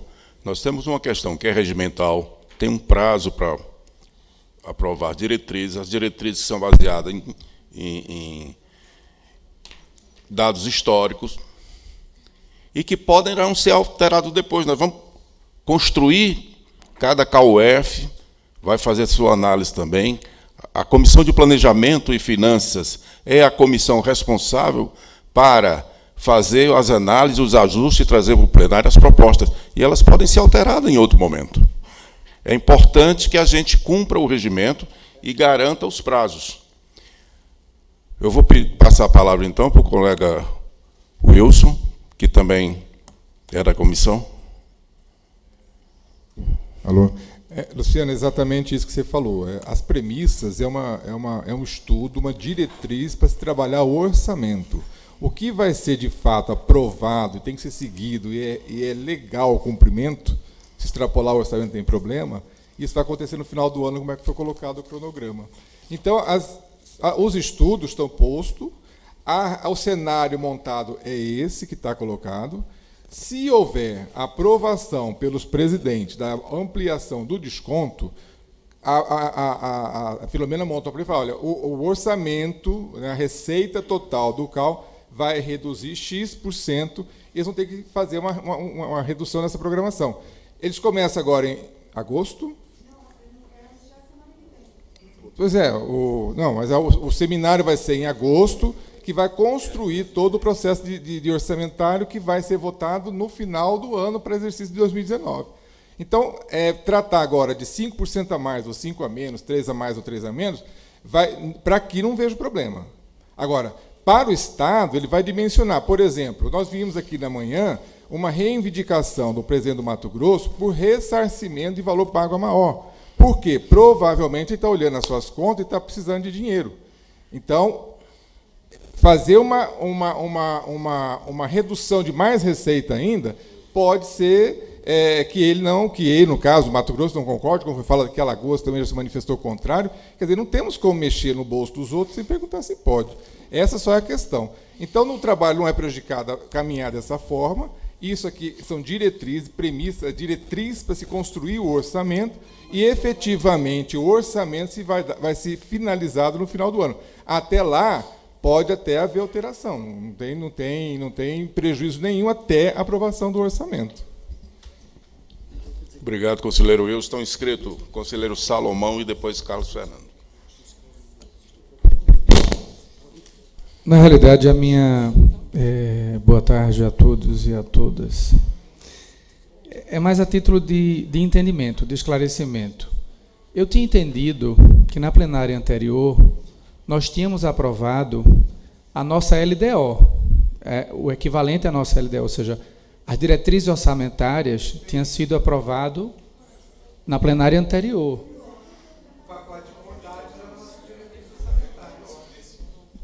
Tá, não, é só, é, justamente, é só para título de esclarecimento, porque eu, eu fiquei entendido, porque na realidade nós temos que aprovar as diretrizes orçamentárias até 17 de julho, não é isso? Não, é, a gente teria que aprovar até 17 de julho. E o nosso orçamento 2019, a gente tem que aprovar ele até 31 de agosto, ou não? Não, a reprogramação.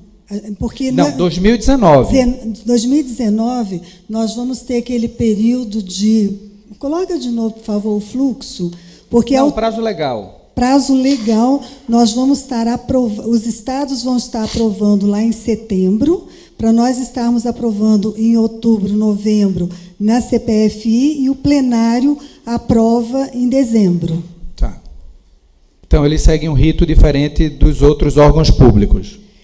É, a gente tem. É, é porque a LDO. A gente tem autonomia por é, ser exato, autarquia, é, ok. Exato. Tá, exato. foi só um esclarecimento. Obrigado. Obrigado.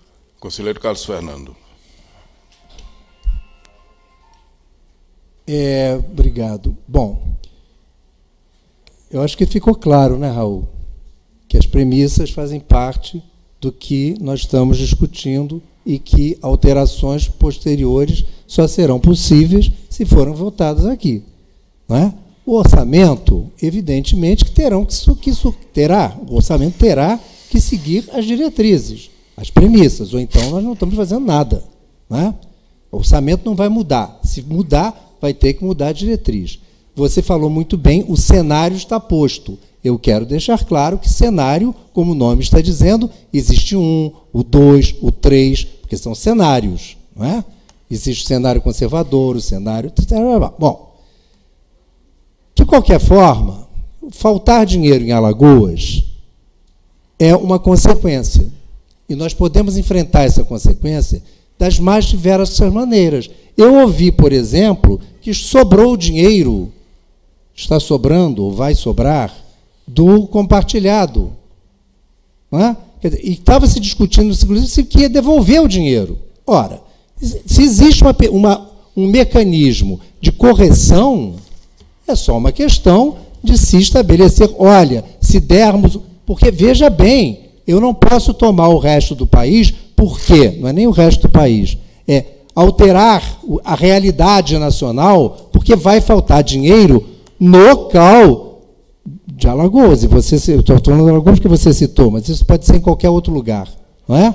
Porque, infelizmente, cenário nacional é cenário nacional.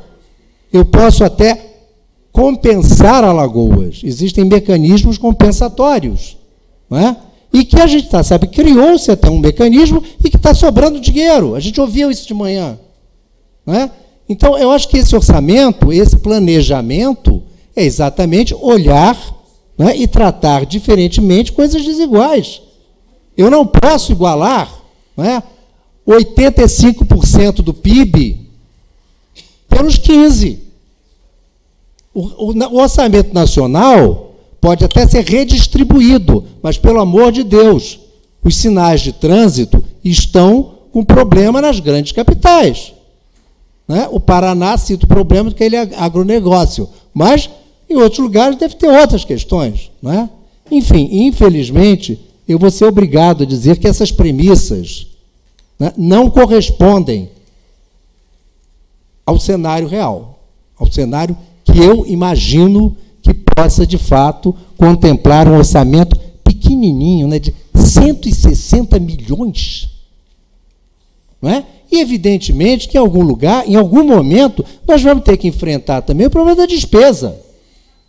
Problema de despesa. Obrigado. Agora que nós estamos votando o orçamento. Só de fazer um, um protesto, que a palavra do, do, do colega, fala, desqualifica esse trabalho que foi feito. Não, eu, acho que eu discordei, não estou desqualificando. Não, que eu não... comecei dizendo, tecnicamente está perfeito. O que eu estou discutindo. Falei ou não falei? Falei alto para você. A minha questão é política, não é técnica.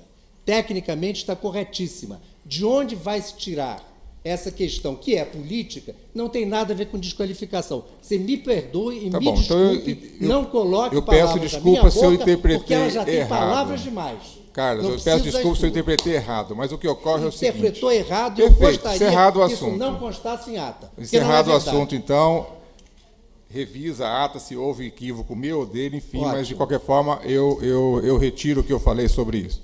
Mas eu vejo o seguinte: o trabalho foi feito com consistência e reduzir valor é uma questão de decisão. Quem tem que decidir é quem vai sofrer a redução. É essa que é, o, que é o objeto da discussão aqui. Não cabe ao plenário do CAL BR decidir sobre o orçamento dos CAUs UF, no sentido de reduzir receita. Isso aí, até na, na- questão pública de Estado, município, não, não- não funciona assim. Nem, a União não reduz receita de Estado se não houver concordância. Então, se tiver, se tiver, se tiver, e a arrecadação é do Estado e 20% do CalBR, então a arrecadação é do Estado. Agora, o que está fazendo aqui são projeções de crescimento. Vai ter alteração? Vai. Para isso que tem reprogramação. Agora, projetou X 120 milhões de arrecadação, decidiu-se na plenária do mês que vem reduzir, aumentar o desconto, vai reduzir 2, 3, 5%, é uma decisão política. Vou assumir a redução e ponto. Vai ser claro para todo mundo que o que está colocado aí vai reduzir em 5% a receita orçada. Pronto. como um complemento de diretrizes no processo da elaboração, que nós vamos estar aqui né, do dia 24 de julho, e a reunião da plenária né, no mês que vem, se ela achar que deve reduzir, por conta que os estados acatem né, uma redução, a gente pode fazer, em cima daquela aprovação, um complemento dizendo o seguinte: ó, a sua previsão era 10. Frente a essa dedução, você vai ficar com 5, vai ficar com 3. E aí, mas aí isso é uma decisão que impacta totalmente, não, não altera o procedimento técnico, nem de todas as premissas, nem nada. O que vai alterar é que, por uma decisão, que aí no caso eu concordo ali que ela é política, não é técnica, é, nós não teríamos aquela redução de 5% no segundo mês.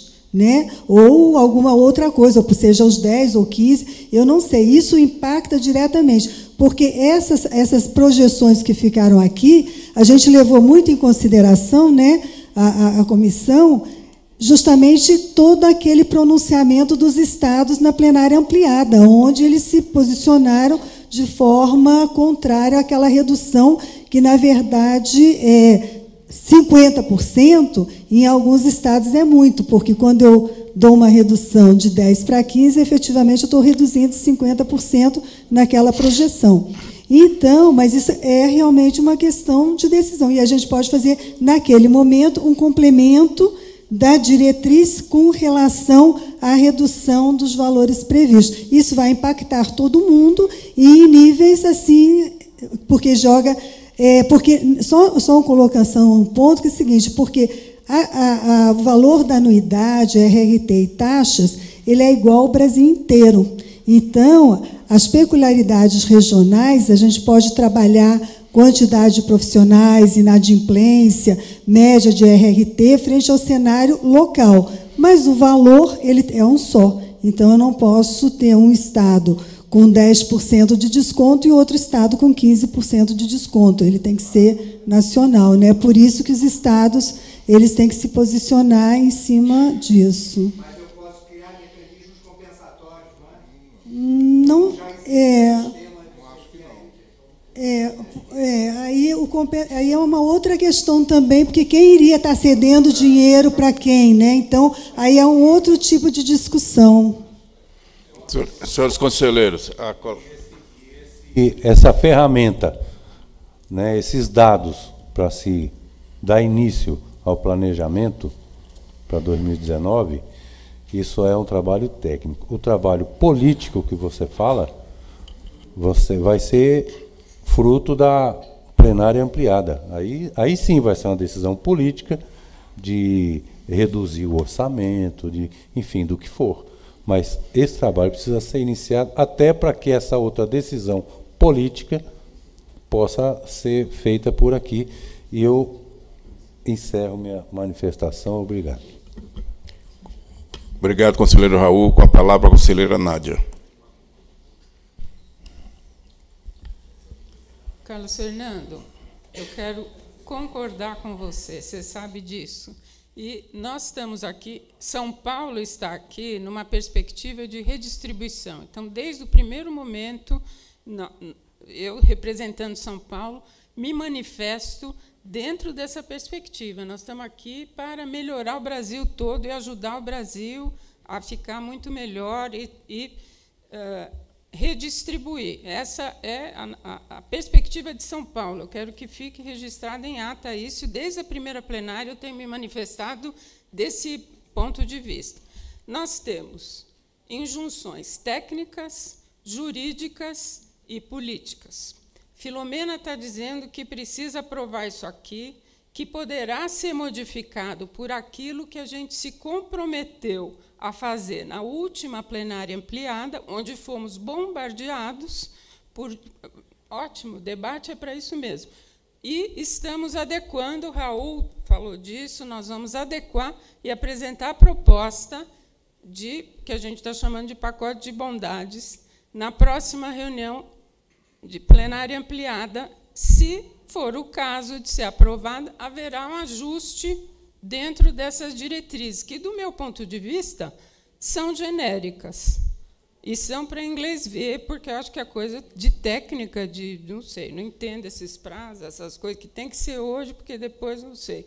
É esquisito isso, não acho, não entendo muito, mas parece que tem que fazer, nós temos que seguir esses ritos todos. Mas a gente viu que não é fácil redistribuir. Hoje de manhã você viu Medeiros falando que a origem do recurso não pode ser modificada. Não dá para a gente chegar e redistribuir, falar, gente, tudo que é meu é de vocês. Não é assim. Então, nós temos que pensar como que a gente vai fazer dentro de todo o regimento, dentro dos ritos técnicos, dentro dos ritos jurídicos, e, é claro, tentar imprimir a nossa marca política, que é para isso que a gente está aqui. Então, quero dizer que concordo com você, estamos trabalhando para isso.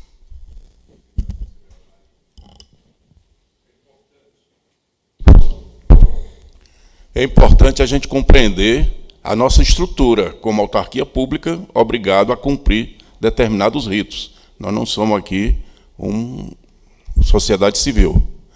Nós temos um regulamento temos um regimento, temos a construção histórica de um processo de construção, entendemos que existem as questões técnicas e existem os encaminhamentos políticos. Não somos só o CalBR, somos um conjunto né, com os CalUF, também onde tem plenários constituídos por conselheiros, com suas obrigações e com suas compreensões de fiscalização do exercício da profissão. Então, o que nós estamos aqui hoje é cumprindo uma parte do regulamento com, que tem a previsão de estabelecer uma data para podermos caminhar. Quem não cumpre as datas, quem não cumpre o regulamento, tem penalidades. E nós não vamos querer impingir uma penalidade por uma falta de decisão nossa, do ponto de vista de organização. O conselheiro Carlos Fernando faz observações interessantes, importantes, e fez uma que concordou do ponto de vista técnico com o processo. Então, não temos, acho que estamos todos compreendendo o estágio em que a gente está construindo o, processo de orçamentação para o exercício 2019, né? e vamos continuar evoluindo na próxima plenária, independentemente da palavra estar aberta para outras manifestações. Era só um, uma compreensão geral nossa sobre a questão. Pois não, Carlos Fernando.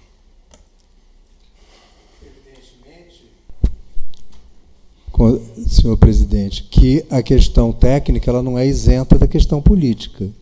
As premissas elas já estão eivadas de diretrizes políticas. E são essas que nós estamos discutindo. Eu não estou discutindo só a questão técnica. A questão técnica, eu insisto, já está aprovada a priori. Porque nós todos sabemos fazer. Eles sabem fazer muito melhor. Não é? Agora, abre-se a primeira página, chama-se premissa. E essas premissas são políticas. Podiam ser outras. Podia não ser nenhuma. Podia não dar desconto algum. Se nós aprovarmos isso, nós estamos aprovando isso. É só isso que eu quero. É ter claro que nós estamos aprovando isso.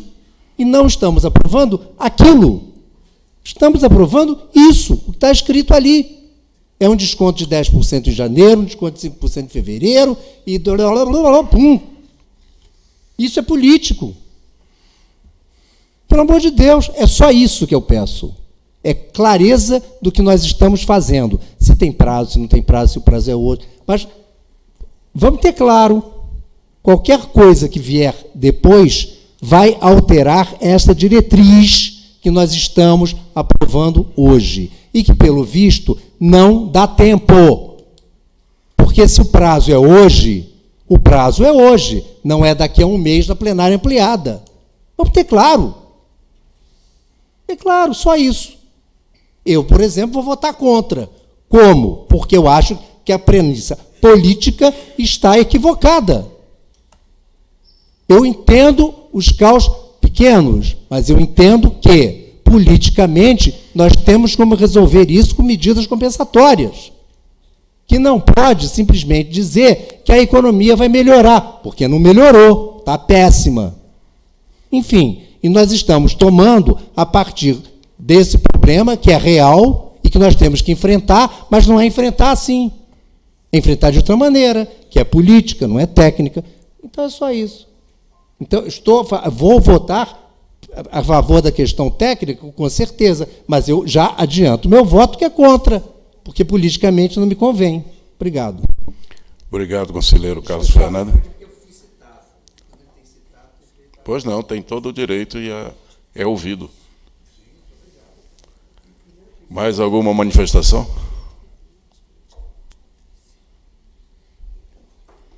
Não havendo manifestação, nós vamos submeter ao plenário a deliberação plenária DPO-BR. Pois não, conselheira Nádia. Eu não sei se você tem uma sugestão de modificação, porque os cenários são cenários. Você acha que tá, você acha que que tá que a economia não vai bem?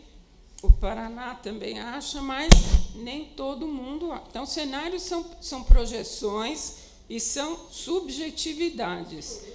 Não, eu pergunto, presidente, eu acho que talvez a gente uh, discutisse um pouco mais na CPFI, fizesse uma reunião extraordinária, ouvindo o Carlos Fernando, com sugestões de transformação de algumas premissas. O coordenador pode também se manifestar, é uma proposta que eu estou fazendo. Uh, e diante da proposta da conselheira Nádia, a, a, data é hoje, pode, a data pode ser amanhã. Eu não sei se isso vai alterar, se a Comissão de, de Planejamento e Finanças tá certo? tem algum ponto de vista sobre essa proposta da colega Nádia, membro do, da CPFI também. Presidente, é, nós temos que considerar que é, os índices previstos nessas premissas poderão ser revistos, independente de É, eu vou procurar não citar nomes para não prolongar mais a, a discussão. Os índices podem ser alterados sem que todo o, o trabalho esteja perdido. Nós vamos, nós vamos aprovar, sim, lá na frente, um orçamento, valores, que poderão surgir utilizando exclusivamente os itens que estão, os percentuais, como estão aí nesse, nessa estimativa, que isso para mim é uma estimativa, ou outros que surgirem aí mas eu insisto, com a aprovação dos presidentes. Redução de despesas, tem várias realidades, vários portes, e nós somos uma estrutura federativa, e essa é a base que não pode ser arranhada. Daí a nossa sugestão de aprovar as diretrizes, mas sabendo que os índices, os percentuais apresentados pela Filomena poderão ser alterados pelos, com a participação dos presidentes e não apenas desse plenário aqui de conselheiros. Se me permite, só uma, pois não, Filomena. só uma preocupação é o seguinte, porque esse cenário ele foi mandado para o Brasil inteiro e todos os estados avaliaram dentro dessas premissas do desconto. Porque eu vejo que aqui a posição central está no desconto da anuidade. Né? A posição central, se eu, se eu não estou equivocada, a posição central é no desconto da anuidade. Então, quando a gente passou, fechamos né, as diretrizes é, em cima da proposta, então, de ter aquelas reduções, todos os estados trabalharam com esse cenário. Então, eu, eu penso que é, mudar agora ficaria uma coisa até um pouco complicado, mesmo com os próprios estados, porque eles estão trabalhando com essas premissas aqui, e foi em cima que todos os estados se posicionaram, inclusive com as solicitações de alteração ou com as concordâncias. Que isso não impacta se daqui a dez dias, quando tiver a plenária ampliada, os estados acharem que revisão, não, tudo bem, nós concordamos com os 10, mas podemos assumir um desconto, uma redução na, na arrecadação, seria um complemento na, só na parte da arrecadação, e aí sim muda a premissa com relação ao desconto da anuidade à vista. E aí a gente tem toda a mudança do cenário, que seria um adendo para aquilo que seria, no caso, impacta um pouquinho de tempo, impacta, porque os estados eles já estão trabalhando seus planejamentos considerando esse cenário. Então, eles terão também posicionamentos dizendo, não, eu não suporto nenhuma redução. Então, a posição é essa. E é um complementozinho apenas disso, porque se eu não, se eu estou bem entendendo, é só o ponto central é o desconto da anuidade à vista, né? Obrigado, Filomena. Com a palavra, Obrigada. conselheiro Jefferson. Primeiro, eu quero é, externar a, a minha solidariedade ao colega do Rio de Janeiro, porque neste, neste tema o debate é fundamental. Estamos aqui fazendo política. Segundo, presidente, e aí um encaminhamento à mesa, que nós façamos a leitura da, da deliberação e possamos, é, após a leitura, a, a acrescentar um considerando, um, um, ou algo nesse sentido, que crie alguns ganchos ou que crie alguma perspectiva que deixe mais claro a, a, a preocupação nossa em relação à, à arrecadação, aos conceitos de evolução colocados na, na, na, na, deliberação, mas que seja mais fácil para nós depois, em, em, em, conjunto com os estados, poder fazer as devidas é, alterações. Então, a minha sugestão é de lermos e fazermos um considerando qualquer, no sentido de garantirmos essa revisão que talvez seja necessária. Ok. A sistemática de condução da discussão da deliberação permite isso. Mas tem a palavra o colega Salomão. É só a título de tentar colaborar em cima do que Jefferson colocou. Eu colocado aqui para Ricardo Eu entendo que a deliberação ela aprova o documento técnico elaborado. Ela é bem neutra, ela apenas aprova o documento feito. Então, essa observação que Jefferson colocou agora que poderia ser feita, eu acho que poderia ser feita essa ressalva no documento técnico, que a deliberação não precisa ser alterada. Né? Você colocando da possibilidade de rever esses valores em função da mudança de cenário, em função da reavaliação do, do, dos, dos, dos KUF, etc. E, tal. e colocaria isso como um, um, um, um parágrafo, uma observação, um comentário no documento técnico elaborado. Ou seja, se a, a comissão se comprometeria a colocar isso no documento. E a deliberação, na realidade, ela, mera, ela só aprova o documento. Ela é simples, ela é direta. Obrigado. Colega Salomão, obrigado. Só lembro que o colega Raul já fez a proposta de que a Comissão de Planejamento e Finanças fazer avaliações e encaminhar para os senhores conselheiros e para os presidentes de caos. Tá, a palavra é de Nézia, depois o Wilson.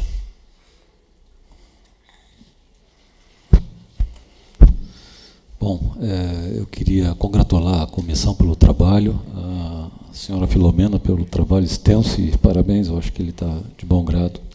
Uh, eu fiquei com sérias dúvidas. O colega Wilson conseguiu me dar alguns esclarecimentos, mas ao mesmo tempo tendo um, um colega tão é, rebelde e de, que levanta alguns questionamentos, eu acho que salutares, que faz é, nós pensarmos e refletirmos, eu fiquei com algumas pequenas dúvidas. Acho que a sugestão que o colega Jefferson coloca é interessante e que haja essa possibilidade de alteração de, de números, de índices ou coisa que valha nos dois documentos, na, na resolução e no próprio documento. E eu entendo da importância de, de ter essa flexibilidade pelo seguinte, aprovarmos alguma coisa aqui, e isso o Carlos Fernando tem completa razão, e dependermos que daqui 10 dias possamos ter algum questionamento, alguma proposição, e então, numa outra plenária ampliada, termos uma aprovação nesse documento, vai requerer que isso aqui seja alterado, sim. É a formalização do, do, do processo, e isso tem que acontecer. E o que, que vem dessa, dessa, dessa deliberação, nesse prazo tão exíguo? Fica uma dúvida, fica se, se isso foi colocado lá atrás para os estados, contribuíram ao trabalho que a senhora Filomena está colocando, uh, e depois vamos ter apenas 10 dias para ter novas alterações, quer dizer, é, a questão de prazo também não está claro. É, desculpe os colegas se eu sou um pouco é, lerdo, né, mas eu não vejo clareza num processo que requer de estarmos gerindo eh, a nível nacional 160 milhões de reais, com, apenas com um cenário, havendo a possibilidade de ter outros, outros cenários que possam se dar e o prazo tão exíguo disso acontecer. Como tratar isso? Acho que a, a, sugestão que o colega Jefferson levanta vai dar a possibilidade que tenhamos a flexibilidade necessária dentro de um regramento legal para ajustarmos as, questões conforme as deliberações. Então, eu sugiro que a, é, reforçar o, a, o encaminhamento do colega Jefferson, mas que isso esteja também apontado no documento principal que vai ser levado adiante. Obrigado. Colega Wilson, depois colega Eduardo e colega Raul. É, só é, reforçando o que seria a premissa. Eu acho que importante aqui, no desse trabalho todo, é a gente entender se o volume de RRT vai aumentar ou vai diminuir, foi o trabalho que a Filomena fez. Se o volume de arrecadação vai aumentar ou vai reduzir, isso é o que determina as tomadas de decisão. Se a gente tiver um, uma, uma, perspectiva de uma redução drástica na, na, na, na emissão de RRT, muda todo o cenário. Certo? Agora, o cenário colocado, ainda que se mexa no desconto, ele não muda, porque o cenário está posto. Então, o RRT vai caminhar com, esse, com essa previsão, a arrecadação da unidade vai caminhar com essa previsão. Né? Sim, vai ter as variações. Ele não é 100% correto. Tanto que não é que a gente faz reprogramação. A gente vai fazendo a execução orçamentária, aí o cenário melhorou? Ótimo, então dá para aumentar as despesas. O cenário diminuiu? Pois não. Por isso da importância de termos um, é, um Sim, argumento eu vou, eu vou, que possa dar essa flexibilidade. Porque no momento que há essas variações, os cenários mudam. E tu Não. tem, né? É, tu tem aquele posto, o grandão, o guarda-chuva. Eu... Mas, né? É, e dentro o... das realidades regionais, então, tem que ter o essa. Cenário, o cenário é uma coisa, o cenário que acontece no dia a dia. Tá? A gente pega o dia a dia e transpõe numa projeção de futuro, que é o que está sendo feito aqui. A discussão toda está em cima de se dar 10% ou 15%. Poderíamos ter trazido a proposta de 15%, o orçamento total do CAL não seria 120 milhões, seria de 118, 115 milhões. Entendeu? É isso. Agora, a comissão analisando isso, qual foi o critério é, imaginado, que foi o que o Raul trouxe aqui?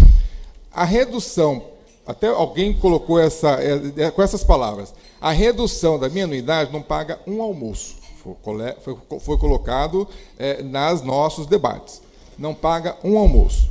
Porém, o peso da redução, a redução de um, num, total de 10 mil, 20 mil, mil, né, é outra realidade. Então, para o CAL, o F, muda muito 5% desse. Para o profissional, não.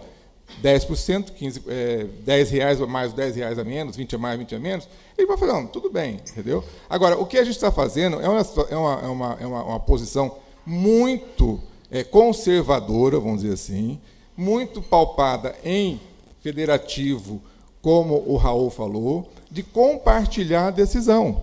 Poderíamos ter trazido aqui, não seria 120 milhões, seria menos. Trouxemos esse cenário, que é um cenário mais positivo no ponto de vista de volume de, de receita na anuidade, só na anuidade, não é nem tudo, entendeu? Mas que Presidentes, temos a possibilidade de reduzir essa receita mediante um aumento do desconto para a anuidade à vista. Vocês concordam? Sim. Então, pronto, feito o assunto, não tem que discutir. Não, não concordamos, não tem. Como poderia ser inverso? A comissão ter proposto e levado para os presidentes tomar a decisão: vai manter o desconto ou quer aumentar o desconto? Então, o que está colocado aqui é apenas a consulta em quem, em quem vai refletir a arrecadação. Não é aqui dizer que eu sou contra ou a favor, que eu, não é política. Eu sou a favor. Entendeu? O desconto, para mim, vai dar desconto? Pode dar desconto. Entendeu? Agora, não, não sou eu que vou trabalhar lá no Estado, como eu fui presidente, eu sei como é que é a gestão de orçamento no Estado, principalmente para os caos médios, né, que estão nessa fase, qualquer 30 mil reais é um evento que ele faz, é uma comissão que funciona durante o ano, né? E eu recebi aqui feedback, presidente de Estado, o meu Estado, querendo reduzir comissão, quer reduzir a comissão de política urbana. Qual a razão disso? A razão é somente dinheiro. Então, se tirar 10 mil reais, muito provavelmente vai falar, tudo bem, vai cortar? Vai, eu vou ter que cortar aqui uma comissão. Mudar meu regimento, reduzir a comissão para fazer economia.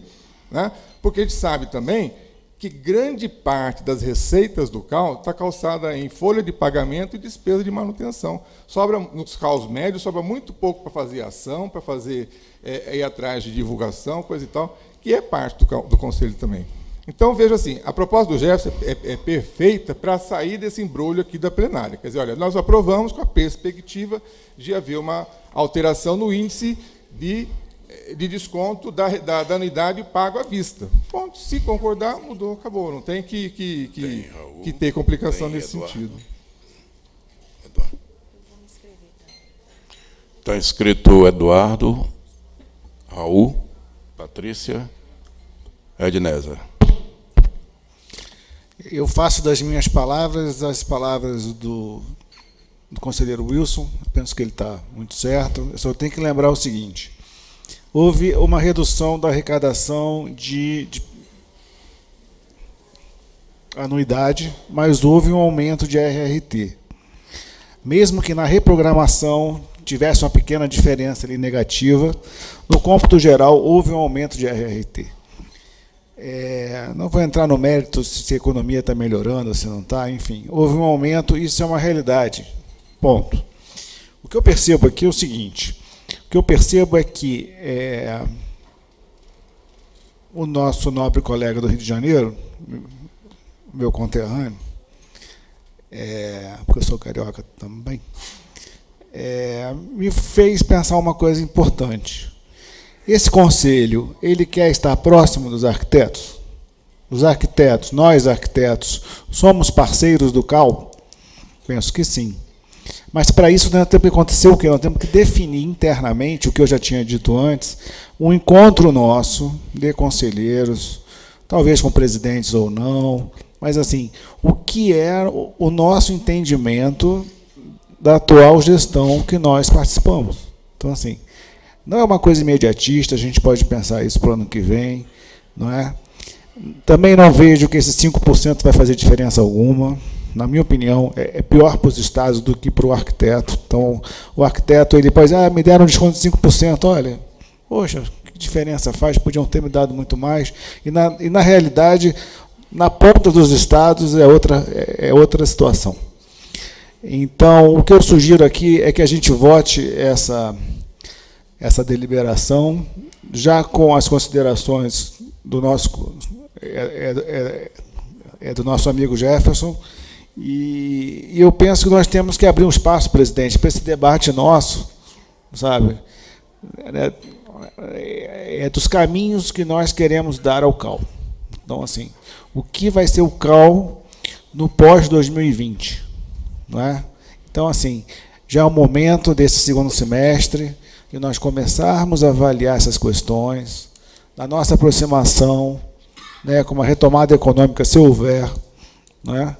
mas o que é essa nova realidade e o que vai ser esse cal na vanguarda aí que vem nos próximos anos. Esse é o grande desafio nosso. Obrigado. Obrigado, conselheiro Eduardo. Conselheira Patrícia. Não, desculpa, Raul. Depois Patrícia.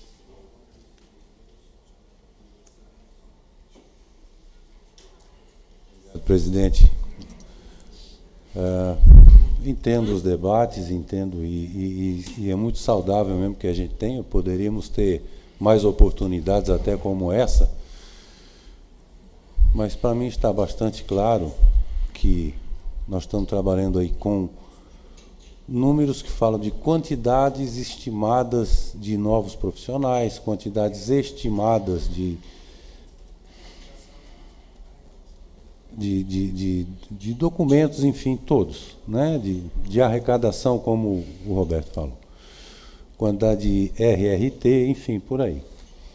E tudo isso é passível de revisão. Tudo, tudo, tudo, tudo, tudo.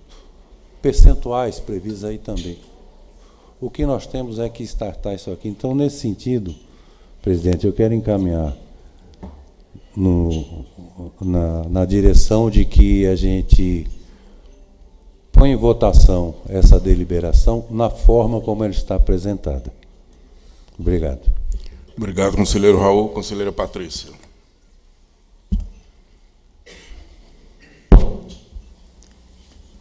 Eu, minha fala segue no que o conselheiro Jefferson apresentou e também o conselheiro Wilson, mesmo porque eu também venho de uma gestão de presidência no CAL que não é básico, mas é um, um cal médio com uma escassez de recursos muito grande. É, o que Filomena falou, de que isso aí já foi apresentado para os estados, e alguns estados já, inclusive, já pediram para que fosse revisto a, a, os seus percentuais. Lá no RN, nós também já fizemos esse dever de casa. E a receita que nos foi proposta, Filomena, é muito pequena.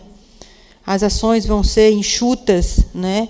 Então, que esse debate aqui a gente possa levar, enquanto representante de cada estado brasileiro, possa levar para o nosso presidente essa condição. Porque lá ele trava uma outra batalha diferente da nossa. Ele trava a batalha de sobrevivência de um órgão público.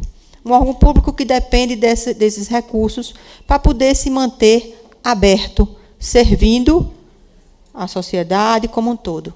Então, a gente tem que levar isso em conta. A gente atende o profissional, sim, Carlos Fernando lembrou muito bem.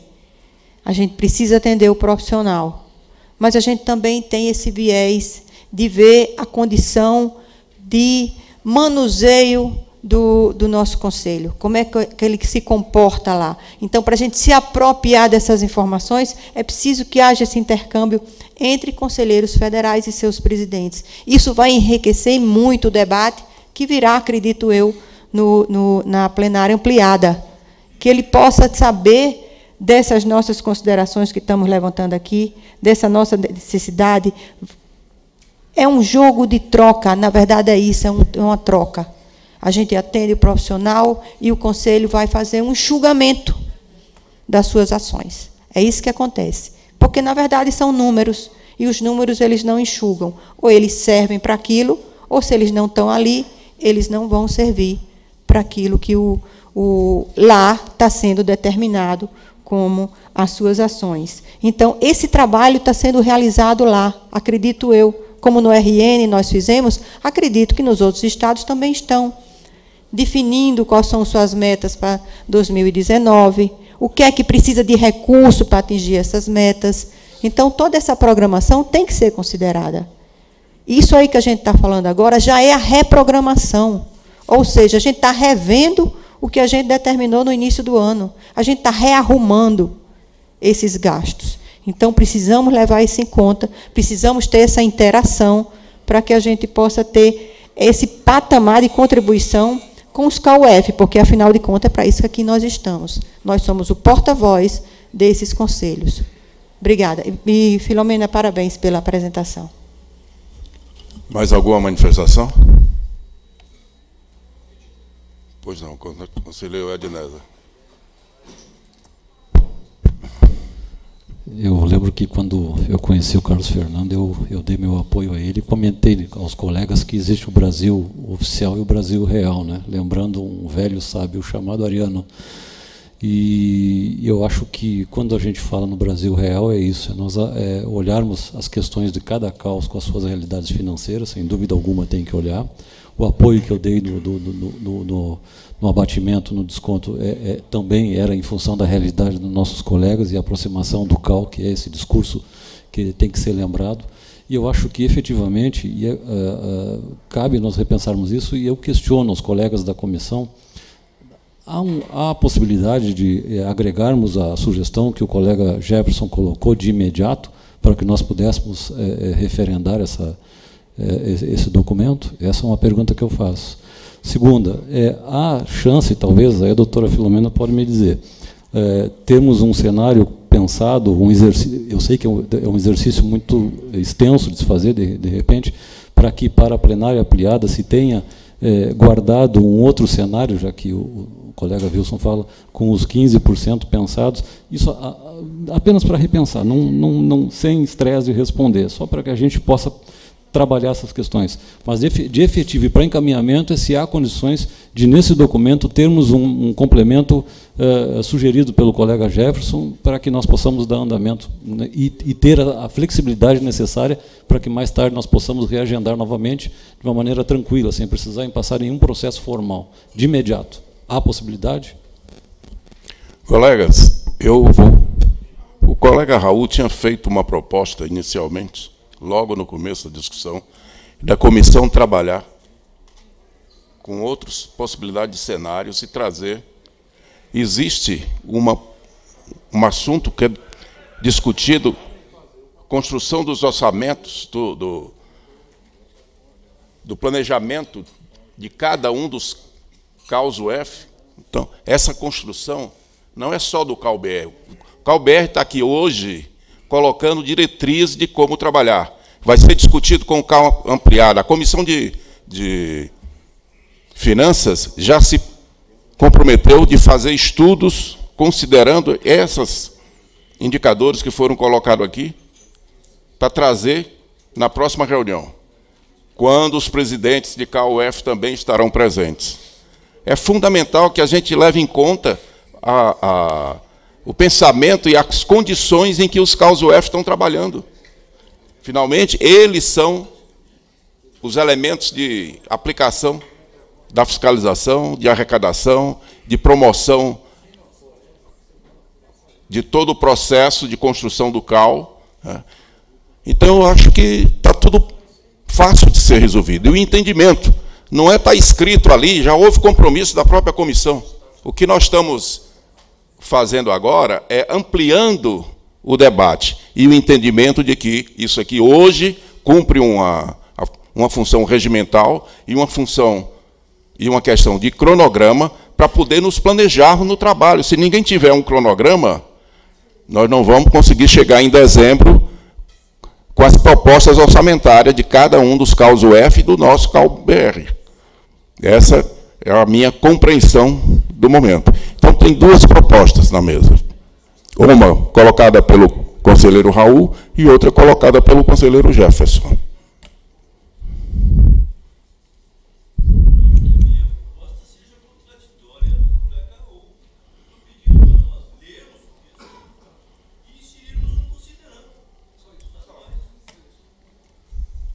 Tá bem.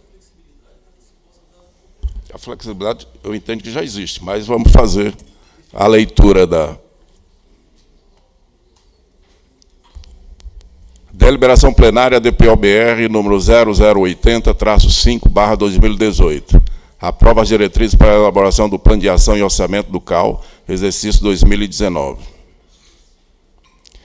O plenário do Conselho de Arquitetura e Urbanismo do Brasil, CalBR, no exercício das competências e prerrogativas de que trata os artigos 2 4 e 30 do Regimento Interno do CalBR, reunido ordinariamente em Brasília, DF, no dia 19 e 20 de julho de 2018, após análise do assunto em epígrafes, considerando que compete ao plenário do CalBR apreciar e deliberar sobre as diretrizes para a elaboração do plano de ação e orçamento dos CalUF do CalBR, considerando o documento das diretrizes para a elaboração do plano de ação e orçamento do CAL, exercício 2019, elaborado pela Assessoria de Planejamento, e considerando a deliberação número 27, 2018, da Comissão de Planejamento e Finanças do CAL-BR, a qual recomenda ao plenário do CAL-BR a aprovação do referido documento, deliberou 1. Um, aprovar diretrizes para a elaboração do plano de ação e orçamento do CAL exercício 2019 e encaminhar esta deliberação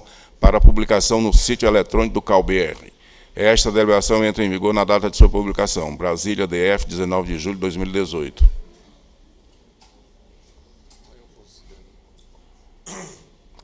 Alguma manifestação? Alguma proposta? Considerando, eu mantenho a proposta, presidente mesa, no sentido de que possa ser explicitado que as condições econômicas, as condições políticas do país podem ser alteradas e isso seria a motivação de uma revisão é, dessas diretrizes.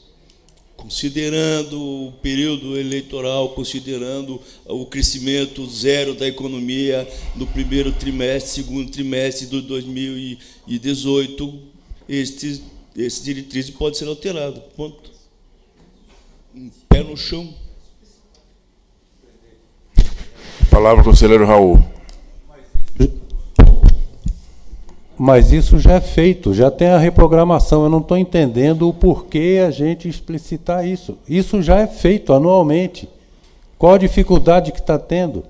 Eu não eu estou entendendo. Eu pergunto qual a dificuldade isso. em aceitar meu considerando, conselheiro.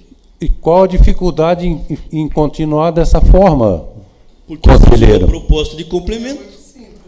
Esse, a, a, reprogramação ela é feita anualmente. Então aqui nós vamos fazer uma proposta que ela pode ser revista dentro dos prazos é, que sempre foram é, é, feitas ou a qualquer outro momento pode se fazer propostas. Eu não estou entendendo, mas assim, é, repito, eu encaminho no sentido de manter a proposta. É, como apresentado. Mas só isso, é questão. A, a, a plenária decide, isso não é problema nenhum. É só uma questão de visão de como conduzir uma coisa que já é feita. Conselheiro Jefferson. Simples, é, eu, eu proponho uma redação rápida de um considerando e a mesa põe em votação se o considerando é anexado ao documento ou não. Então, Qual é a redação, conselheiro? A proposta seria, considerando crescimento econômico aproximado de zero nos dois primeiros trimestres do ano de 2018, e que esta tendência pode ser repetir nos outros dois trimestres do ano, que estas premissas possam ser revistas.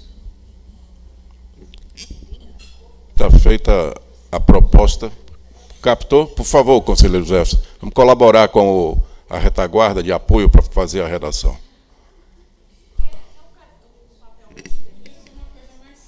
Considerando o crescimento econômico aproximado de zero nos dois primeiros trimestres do ano 2018. Precisa disso. Pô. Depois.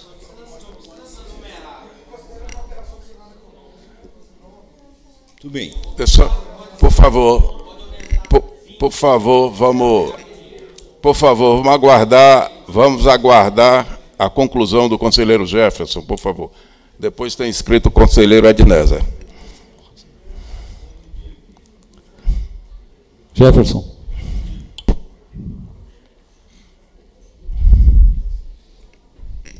Ponto e vírgula. Considerando que este cenário pode se repetir nos dois próximos trimestres deste ano,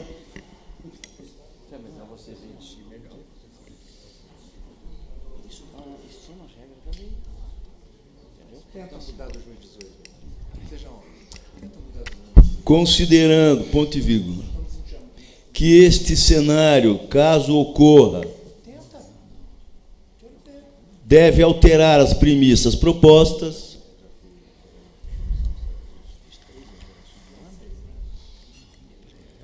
A, esta plenária se, se é, fará a revisão das premissas em tempo hábil. Conselheiro.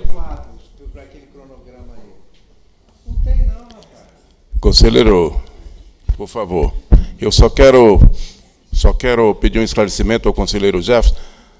Nós estamos fazendo aqui as diretrizes para a construção do orçamento de 2019. E ali, nos dois primeiros trimestres do ano de 2018. São os números que temos hoje, inclusive foi lançado essa semana Sim, mas a, a, o PIB de 0,0. Considerando o crescimento econômico aproximado de zero nos dois primeiros trimestres de 2018, vai, vai impactar no, no cenário de 2019? É, é a minha proposta, presidente. Está aberto para redação. Tá. Considerando que esse cenário pode se repetir nos dois próximos trimestres deste ano, deste ano 2018 também. Considerando que esse cenário, caso ocorra, deve alterar as premissas propostas, esta plenária fará a revisão das premissas em tempo hábil. Ponto ali. Fiz a leitura para esclarecer a mim mesmo e aos demais colegas. Conselheira Ednésia, por favor.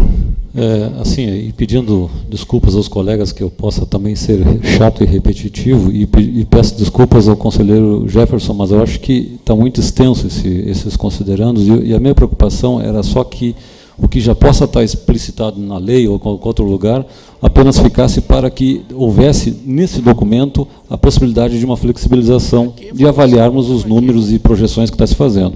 E a minha ideia é que houvesse apenas um considerando sobre a avaliação, de avaliação sobre o do crescimento econômico para é, é, reavaliar procedimentos e processos a serem demandados. Ponto, acabou. Não precisar fazer mais nenhum tipo de, de, de é, redação que vai levar levarmos a uma projeção sobre 2019, que não se sabe direito ainda, a, uma avaliação zero, que pode ser 20, pode ser 30, pode ser 5. Eu, eu entendo que tenha que ser uma, um considerando curto sobre uma, o processo de avaliação do crescimento econômico da conjuntura que se está. Ponto. Então a sugestão seria algo bem mais simples, é, é, não entrarmos em detalhes e menos que, que talvez não seja o, o foco da questão.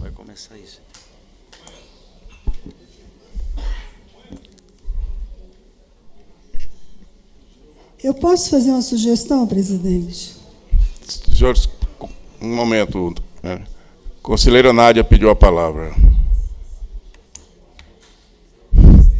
Concordo com a Ednésia, concordo com Jefferson, e eu acho que todos nós concordamos com tudo, com todas as perspectivas de redistribuição. Acho que isso não, não deve nos, nos alterar, eu acho que estamos todos de acordo com isso. É uma questão formal.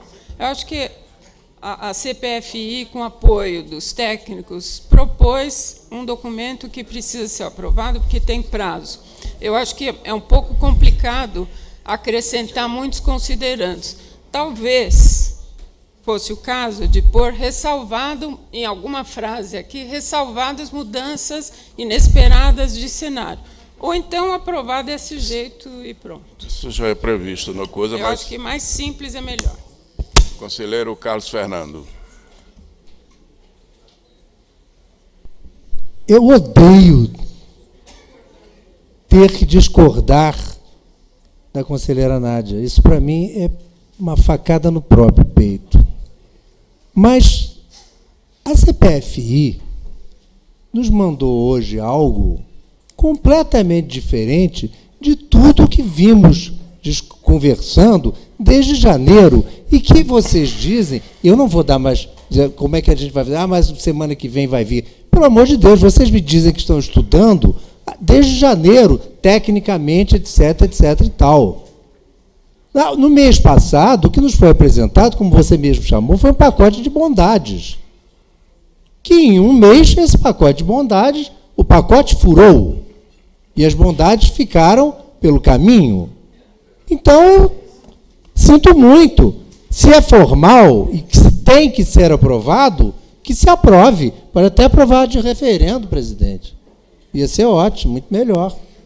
Agora, que isso não está absolutamente condizente com o que vimos discutindo, eu acho que não está. E não é formal. Se é formal, tira todas essas premissas é, do ponto de vista numérico e diz quando é que nós vamos ter que votar, quando é que nós vamos ter que resolver. Mas é claro que essas premissas estão induzindo a um orçamento, está induzindo a números, estão induzindo a relação receita e despesa. Não é? Então, eu nem chego, chego ao mérito de ver assim, me horrorizou, mas eu acho que eu não quis entender quando diz que alguma coisa ligada a a fiscalização vai baixar de 20% para 15%. Eu não quis ver o que é isso. Só não, porque a gente está trabalhando com as receitas. Mas me parece que hoje nós estamos. Está escrito sim. Vai reduzir de 20% para 15%. Isso aí tá, já tá. Não é? Eu acho que nós não estamos absolutamente diante de um documento formal. Nós estamos diante de um documento seríssimo. E digo mais, dos mais sérios que nós já votamos por aqui. qualquer momento você pode, claro, que, em havendo fatos supervenientes que venham a comprometer as premissas, diretrizes e propostas, esta numeração poderá ser revista. Colegas,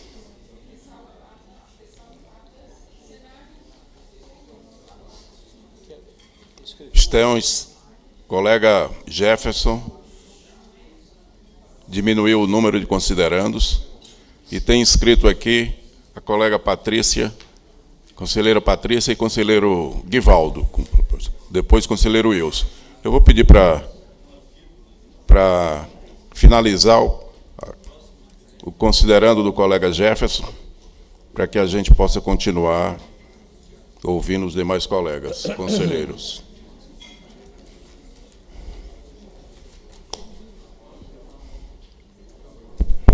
E paramos para comer. Tem uma. Pro... É, tentei simplificar o texto. Peço aos colegas que avaliem se já está do tamanho desejado. Considerando o crescimento econômico aproximado de zero nos dois primeiros trimestres do ano de 2018, Obrigado. e considerando que este cenário um possa se repetir nos próximos trimestres, as premissas propostas devem ser revistas. Obrigado. Possam ser revistas. Possam ser revistas. Colega conselheira Patrícia. Guivaldo, perguntando se você quer se manifestar antes dela. Conselheiro Guivaldo.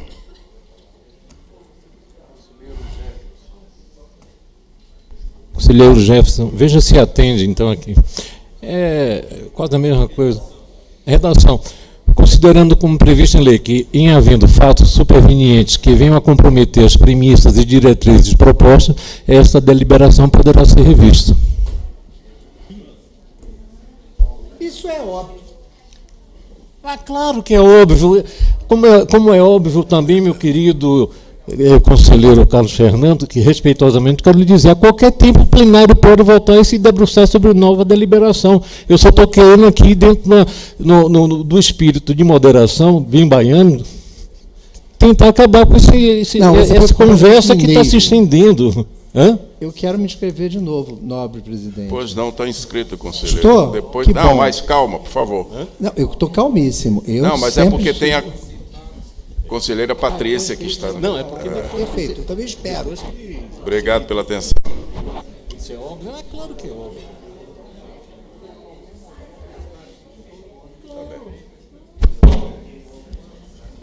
Colegas, colegas do lanche ou colegas da mesa, é, eu acho que a gente tem que considerar, acima de tudo, que nos foi posto um estudo. E não é um estudo corriqueiro, porque veja orçamento é uma pasta difícil, né?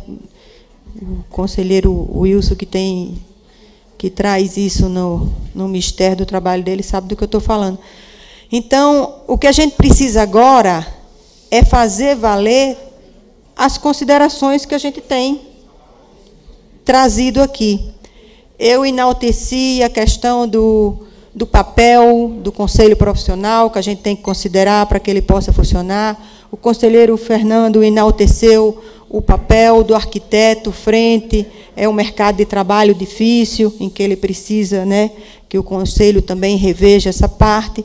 Então, para que a gente possa juntar isso nesse documento já posto, que a gente, entendo eu, vamos votar agora, acredito que a construção que a gente possa fazer seja dentro da deliberação, porque é o que, é que a gente está querendo fazer agora? A gente está querendo votar um documento. Para que a gente possa votar o documento, a gente tem que dizer o que a gente quer exatamente aí, no texto onde a gente tem o deliberou. Isso aqui não é construção minha, a Filomena ajudou, o conselheiro Roberto ajudou. Então, a proposta que faço seria o seguinte: onde está ali, na parte, deixa apenas os considerando que a equipe de a comissão de planejamento e finanças se debruçou e chegou a esse resultado, deixa aqueles considerando, que é a parte, diria eu, a parte legal do texto, que precisa constar, que eles se basearem em deliberações, se basearem em normativas do CAL, para chegar ao deliberou. O deliberou é a parte que nos interessa. É ali que vai o texto que a gente quer expor o, o que o conselheiro Fernando levantou. Então, assim ficaria.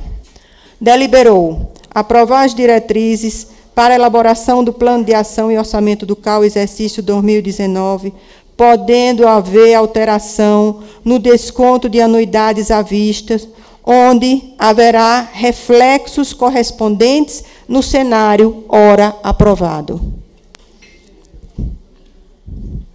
Vou repetir aprovar as diretrizes para a elaboração do plano de ação e orçamento do CAL, exercício 2019, podendo haver alteração no desconto de anuidades à vista, onde haverá reflexos correspondentes no cenário ora aprovado.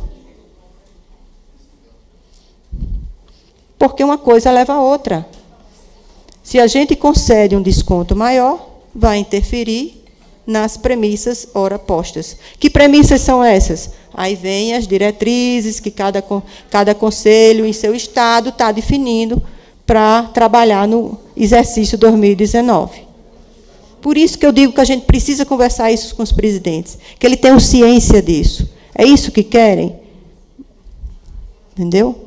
Então, essa construção, ela não se, se encerra aqui. Essa construção, ela vai até a plenária ampliada. Mas, nesse momento, a gente precisa eh, chegar a um texto que contemple todas a, a- a- o que foi levantado aqui. Todas as, as falas dos colegas. Espero ter contribuído.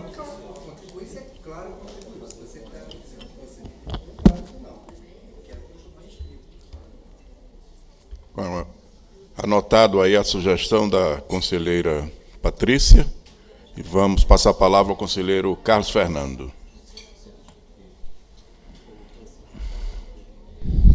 Bom, evidentemente que eu só posso ter elogios às tentativas do Jefferson, do Guivaldo e da Patrícia de tentar resolver o nosso problema.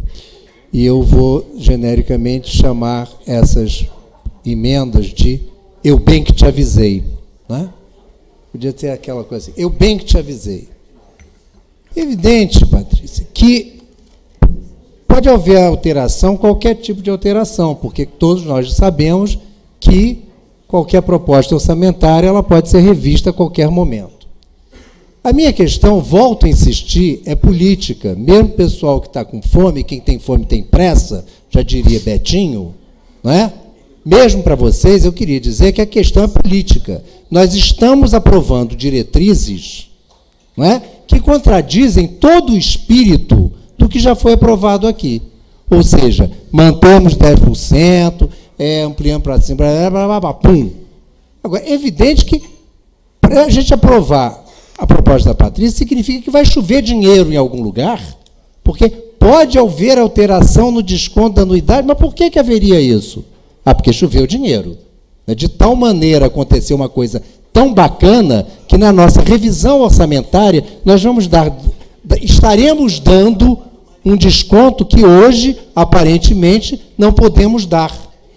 O que me parece muito estranho, porque eu não consigo ter um quadro de receita que me aponte para qual é necessariamente a arrecadação que esse CAL tenha que produzir. É fundamental a gente entender também que a arrecadação ela não veio dos dez mandamentos. Nós estamos perseguindo uma arrecadação que deve, em princípio, responder a uma necessidade de, de despesa. Quando os caos que têm problema de arrecadação estão dizendo que não tem dinheiro para fazer uma comissão, eu adoraria, por exemplo, partir este orçamento dessa, dessa demanda. Porque isso também é uma maneira de você planejar. Você parte da demanda. E aí se resolve como é que nós vamos construir a receita. Mas não foi assim que bolamos. Ok. Agora, eu pergunto: nunca vai chegar esse momento ótimo, Patrícia? Porque se hoje, hoje, que nós temos 160 milhões Hoje que nós tivemos a informação de que sobrou dinheiro no tal do sistema compartilhado, sobrou, não faltou. Mesmo nesse momento, nem a comissão, nem os técnicos, nem ninguém conseguiu chegar e me dar uma solução política para a questão da inadimplência brutal da nossa categoria, esse momento ótimo não vai chegar nunca. Desculpe, mas essas questões ainda não resolvem a questão das premissas eu acho que estão erradas, erradas politicamente. Conselheira, por favor. Está registrada? Não, já, já tinha passado a sua inscrição, não já? Você pediu novamente? O senhor pulou a mim, você deu a palavra para o colega Carlos Fernando, mas ah, eu cedo a minha, a minha então- espaço para quem se inscreveu e depois eu falo pela comissão. Não, está inscrito a colega Lana, mas o colega Wilson. Desculpa, conselheiros. É, eu fico ainda incomodado com essas considerações de que é, a comissão parece-me que não trabalhou e parece-me que não atendeu aquilo que foi pedido pelo conselheiro Carlos Fernando. Primeiramente, eu já estou começando a concluir que o interesse quase que pessoal já está extrapolando os interesses de, uma, de um conselho e de, uma, e de uma categoria. Eu queria lembrar que na nossa lei de constituição do conselho existe independência administrativa independência financeira dos CAUS. CAU BR, CAU Mato Grosso, CAU São Paulo, CAU Rio de Janeiro, cada um tem a sua independência administrativa e independência financeira. Então não existe nenhuma razão, nenhuma, nenhuma condição legal da Comissão de Finanças pensar em tirar dinheiro de mais rico e dar para pobre, ainda que isso seja uma ação bastante necessária, vamos dizer assim. Né? Como é o fundo de apoio, tira de quem tem para ajudar quem não tem certo? Sobrou dinheiro, é uma questão, Carlos Fernando, de orçamento, de execução, já foi explicado aqui, certo? Outra coisa, o desconto, ele atende exatamente quem menos precisa, que é uma pessoa que está pagando à vista, com condição de pagar. Não se dá solução nenhuma para quem está devendo, ou quem não consegue pagar, ou quem está fora do cal. A comissão de, de, de finanças está preocupada é com isso. Não é, não é dar 20 reais para cada pessoa que pode pagar anuidade e esquecer de outros tantos, que eu não sei o número aí, que deve outros tantos de dinheiro, que não tem condição. Essas pessoas estão sofrendo crise financeira. O que eu estava explicando para o Jefferson, quem ganha 100 mil com crise vai ganhar 80 mil. Quem ganha 10 mil com crise passa fome, acaba, não vai receber nada. Então a comissão, quando estudou, eu acho que o Carlos Fernando não percebeu, vou ter que falar abertamente, não pôde chegar nos 15% em decorrência do cenário, em decorrência do posicionamento dos presidentes, mas chegou no, que foi colocado, 10% em janeiro, 5% em fevereiro, que já é uma evolução é, comparada com o que foi programado para 2018. Então a comissão trabalhou, chegou onde ela pôde, parou no momento em que a gente entendeu que daqui para frente cabe uma consulta aos presidentes. Eu acho que isso não ficou entendido. A, a vontade de, de dar está maior do que a vontade de ouvir. Então, vamos ouvir o presidente dia 15, dia próxima plenária daqui a 30 dias, e a gente, se eles decidirem conceder mais 5% para quem vai pagar à vista em janeiro, perfeito, acabou a discussão. Não é incompetência da comissão, não é negligência da comissão não atender a reivindicação do conselheiro Carlos Fernando. Eu acho que isso tem que ficar registrado aqui, porque já está me incomodando como conselheiro da comissão, ficar ouvindo essas barbáries aqui dentro. Sinto muito, mas está é, é, tá por aí. Então, colocar considerandos, considerando que vai ter é, variação na economia. Em 30 dias não vai variar nada. Vai ser como está hoje. Entendeu? Então, eu acho um absurdo ficar contornando. Ou então escreve lá, considerando que na próxima plenária vai ter reunião de presidente, provavelmente se aprova um desconto maior. Aí eu concordo. Agora, ficar contornando o negócio para chegar no objetivo, eu acho que não, não, é por aí. Então a posição nossa é essa: a comissão não negligenciou, a comissão não faltou com sua responsabilidade, ela foi aonde pôde. E daqui para frente, cabe a opinião, a decisão dos presidentes em ampliar esse desconto. Era isso, senhores. Obrigado. Obrigado, conselheiro Wilson. Mas a, a compreensão é que a decisão política é de trabalhar ouvindo os presidentes de CAUF. E isso aí nos permitirá, na próxima plenária, que será a plenária ampliada. Tudo que está aí, a lei já garante. Os espaços, os cronogramas estão feitos para atendermos a essas, esses estudos individualizados em cada CAUF, e no conjunto do CAL-BR e do CAL e dos CAUS UF. Conselheiro Jefferson. Acho que o debate é rico, mas eu acredito que as propostas estão colocadas. Sim. Eu, eu sugiro, faço o propósito de caminhamento, que a mesa encaminhe as quatro propostas. Manutenção do texto, as minhas considerações, considerações da colega Patrícia ou as considerações do colega Guivaldo, que vença a, o, o, maior número de entendimento dessa plenária. Questão de encaminhamento, presidente. Colocar em votação as propostas, as quatro. Individual. Todo, por favor, senhores conselheiros. O plenário está esclarecido. Tem a proposta do conselheiro Raul da manutenção do texto. A proposta do conselheiro Jefferson dos considerandos, que ele redigiu aí, que está na tela. A, proposta do conselheiro Guivaldo, que também é nos considerandos. A proposta da conselheira Patrícia, que é manter os considerandos e incluir na no item deliberação, no item 1 da deliberação.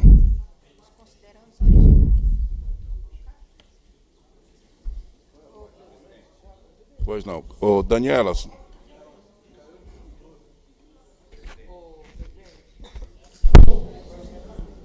Presidente, é, levando em consideração a proposta da Patrícia, que ela mantém as considerações e esclarece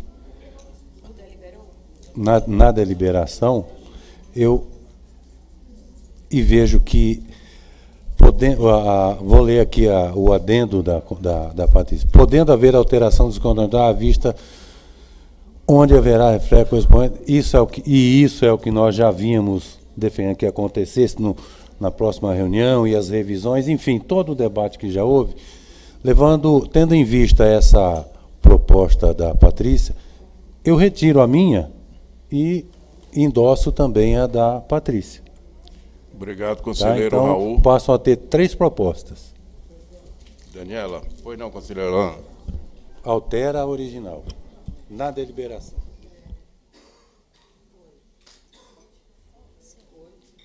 Regimentalmente tem uma sequência de. Tá. Oi, agora tá. É, eu quero saber. Então, tem, então, então, tem três propostas aí. Três. Eu quero saber se todos aqui que vão votar têm clareza das três propostas ou elas precisam minimamente ser lidas. Porque eu vi muita gente saindo. Eu quero saber se todo mundo está sabendo. Todo mundo entendeu as três propostas ou elas precisam, não precisam ser debatidas? Eu quero saber se elas têm que ser lidas. Então, por favor, eu peço para ler as três propostas para que essas pessoas que vão votar entendam que estão votando. Eu pergunto aos senhores conselheiros que fizeram as propostas. O conselheiro Raul já se manifestou, retirou a proposta dele, tendo em vista a proposta da conselheira Patrícia. Eu pergunto se os autores das outras propostas, se tem alguma manifestação, se mantêm as suas propostas ou se dão satisfeito em função das propostas que foram apresentadas aqui. Conselheiro Nixon.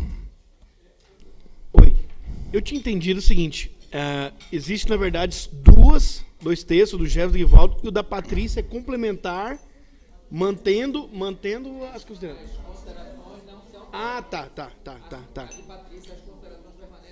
A conselheira Patrícia entende que a resolução, a proposta de resolução deve ser modificada apenas no, na deliberação. Os considerandos já são suficientes, já são aqueles que estão nos regimentos, na legislação pertinente. E que se altere apenas no item 1 da deliberação, colocando o texto que está em amarelo.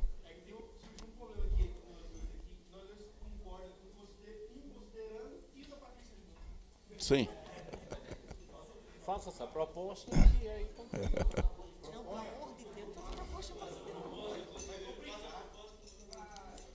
Olha só, é, o que eu li aqui precisaria, por exemplo, o, o do, do Guivaldo, na verdade, eu, tô, eu entendi lendo, é o resumo das duas de cima. E só que precisa do da, da Patrícia.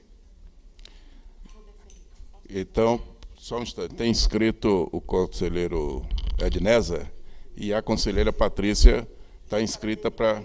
Pergunto se mantém o Edneza na, na ordem. Ok, conselheiro Edneza. tentar ajudar, vamos ver. Eu acredito que as, os dois considerandos, ele abrangem de tal forma que o, a deliberação da, da colega Patrícia já está inclusa naqueles considerandos lá, né? Está intrínseco ali.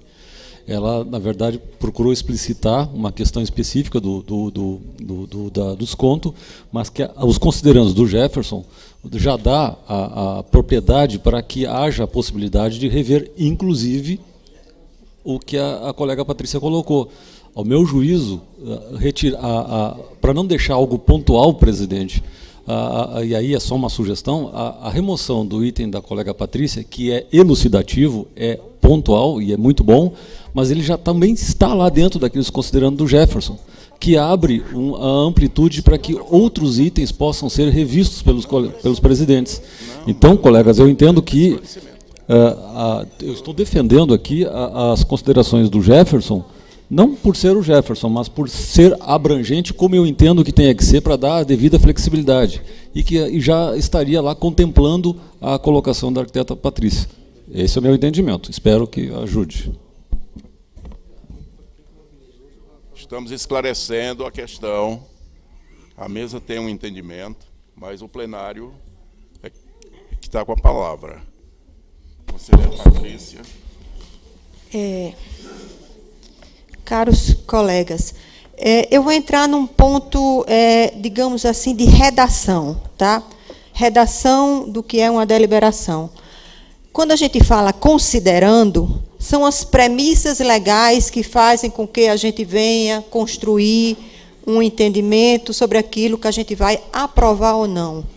Considerando o que recomenda o plenário do né?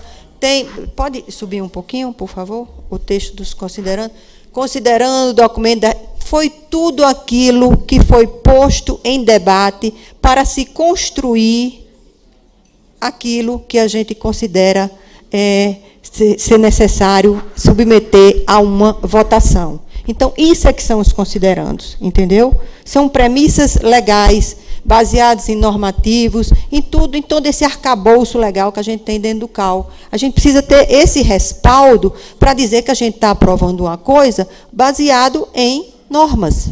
Isso são os considerandos. Né? Então, por isso, é, continuo na, na, na, defesa de que o que a gente está construindo aqui, o debate que a gente está construindo aqui, vejo perfeitamente o que o colega Wilson colocou.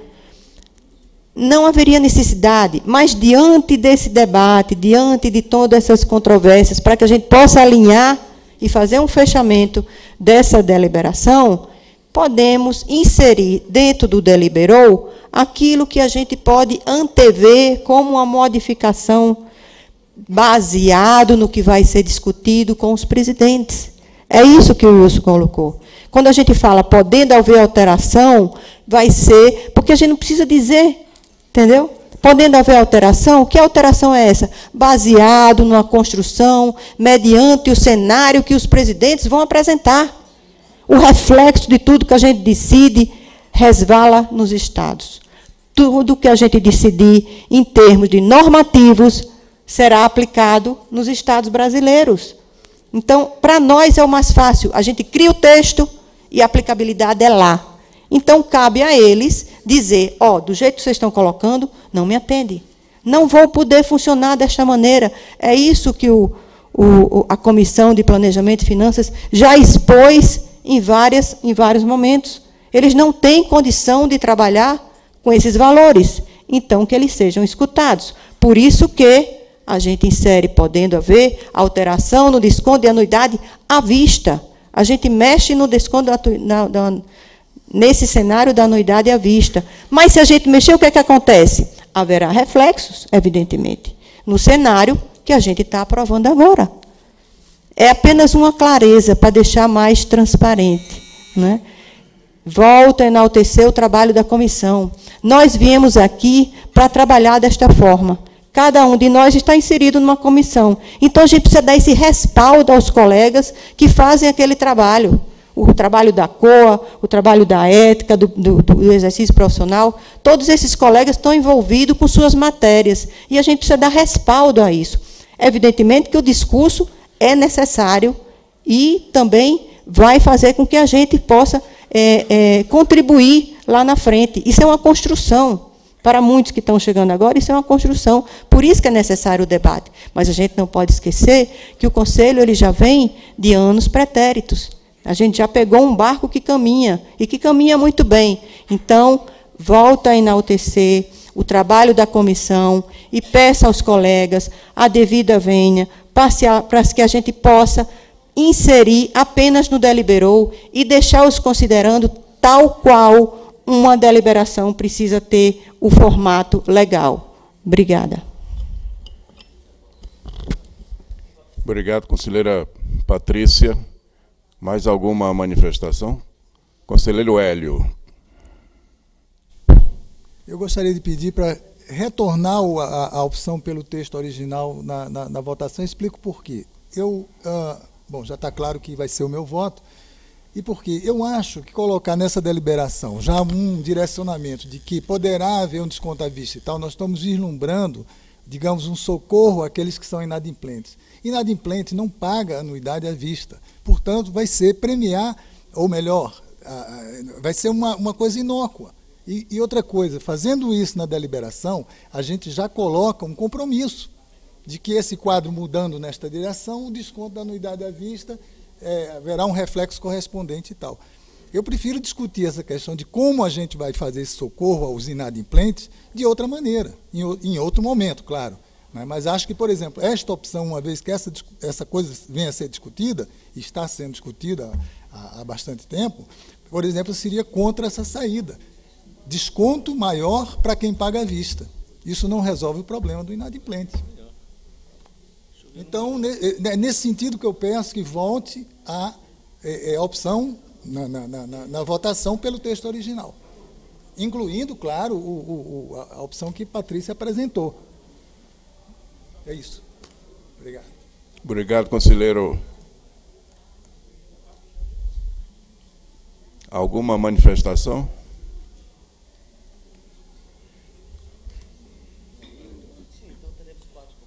Hum?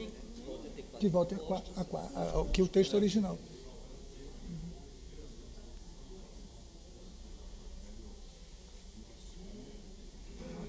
Vai se manifestar o colega Ednézer?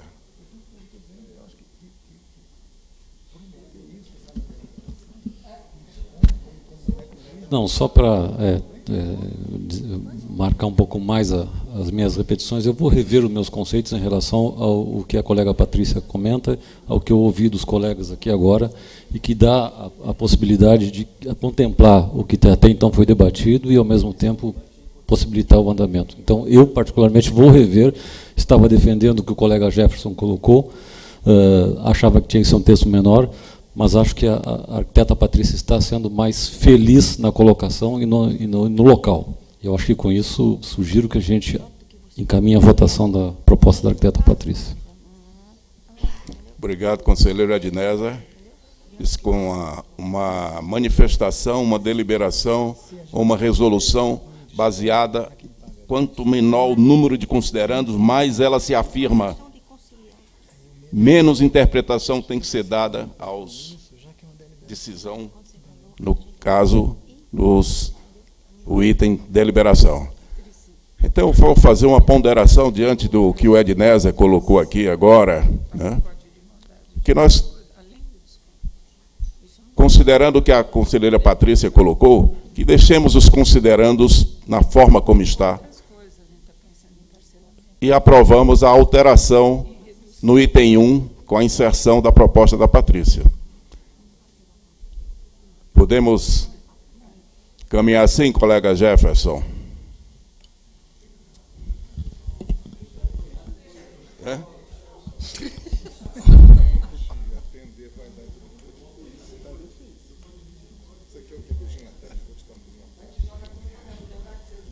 O, o, o, presidente, a, a, conselheira pode ter razão em relação a forma, mas eu não concordo com o conteúdo. Ela está fechando questão. Tá, é a pior okay. das propostas da conselheira Patrícia. Ela fecha a questão numa questão que não é para fechar, é para abrir. Se tem que sair alguma consideração nova, tem que sair a dela. E não a minha. Está entendido, compreendido pelo plenário? Conselheiro Guivaldo.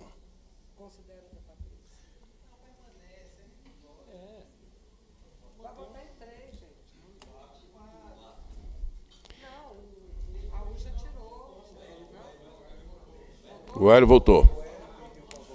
Então vamos para regime de votação em função das propostas.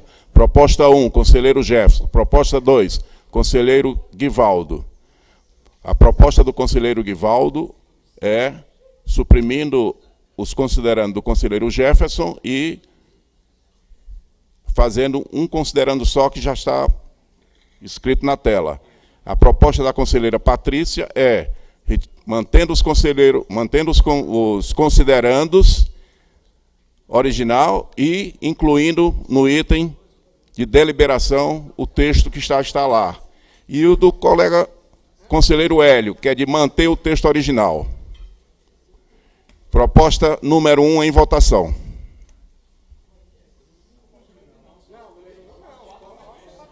Hein?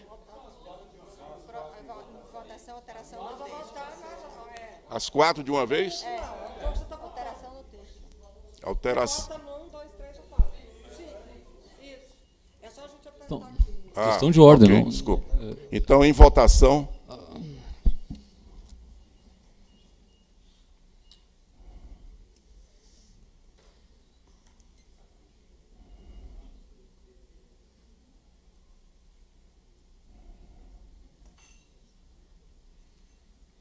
Todos os conselheiros votaram?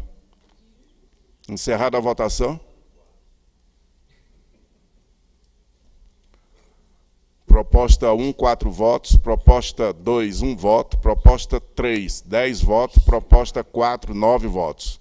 Aprovada a proposta número 3.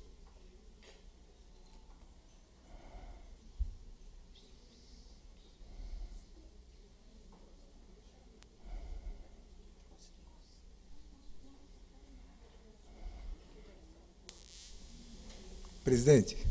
Pois não, conselheiro Já que houve uma pulverização muito grande, dado o grande número de propostas, eu acho que seria assim mais equilibrado se a gente pegasse as duas mais votadas e uma contra a outra. Não, é uma proposta. Tudo bem. Se não aceitam, A proposta do conselheiro Hélio é interessante, mas o, sistema, o regime já aconteceu. Na próxima, no próximo embate, a gente considera esse processo em dois turnos. Então, o texto da, da deliberação, o que está em amarelo fica.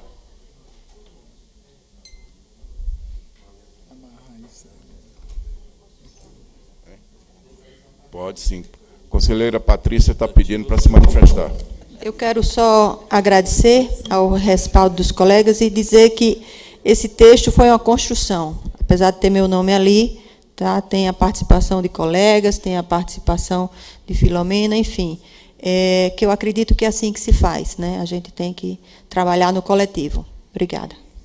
Bom, senhor, quero agradecer a participação de todos os membros desse conselho, da Comissão de Política, de Planejamento e Finanças, do corpo técnico, do CAL, que construiu um debate rico aqui, e dizer que o nosso compromisso político é de ouvir a todos e ouvir, nessa construção orçamentária, os presidentes de CAUF.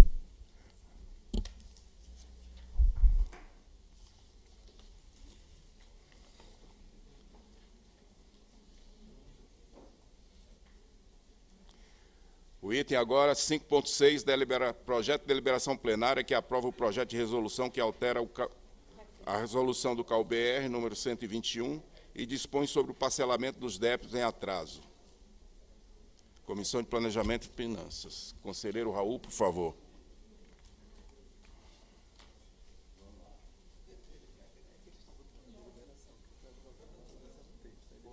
Foi.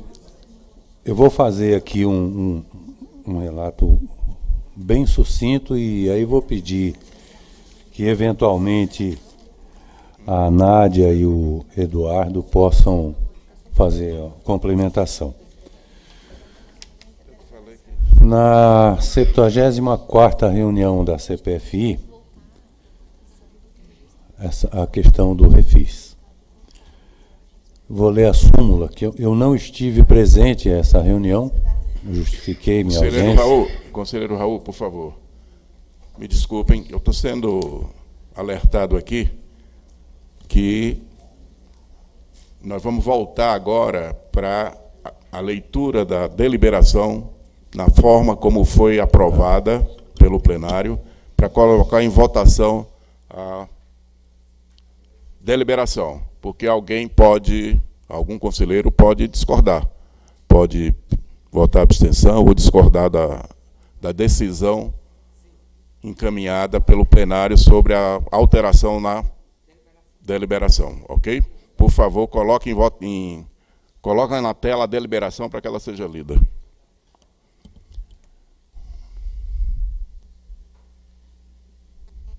Pode baixar um pouco.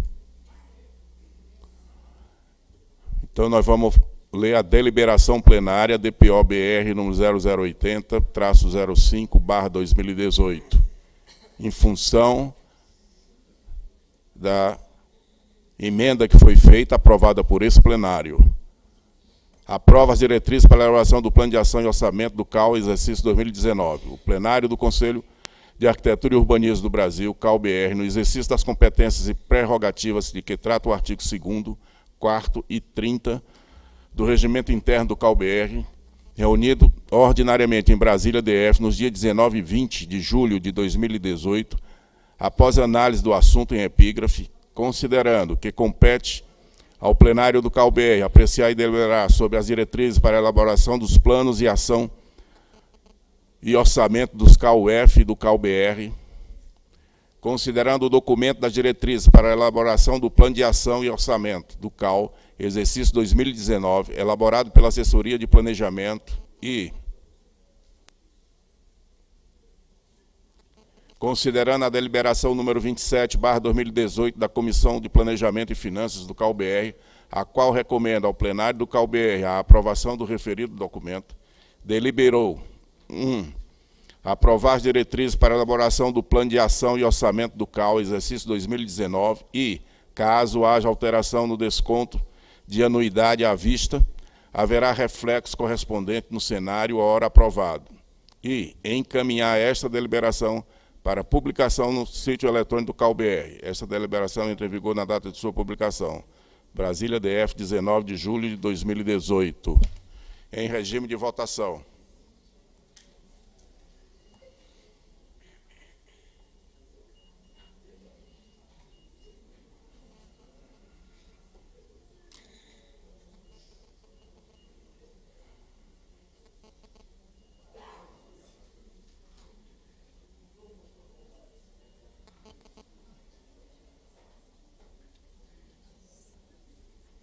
Todos votaram. Fechada a votação. Aprovado com 23 votos e uma abstenção.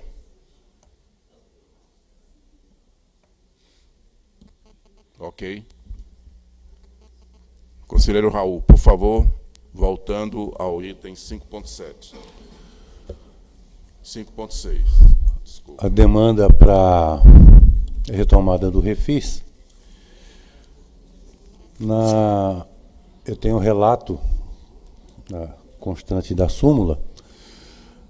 Foram consideradas algumas questões, mas principalmente a, a, a demanda para a fábrica de software em atender e, e que também está, vai estar em, em período de possível, eventual, talvez não possível, eventual troca de, de empresa, da fábrica de software, algum impacto que poderia ter na produção dessas soluções, enfim.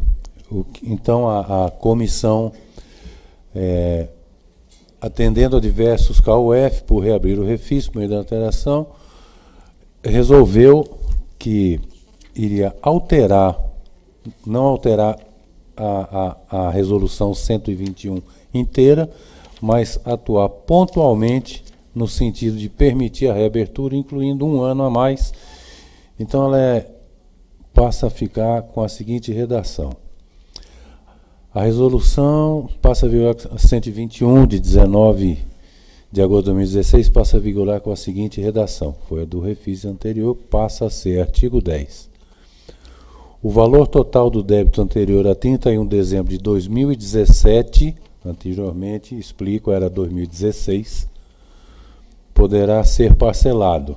Aí vamos lá no inciso 4. Os incisos 1, 2 e 3 permanecem, o inciso 4, em até 25 vezes para 5 ou mais exercícios em débito. no inicial era até 5 exercícios em débito. Então, como acrescentou um ano, colocou cinco ou mais exercícios em débito.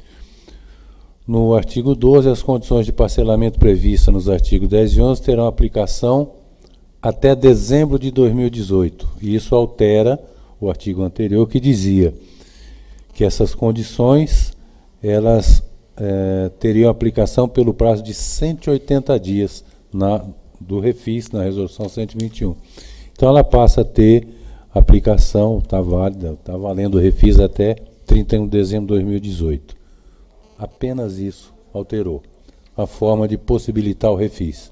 Incluiu mais um ano e até dezembro está reaberto nas condições anteriores. Tá?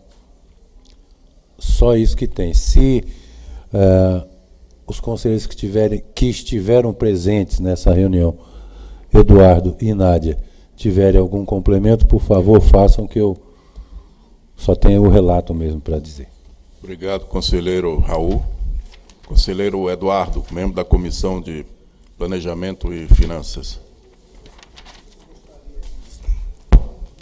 Eu só gostaria de dizer que foi um pedido né, de alguns estados, de alguns KUF, que nos pediram esse refinanciamento que voltasse à vigência.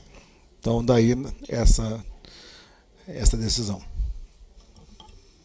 Obrigado. Mais algum conselheiro para explicar? Pedido de esclarecimento do conselheiro Matos Além.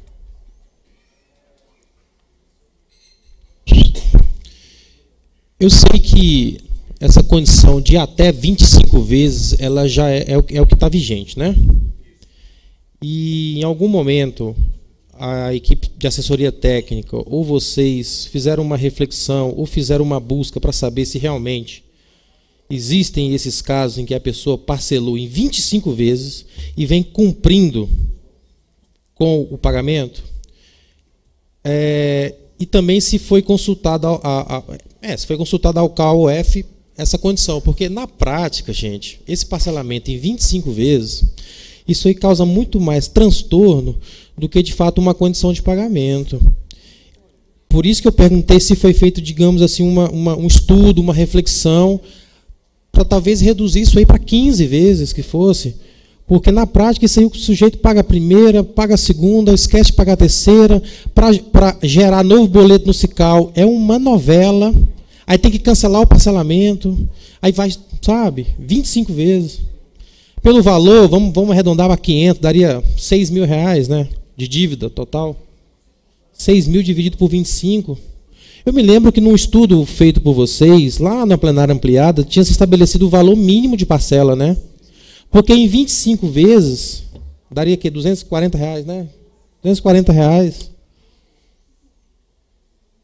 Ei. Eu acho muito. 25 vezes eu acho muito.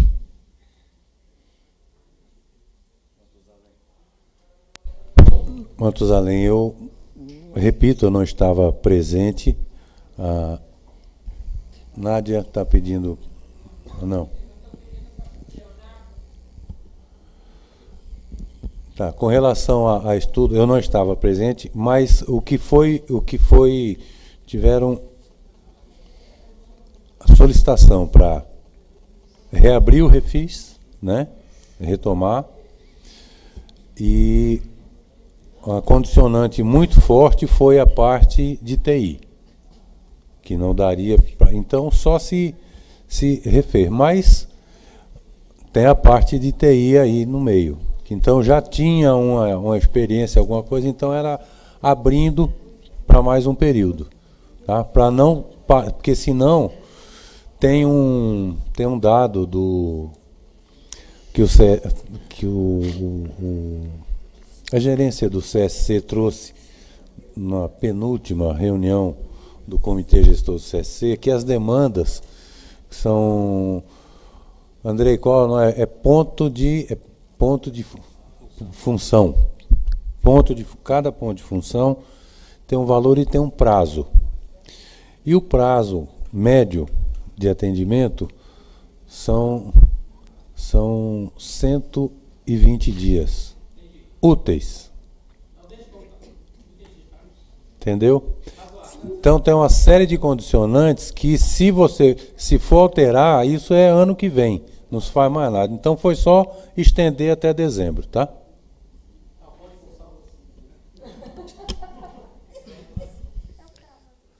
Pois não. Conselheiro Claudemir, por favor. Eu acredito que esse conselho tem constantemente buscado é, meios para facilitar, parcelar, adiar, prorrogar e, e, e, facilitar de tudo quanto é maneira o pagamento das anuidades dos colegas. Isso eu venho desde o primeiro mandato que eu comecei, é todo ano essa constante. Né? Então, acredito que não é má vontade deste conselho facilitar é, o, o pagamento das anuidades. Mas, assim, eu acho que a gente precisa ver também um pouco é, essa questão de, da prestação de serviço. Creio no que o CICAL, por meio de emissão de RRT, o próprio serviços prestados no, nos CAUs, é um, é um serviço que está à disposição dos profissionais. Quando a gente deixa de pagar a luz, vão lá e cortam. Quando a gente deixa de pagar a água, vão lá e cortam. Quando a gente deixa de pagar a net, o sinal é cortado. Né? E é, a gente tem relatos de colegas que sabem que tem colegas que estão irregulares e continuam tirando o RRT, continuam utilizando todo um sistema estando irregular. Então eu acredito, gente, que facilidades são dadas e sempre foram dadas e sempre vão ser dadas pelo conselho. Agora eu acho que a gente tem que também puxar um pouco da rédea. Quem não, é, quem está inadimplente não pode usufruir dos serviços, porque senão é muito, é muito fácil, né? Ficar continuando emitindo os RRTs, continuar emitindo, é, fazendo seus serviços e sempre são os inadimplentes que mais reclamam do CAL. Então era só isso que eu gostaria de dizer, que eu acho que o CICAL poderia ser fechar a porteira dos inadimplentes, porque quando corta nossa luz, primeira coisa a gente arruma rapidinho dinheiro para ligar a luz. Quando corta o sinal da net e, e, e, e a, o filme vai passar amanhã um lançamento, corre para banco para pagar e ainda liga para lá, olha, já paguei, vou te mandar o comprovante. Então eu acho que o CAL é bom demais, né? mas que deveria apertar também com os nossos colegas inadimplentes. Obrigado. Obrigado, conselheiro Claudemir. Mais alguma manifestação? O plenário está esclarecido. Então vamos fazer a leitura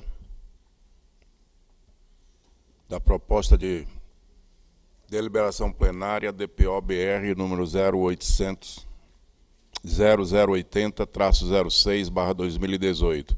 Altera a resolução número 121 de 19 de agosto de 2016 e dispõe sobre o parcelamento dos débitos das anuidades existentes. Plenário do Conselho de Arquitetura e Urbanismo do Brasil, CalBR, no exercício das competências e prerrogativas de que trata os artigos 2 4 e 30 do Regimento Interno do CalBR, reunido ordinariamente em Brasília, DF, nos dias 19 e 20 de julho de 2018, após análise do assunto em epígrafe, considerando a solicitação dos CAUF de reabertura do parcelamento de débito das unidades existentes prevista no artigo 10 da Resolução número 121, e considerando a deliberação número 26, 2018, da CPFI CalBR, a qual recomenda ao plenário a aprovação do referido projeto de resolução, deliberou aprovar o projeto de resolução anexo, que altera a resolução CalBR 121, e esta deliberação entra em vigor na data de sua publicação. Brasília, DF, 19 de julho de 2018. Todo mundo esclarecido em votação.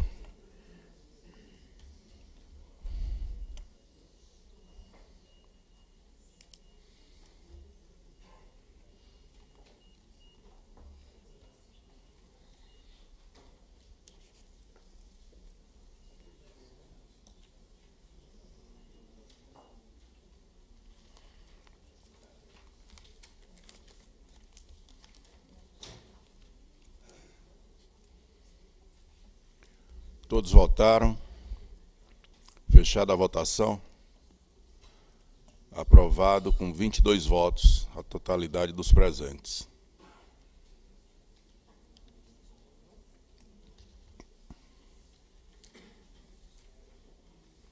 Senhores conselheiros, são 17 horas e 40 minutos. Nós vamos voltar agora para o item 6 das comunicações. O item é dos coordenadores de comissões. As comunicações dos coordenadores de comissões. Por favor, Comissão de Ensino e Formação do CalBR.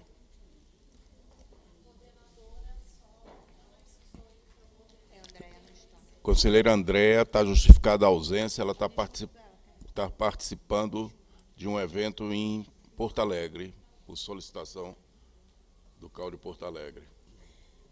Conselheiro adjunto tem comunicação? Da comunicação de ensino e formação? Conselheiro Hélio. Bem, a, é, a, a conselheira coordenadora, a Andréa, ela é, deseja fazer ela mesmo um relato. Então, como ela não está presente hoje, pediu para que autorização para que fizesse isso amanhã. Ela vai estar aqui amanhã. Sim, ela, é, sim. A ausência dela é só hoje. Só hoje, exato. Então ela fez Ok. esse pedido de que ela mesmo gostaria de fazer Obrigado, o relato. conselheiro. E, e então que se transferisse para amanhã essa, esse espaço dela para fazê-lo. Fica atendido o pedido da coordenadora da Comissão de Ensino e Formação. Obrigado, conselheiro Hélio. Comissão de Ética e Disciplina do CalBR, por favor, conselheiro Guivaldo. da comunicação, mas tenho é, algumas poucas aqui.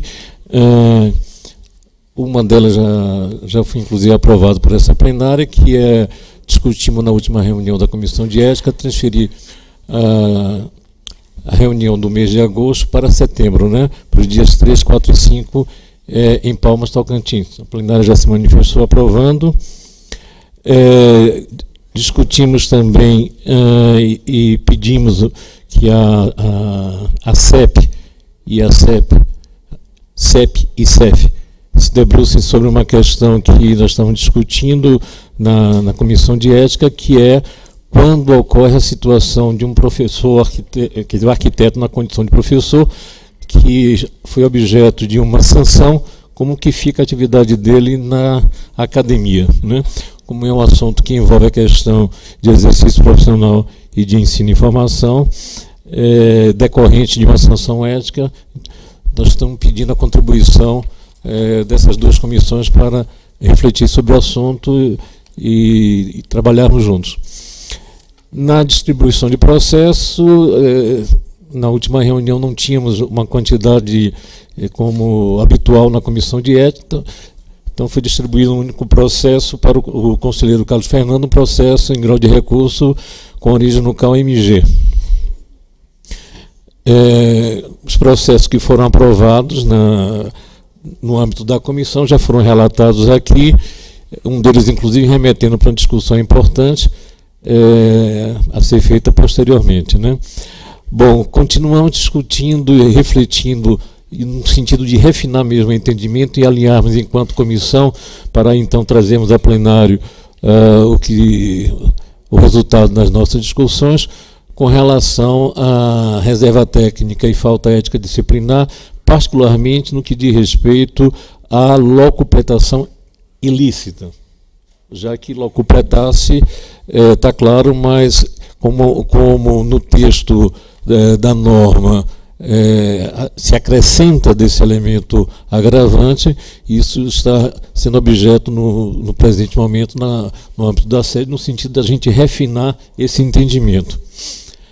Ah, com relação ao cadastro de peritos, tem uma outra questão que, que a, a sede vem estudando, no- na perspectiva do, sistema CAL um banco de dados para facilitar as partes, quando em processo de, de conciliação, ter eh, um elenco de profissionais eh, previamente cadastrado mediante chamamento público e mediante o atendimento a determinados critérios. Né?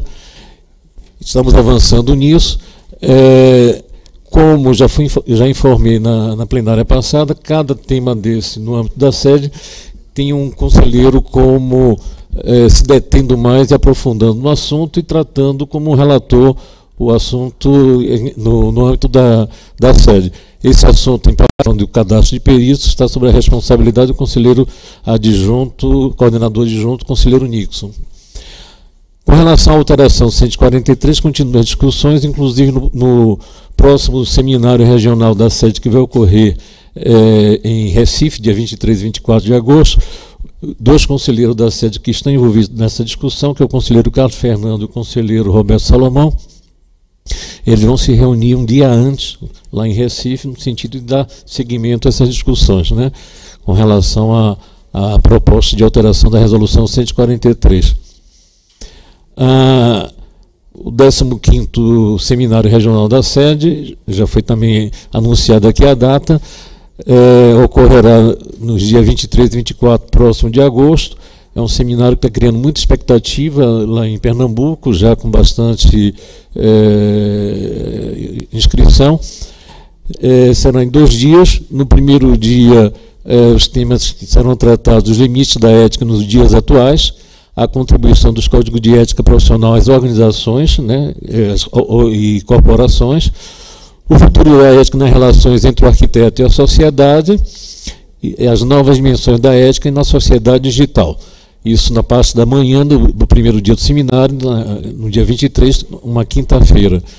Na parte da tarde, é, nós vamos tratar cinco temas é, cinco questões que são cases importantes, que, que foram já objetos de, de, relato e voto na comissão, no sentido de ampliar o conhecimento e como a, a, a comissão de ética trabalha no, no nível de, de segunda instância, a instância de recurso. Né? Então temos um, um, um que será abordado pelo conselheiro Matusalém, outro pelo conselheiro Fabrício, é, considerando que o conselheiro Gerardo não poderá estar presente, o conselheiro suplente Fabrício estará, ah, que é vai tratar da questão de, da reserva técnica, já tivemos um processo na, na comissão, né, inclusive relatado aqui, processo de ética, a questão de acobertamento e legalização, com o conselheiro Carlos Fernando, é, processo de ética, a, a questão da locupletação ilícita, a ser tratada pelo conselheiro Nixon, processo de ética é, ainda definido pelo conselheiro Roberto Salomão, a gente vai escolher ainda o, o, o, caso, e a gestão de processo de ética e disciplina dentro da ótica e da, e da rotina de trabalho da comissão, que é no sentido de privilegiar, de, de, de considerar a importância dos, dos dois assessores da comissão. Então, essa questão será abordada pela assessora da comissão, a Cristina Pessegueiros. Né?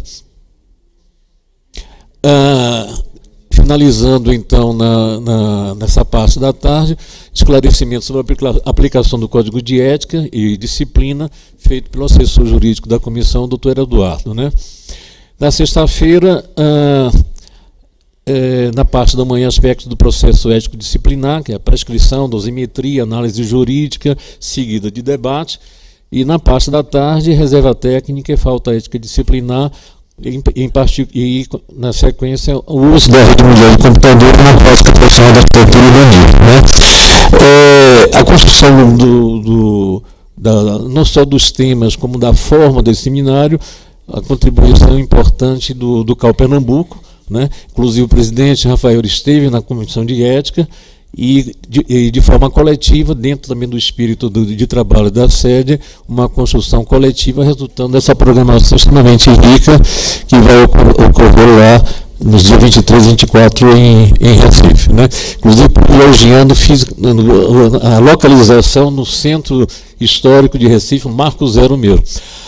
Bom, com relação à reprogramação do plano de ação, é, nós aprovamos a, a, proposta de reprogramação, já contemplado inclusive no que acabamos de, de aprovar aqui agora à tarde, ainda há pouco, né, na reprogramação orçamentária.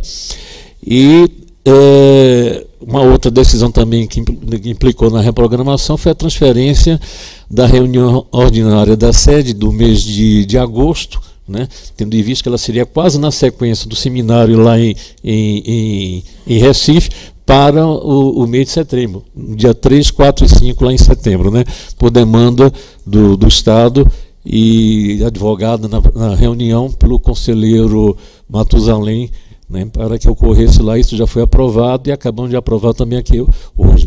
Bom, temos ainda dois minutos que, que eu coloco à disposição para os colegas membros da comissão da sede para complementar informações que eu tinha eventualmente esquecido. Conselheiro adjunto, não?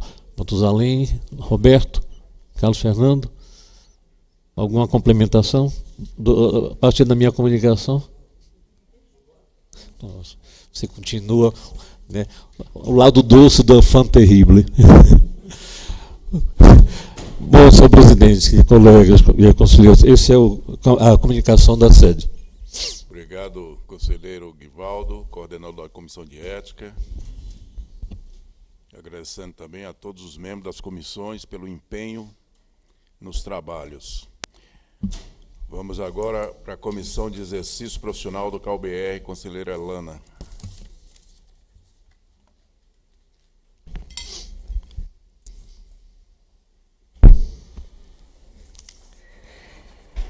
É, boa tarde, novamente. É, nós tivemos é, na nossa reunião, que foi de um dia e meio, em virtude da, do jogo da Copa, é, nós, no primeiro momento, fizemos, nos, nos ativemos novamente a reprogramação, e alguns pontos foram fundamentais nessa reprogramação, que é a retirada dos seminários, visto que nós temos uma contribuição enorme que ainda não foi atendida de diversos seminários dos últimos quatro anos, é, para contratação de uma consultoria especializada para a elaboração de um guia de atividades, visto que a CEP tem um número enorme de atividades de fiscalização e de responsabilidade técnica. Então, a, o nosso, nosso trabalho junto ao profissional é direto, então nós vamos trabalhar nessa, nessa elaboração. Para isso, a gente, inclusive, é, dentro dessa reprogramação, nós também é, aprovamos 12 reuniões técnicas, que são exatamente com os nossos assessores, que é a Cláudia e o Jorge, para que a gente possa estar trabalhando esses textos de revisão. E nesse, né, nesse, nesse item, inclusive, nós pedimos uma reunião, uma participação na reunião do gabinete da presidência, que foi é, representado pelo Raquel Solins, o presidente não estava presente nesse dia, e pela é, coordenadora normativa, que é a Laís Maia, visto que a Daniela também estava de férias. É, e algumas coisas são fundamentais nisso. Né, né essas reuniões, é, que, inclusive, foi solicitado é, junto a Raquel, se junto a Daniela, para que a gente pudesse acelerar esse processo normativo e de, das reuniões técnicas, que a gente pudesse contar com uma assessoria, uma revisão na, na, na assessoria, para que a gente pudesse ter mais agilidade. A Daniela, na reunião do Conselho Diretor, inclusive, já colocou isso, que está, que, que precisa de mais liberdade para trabalhar com a assessoria dela, e a gente acredita que essas reuniões vão estar contemplando este processo. A gente já fez oito reuniões técnicas, em virtude da, da revisão das resoluções, que inclusive uma foi essa que viria hoje e vai retorna para com, os considerandos, é, para a resolução 22, e agora a gente vai ter a nona reunião técnica, que é agora na próxima segunda-feira, é, com a nossa assessora e com o conselheiro federal do Amazonas, que é o Werner, que estará aqui, para que é, dê início tanto na, na questão da auditoria da RRT, que tem que ser feita, como na revisão da Resolução 91. É, neste item, é importante também é, levar em consideração uma outra reunião que nós tivemos, também com o, com, com o Raquelson, é, reafirmando essa questão da importância da assessoria jurídica estar presente na nossa reunião. O doutor Eduardo esteve com a gente no segundo dia, é, e eu entendo, ele o tempo inteiro também estava sendo demandado pela sede, e isso é uma questão que tem que ser resolvida, e nós não conseguimos fechar 22 em virtude de uma série de questões, inclusive dessa, desta, desse fracionamento.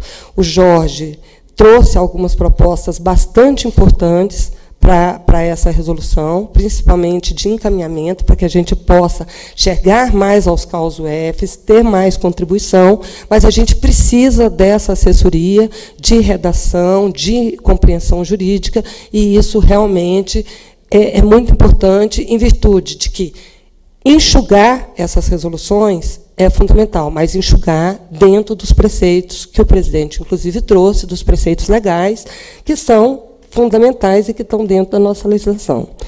É, nós, é, já que toquei então a questão da 22, a gente espera concluir ela na próxima, visto que a gente não conseguiu concluir, para que a gente possa abrir esse processo de consulta primeiro aos estados, para depois abrir uma consulta pública. Então, a gente quer inserir mais, a gente, sem ter pressa, fazer a coisa de forma adequada, porque a 22, se vocês não sabem, é a resolução sobre fiscalização. Então, ela vai pegar todo o processo de fiscalização e ela é, vai trabalhar, ela vai é, interferir diretamente na cotidianidade de todos os profissionais que estão atuando no Brasil inteiro, assim como na ação dos nossos fiscais. Acho que é isso. No mais, nós distribuímos processos e não demos conta de atender as inúmeras demandas que têm chegado para a gente, dos estados, principalmente dos CAUS UFs, em virtude exatamente de algumas questões de entendimento de, das resoluções que hoje estão em processo de revisão. Então, nós temos respondido inúmeras demandas, é, nossa pauta tem sido sempre muito grande em função desses pontos que a gente está trabalhando para que a revisão seja efetiva e que a gente possa dar respostas mais rápidas. Obrigado, conselheira Lana. Realmente o, a tarefa é complexa, envolve vários entes e o, a dinâmica e a metodologia que a comissão está adotando, ela vai garantir a qualidade dos dispositivos legais de normatização da questão do exercício profissional, eu acredito. Por favor, agora a Comissão de Organização e Administração do CalBR.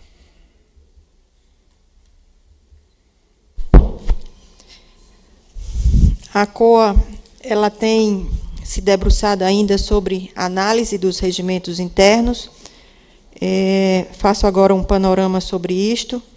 Foram devolvidos os regimentos internos do CAL Roraima, Acre e Espírito Santo. Ou seja, eles agora estão em diligência. Né? Já foram é, à, à análise aqui pela comissão e a gente devolve com aquelas correções que a gente entende pertinentes e necessárias. É, foram encaminhados, como a gente já passou aqui pela pauta, para homologação aqui no plenário os regimentos internos do Cal Goiás e Maranhão, hoje devidamente aprovados.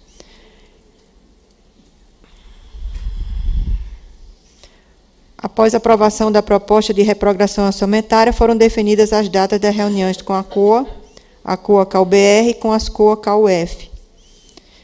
É, esse é um, é um trabalho que a COA se propõe a realizar nessa gestão, é que está mais próximo das comissões de organização e administração, dos conselhos estaduais, para exatamente passar é, o que a gente tem de normativos no pertinente a, aos trabalhos que, a, que, que os conselhos desenvolvem. Então, essa parte que, diria eu, que é extremamente burocrática, mas necessária, porque essa burocracia é que garante, é que nos dá respaldo de que estamos fazendo um trabalho consistente e legal, ele precisa ser passado para os estados, porque a gente precisa também ter um afinamento, né? ou seja, com relação a, a, as, a, aos normativos, com relação às próprias deliberações, às atas, às súmulas, tudo isso a gente precisa conversar, porque a gente já, é, é, a COA, na gestão anterior, elaborou um documento exatamente falando sobre isso, é, dando é, condições para que a gente possa ter uma mesma linguagem a nível nacional. E esse é um dos propósitos que faz com que a gente vá, é, promova esse deslocamento e também possa discutir assuntos inerentes no âmbito da organização e administração dos conselhos. Tanto é que a gente também tem pedido aos conselhos que nos enviem é, propostas para que a gente possa inserir na pauta de discussão.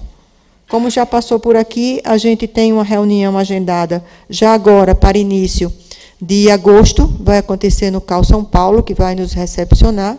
O primeiro dia é uma reunião interna, só é, vai ser a reunião ordinária, que a gente pediu autorização para ao invés de Brasília, vamos realizar lá. E no dia seguinte é o, o encontro regional com os conselhos é, vizinhos a São Paulo. Teremos também um encontro no âmbito do, da região Nordeste, que vai acontecer em Natal, nos dias 27 e 28 de setembro. No Centro-Oeste, vamos realizar em Goiânia, nos dias 10 e 11 de outubro, e na região Norte será em Manaus, nas datas de 6 e 7 de dezembro.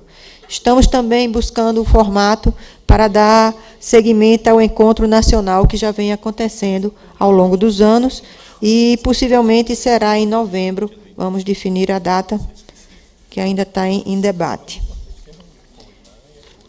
Para que todos tomem ciência de como é que está o andamento dos regimentos internos no âmbito dos, do conselho de cada um dos conselheiros federais, digo que os regimentos homologados foram Minas Gerais, Sergipe, Rio Grande do Sul, Santa Catarina, Amazonas, Rio Grande do Norte, Paraíba, Pernambuco e os dois que a gente aprovou hoje, Goiás e Maranhão. É, tem regimentos encaminhados para homologação, que é, no caso, sim, é que a gente aprovou hoje, me desculpe. O CAL Rondônia, ele já devolveu, então vai ser submetido à análise, estando tudo ok também irá para homologação. Regimentos em diligência, ou seja, aquele que ainda está em trâmite. Alagoas, Bahia, Ceará, Distrito Federal, Mato Grosso do Sul, Mato Grosso, Piauí, Paraná, Rio de Janeiro, São Paulo, Pará, Acre, Roraima e Espírito Santo. Todos esses regimentos ainda estamos nos debruçando sobre eles. Não encaminharam ainda CAL, Amapá e Cautocantins. Aqui eu peço atenção dos conselheiros desses estados para que é, levem essa, esse, esse, pedido nosso. Já encaminhamos, é, via presidência do CalBR, uma solicitação para que ele nos envie esse regimento, alertando também para é, as consequências da não, não, não submissão do regimento interno para a, a devida homologação pelo CalBR. É, obrigada, presidente. É só isso que eu tenho a relatar. Obrigado, conselheira Patrícia, pelo relato da Comissão de Organização e Administração, como as outras também, uma pauta imensa de trabalhos, e é importante que os colegas conselheiros levem para os seus estados a necessidade de caminharem com essas propostas do regimento interno o mais rápido possível, porque tem problema de organização e no próprio desenvolvimento das atividades do KUF. O, o presidente Nivaldo pediu um espaço para comunicar um assunto importante que diz respeito ao Congresso 2020.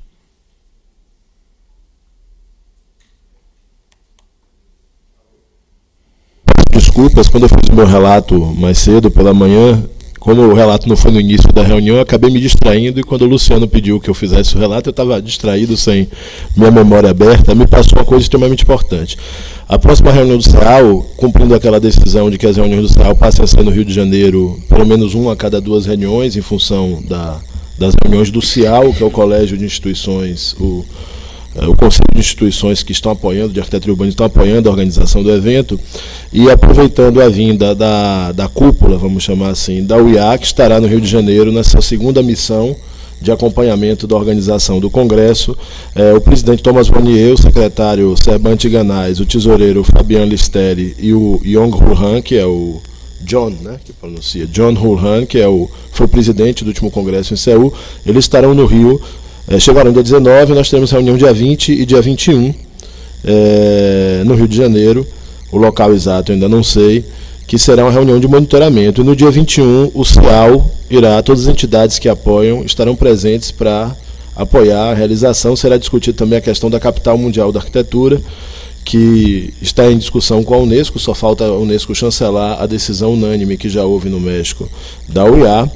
É, e acreditamos teremos alguma novidade sobre esse assunto. Esperamos ter alguma novidade sobre esse assunto. Então, o representante da Prefeitura, Verena Andreata, que é secretária de Urbanismo, também participará dessa reunião. E a proposta que nós havíamos feito ao CEAL, que foi acatada, é que o CEAL se reúna no Rio dias 21 e 22, sendo que no dia 21 seria essa reunião pelo menos em um turno, essa reunião conjunta com o CIAL e com o Comitê Executivo do Congresso UIA 2020 Rio e com o grupo da UIA. E no dia 22, na sede do CARRJ, o CEAL se reúne separadamente, só o CEAL, para dar encaminhamento às questões específicas do CEAL, inclusive fechar a programação do seminário que eu citei mais cedo, que nós vamos organizar em São Paulo em meados de setembro. Então essa era informação importante, porque nessa reunião estará o presidente Luciano, espero, né, uh, os, os, demais membros do CEAL, os presidentes das entidades e as conselheiras Andréa e Lona, e também o Fernando Márcio, o coordenador da CRI, além de Nádia Somec, que além de conselheira e coordenadora adjunta da CRI, é vice-presidente do IAB Nacional para Assuntos do Congresso da UIA. Então vários colegas estão nesse plenário e outros presidentes de entidades que eu represento aqui estarão presentes no Rio de Janeiro nessa reunião, que é um passo importante no, no, na organização do Congresso. Informo também que a primeira reunião do Comitê Científico do Congresso é, Mundial de Arquitetos, que é formado o Comitê Científico Brasileiro, porque falta a indicação dos, dos colegas estrangeiros. O Comitê Científico Brasileiro é formado pelos três relatores que já haviam sido indicados lá atrás, eu, Elizabeth França de São Paulo e Margarete Santos Pereira, Silva Pereira de do Rio, mais os colegas Tiago Andrade, daqui de Brasília, Vinícius Andrade, do, do, de São Paulo, do escritório Andrade Moretim, Ruth Verdesign, de São Paulo, e Zeca Brandão, de Pernambuco. Somos os sete membros do Comitê Científico e teremos nossa primeira reunião é, interna para dar andamento à programação do evento e toda a parte científica no próximo sábado, sem ser esse agora o outro, dia 28 de julho, no Rio de Janeiro.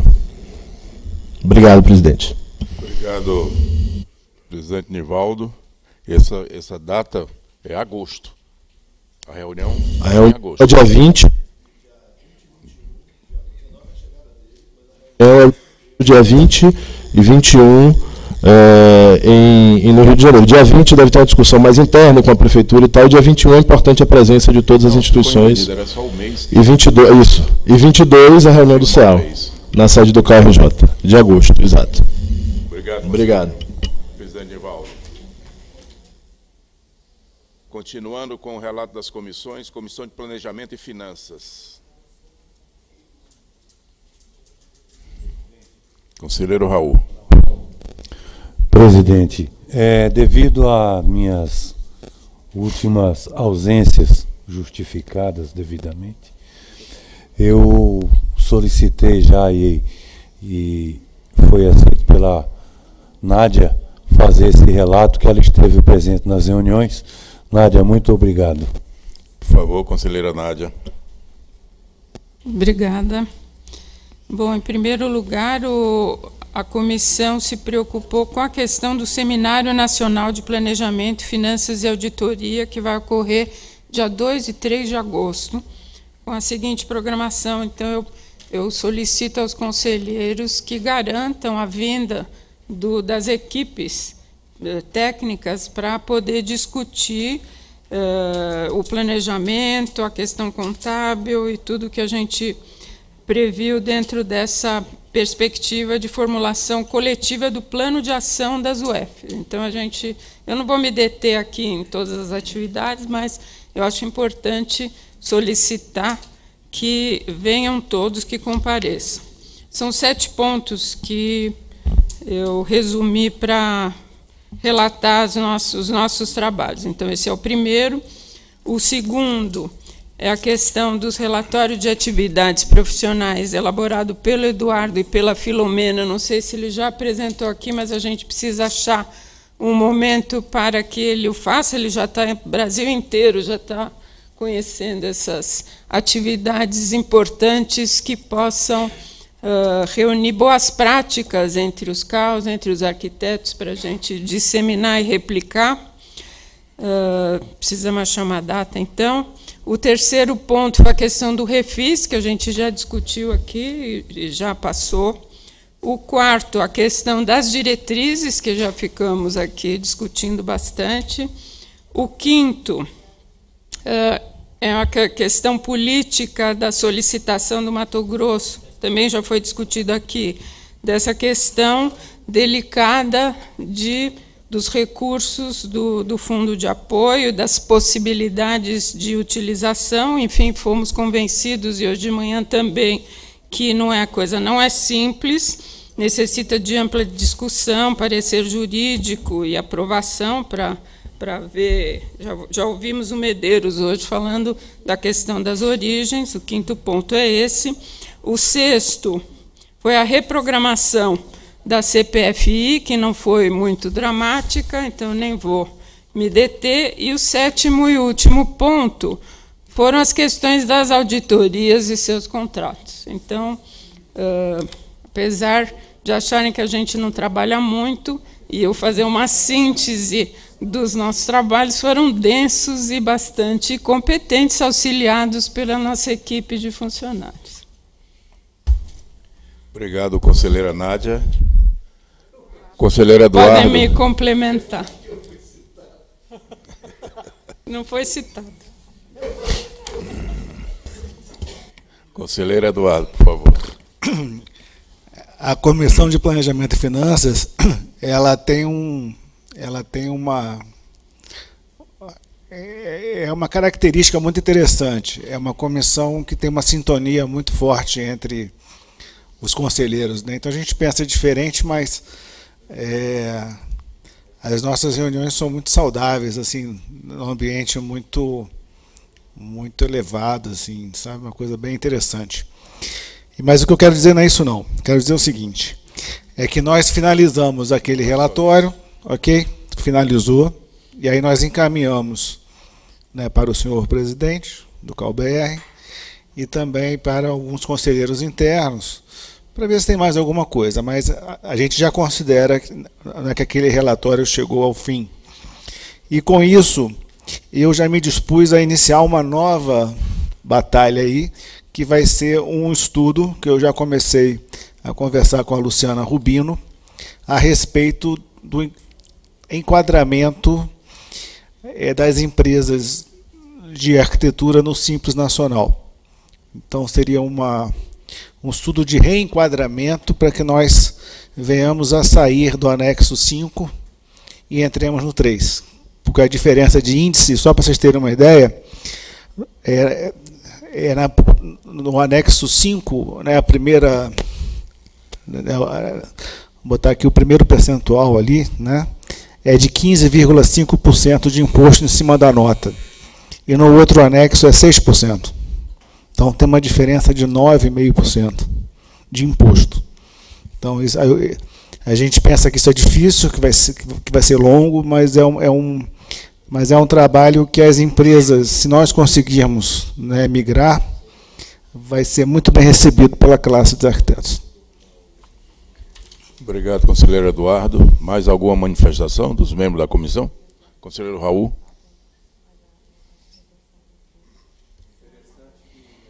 Então tem dentro de seus componentes várias visões e, e interesses em, em, em, campos bastante diferenciados ali. Isso é muito interessante e eu acho que a gente tem uma tem uma sinergia de trabalho muito boa e, e pegamos pontos diferentes e nos propomos a a desenvolver. Isso realmente o trabalho eu corroboro aí tudo que foi dito agora, Nádia, Eduardo, que é muito prazeroso trabalhar dentro dessa CPFI. Agradeço o companheirismo de todos. Mas dentro dessa diversidade de interesses, é, essa questão de auditoria, a gente analisando as prestações de contas tal, começamos a proceder alguns, é, algumas simplificações de procedimento, por exemplo, a resolução que trata da, da aquela prestação de contas trimestral que passa a ser anual, mas com acompanhamento mensal dos lançamentos contábeis. e isso interfere também na, na, na auditoria externa, que ela ocorre em determinados períodos, enfim. Nós estamos trabalhando, tem esse trabalho ah, para alguns, né?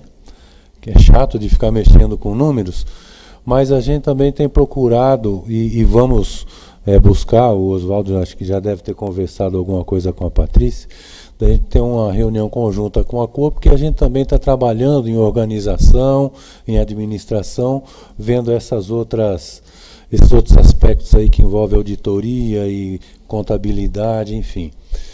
É, mas é um depoimento mesmo e um agradecimento aos, aos colegas da CPFI pela parceria e por darem o suporte aí nas minhas ausências que eu infelizmente precisei ter. Obrigado, só isso. Obrigado, conselheiro Raul. Conselheiro Eduardo. Outro informe também é, é, que o seminário que vai acontecer em São Paulo, né, né que é de responsabilidade da conselheira Nádia, né, que as inscrições já estão abertas, não é? E soube que tem muita gente já se inscrevendo, viu, Nádia? É um sucesso aí, parabéns.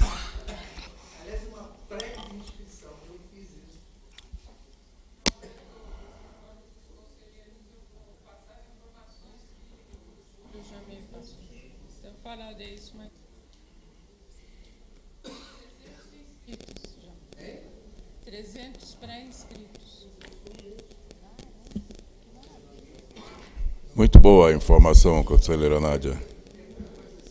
Mais alguma manifestação pela comissão? Conselheiro Wilson, por favor. De, de ratificar o que foi dito pelos colegas. Eu não tenho que complementar o relato, mas é, dizer que para mim também é uma grande satisfação estar na comissão de, de, de finanças.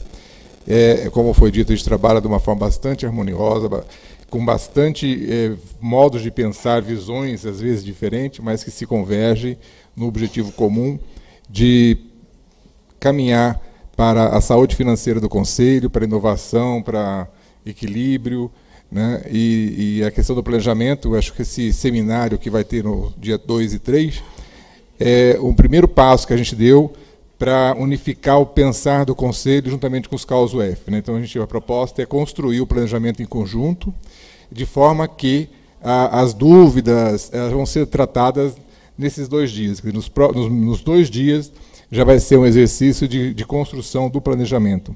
Então, registrar que isso é uma iniciativa de unir né, a, a, os objetivos do CalBR alinhado com os, os, objetivos dos estados e trabalharmos de uma forma é, coerente enquanto um conselho é, nacional. Né? Era essa a minha contribuição. Obrigado. Obrigado, conselheiro Wilson como as demais comissões, também demonstra a Comissão de Política de Planejamento e Finanças, desculpa, o empenho com os compromissos do CAL como um todo, e é significativo, muito significativo, para todos a, o sucesso do seminário que vai acontecer logo no início do mês. Nós vamos fazer todo o esforço para ter o máximo de representantes dos CAUS UF, porque sem planejamento, sabemos que as coisas ficam mais difíceis. E unificar os procedimentos é também uma forma de dar criar o sucesso da gestão dos KUF e do KUBR. Comissão de passamos agora à comissão de política profissional, conselheira Josemê.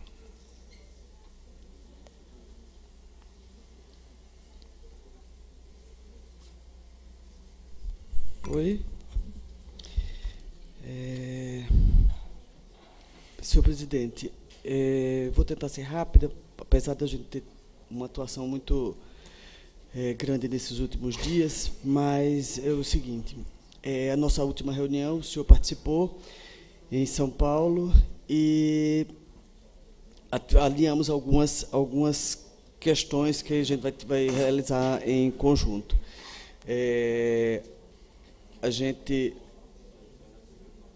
a gente alô Oi, não é, essa comissão de política profissional do, do, do Cal São Paulo vai participar da nossa reunião, da próxima reunião da CPP, que vai ser dia 13, eu acho, 14 de, de, de agosto eles vêm participar aqui com a gente. Isso foi, foi discutido, foi alinhado na última reunião da, lá em São Paulo. É, e vão participar é, num, num, evento que a gente está fazendo em conjunto com o CAL, com o CONFEA, Ministério das Cidades e Caixa Econômica sobre os projetos de melhoria habitacionais que são resultantes do, do, do cartão reforma.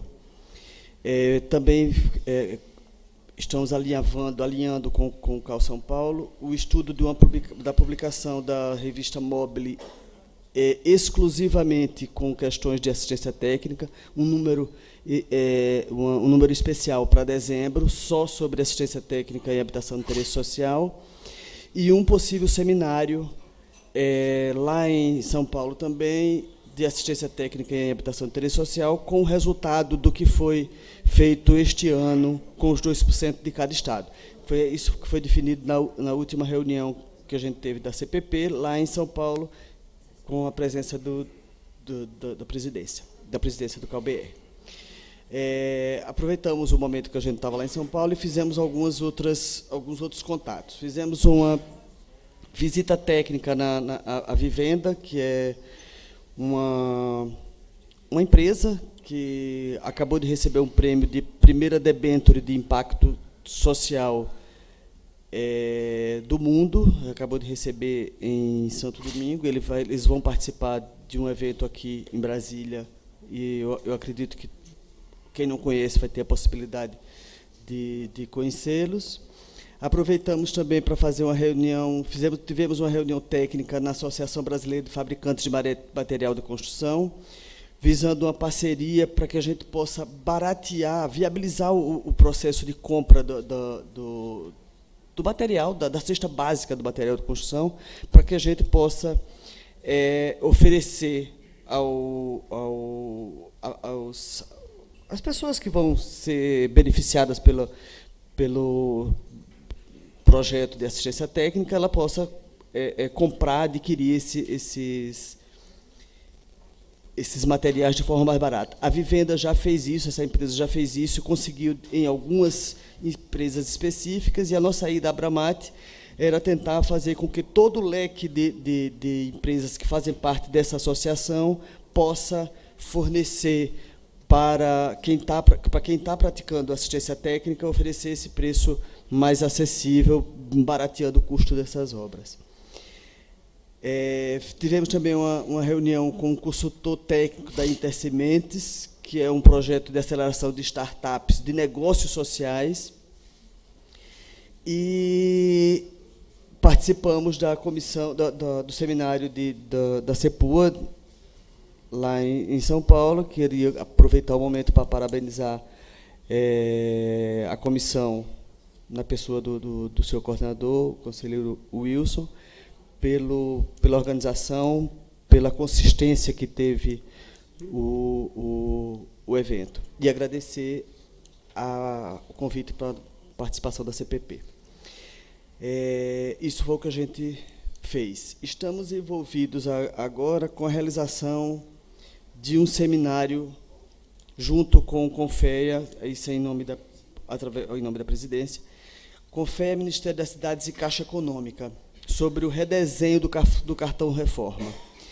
Esse evento vai acontecer no dia 15 de agosto em Brasília. Eu gostaria que os senhores é, conselheiros, a gente vai ter reunião plenária dia 16 e 17.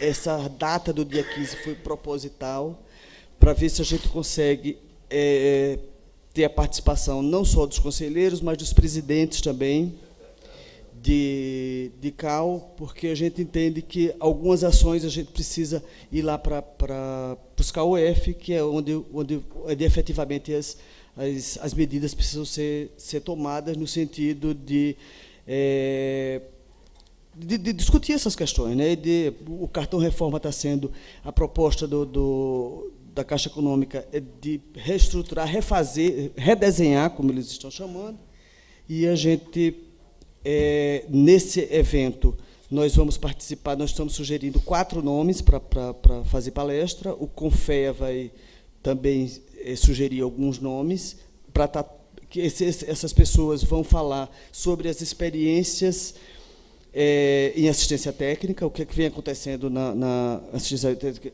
com a arquitetura e com a engenharia. O Ministério da Cidade vai apresentar os seus novos, algumas novas, é, é,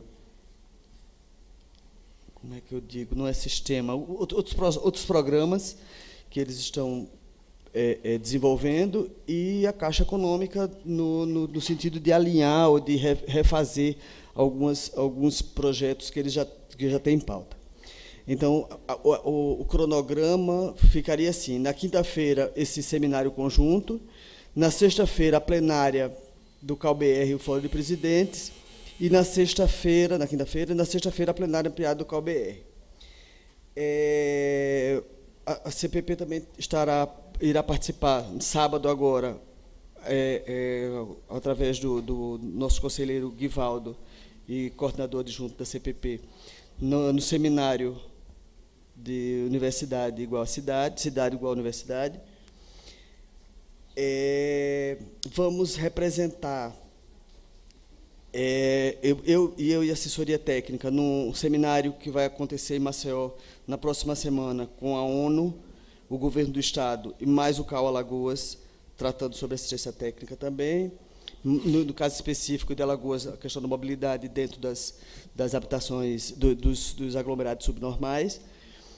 É, estamos, na, próxima semana, o quinto Seminário Nacional de Empreendedorismo e Arquitetura e Urbanismo, que será realizado em São Luís do Maranhão. Eu acabei de receber informação que já temos 230 inscritos. E esse evento contará com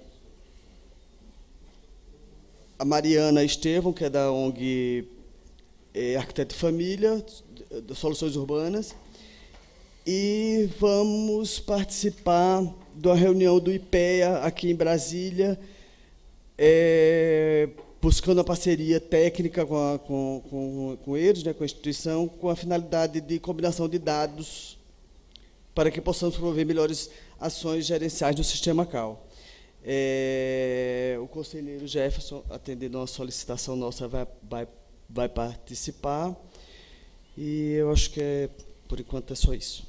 Obrigado. Obrigado, conselheira Josemê. Obrigado aos membros da Comissão de Política Profissional. Traz também aí uma agenda intensa de trabalhos realizados e projetados com os seminários futuros. Comissão de Política Urbana e Ambiental, conselheiro Wilson. Bem, é, pela manhã já fiz um, um, relato sobre como foi o evento em São, em São Paulo, que foi praticamente o projeto que demandou toda a comissão, toda a equipe técnica do CAL no, no último, nos últimos 30 dias. E eu gostaria aqui de a, a, registrar o, o nosso agradecimento da Comissão de Política Urbana, em nome do conselheiro Nixon, é, Josélia, Márcia e Jefferson, em meu nome também, ao Túlio, que foi interlocutor nosso do IAB, né, que esteve em contato com, comigo e com os conselheiros e com a nossa equipe técnica, a Cláudio Demetri, que contribuiu bastante na, na, na apuração da, das ideias, do formato, é, a Isabela, que é nossa assistente técnica, que teve à frente o tempo todo, é, é, conduzindo as informações e, e buscando resposta para todo, toda a realização do evento. O Júlio, que esteve atento conosco, orientando a questão da, da divulgação, da, da, da a parte da comunicação. A Laís, a Daniela, a, Lucia, a, Luci, a Luciana, que também estiveram conosco apoiando o evento. E toda a equipe de suporte, compra de passagem, liberação de, de, de áreas, o Andrei, em nome dele, eu cumprimento a todos que estão nos ajudou muito lá com o equipamento para subir escada, que nós tivemos que locar para colocar à disposição, é, dado que o, o, prédio do IAB não tem a, a, é, elevador. Né? E, enfim, é, para complementar o relato de manhã sobre o evento, é esses agradecimentos que eu queria fazer, registrar, né? agradecer ao Nivaldo pela, pela parceria que, que nós estabelecemos na realização desse, desse trabalho. E E agora nós estamos já, como falei de manhã, estaremos recebendo a, a contribuição dos colegas para a finalização da carta. O Júlio já está trabalhando nesse, nesse momento e, e a gente, o objetivo é, é repassar para os conselheiros durante o, a noite de hoje. E nós já iniciamos o segundo projeto, assim, de bastante expressão que a CEPUA está tá à frente, é, a, a, com relação a, ao, ao, material para a educação é, de crianças, né, sobre cidades, sobre urbanismo. É, tivemos a primeira reunião com uma possível é, assessora que nos vai ajudar a construir o projeto. Né, e estamos na fase, então, de, de orçamentação para ver a viabilidade econômica de nós é, providenciar então, a contratação para já partir para o desenho do projeto. Acho que esse é um trabalho de longo prazo, a gente já concluiu que não finaliza esse ano, diante da, do tamanho da, da, da abrangência do trabalho, da complexidade, mas até o final do ano a gente vai dar, concluir pelo lançamento dele e já estabelecer os prazos de de entrega do, do produto final que vai ser depois disponibilizado para é, as escolas, convênios com secretarias, arrumar parceiro para fazer impressão, se, se for o caso, mídia, aquela coisa. Então, é só dando uma, uma notícia de que a gente já está iniciando esse segundo projeto. A comissão se reúne uma vez por, por mês, como é o, é o caso das especiais, né? e os nossos assuntos sempre são assuntos bastante complexos, que demandam é, não dá para decidir na hora, né, devido à abrangência que é falar de política urbana e ambiental. E o Luciano me pediu é, essa semana, e a gente está já é, organizando para abrir um diálogo sobre a questão do meio ambiente, em decorrência dessa medida provisória, que faz alteração na lei. É uma, uma tarefa também muito difícil da gente conseguir intervir, mas a ideia é que a gente consiga estabelecer pelo menos uma conexão com outras áreas, né, outras engenharia é, ambiental, outras áreas do conhecimento aí que possa que a gente possa nos unir para ter uma visão clara sobre essa questão do saneamento, do meio ambiente, águas, né? Então a comissão vai abrir essa frente de trabalho é, para trazer informação para o plenário, o CAL também é, tomando um posicionamento em relação a esse, essa problemática que é, é, bastante, bastante significativa e bastante importante, é, principalmente para nós do Brasil, que somos a maior área de água potável do planeta. Né? Então, é razoável que a gente tenha esse cuidado. Então, é esse o relato da comissão. Agradecer aos nossos conselheiros é, pelo, pelo apoio que, que, que, que, tem dado ao trabalho que a comissão desenvolve. E amanhã a gente traz a, o documento para os candidatos para apreciação do plenário. Obrigado. Obrigado, conselheiro.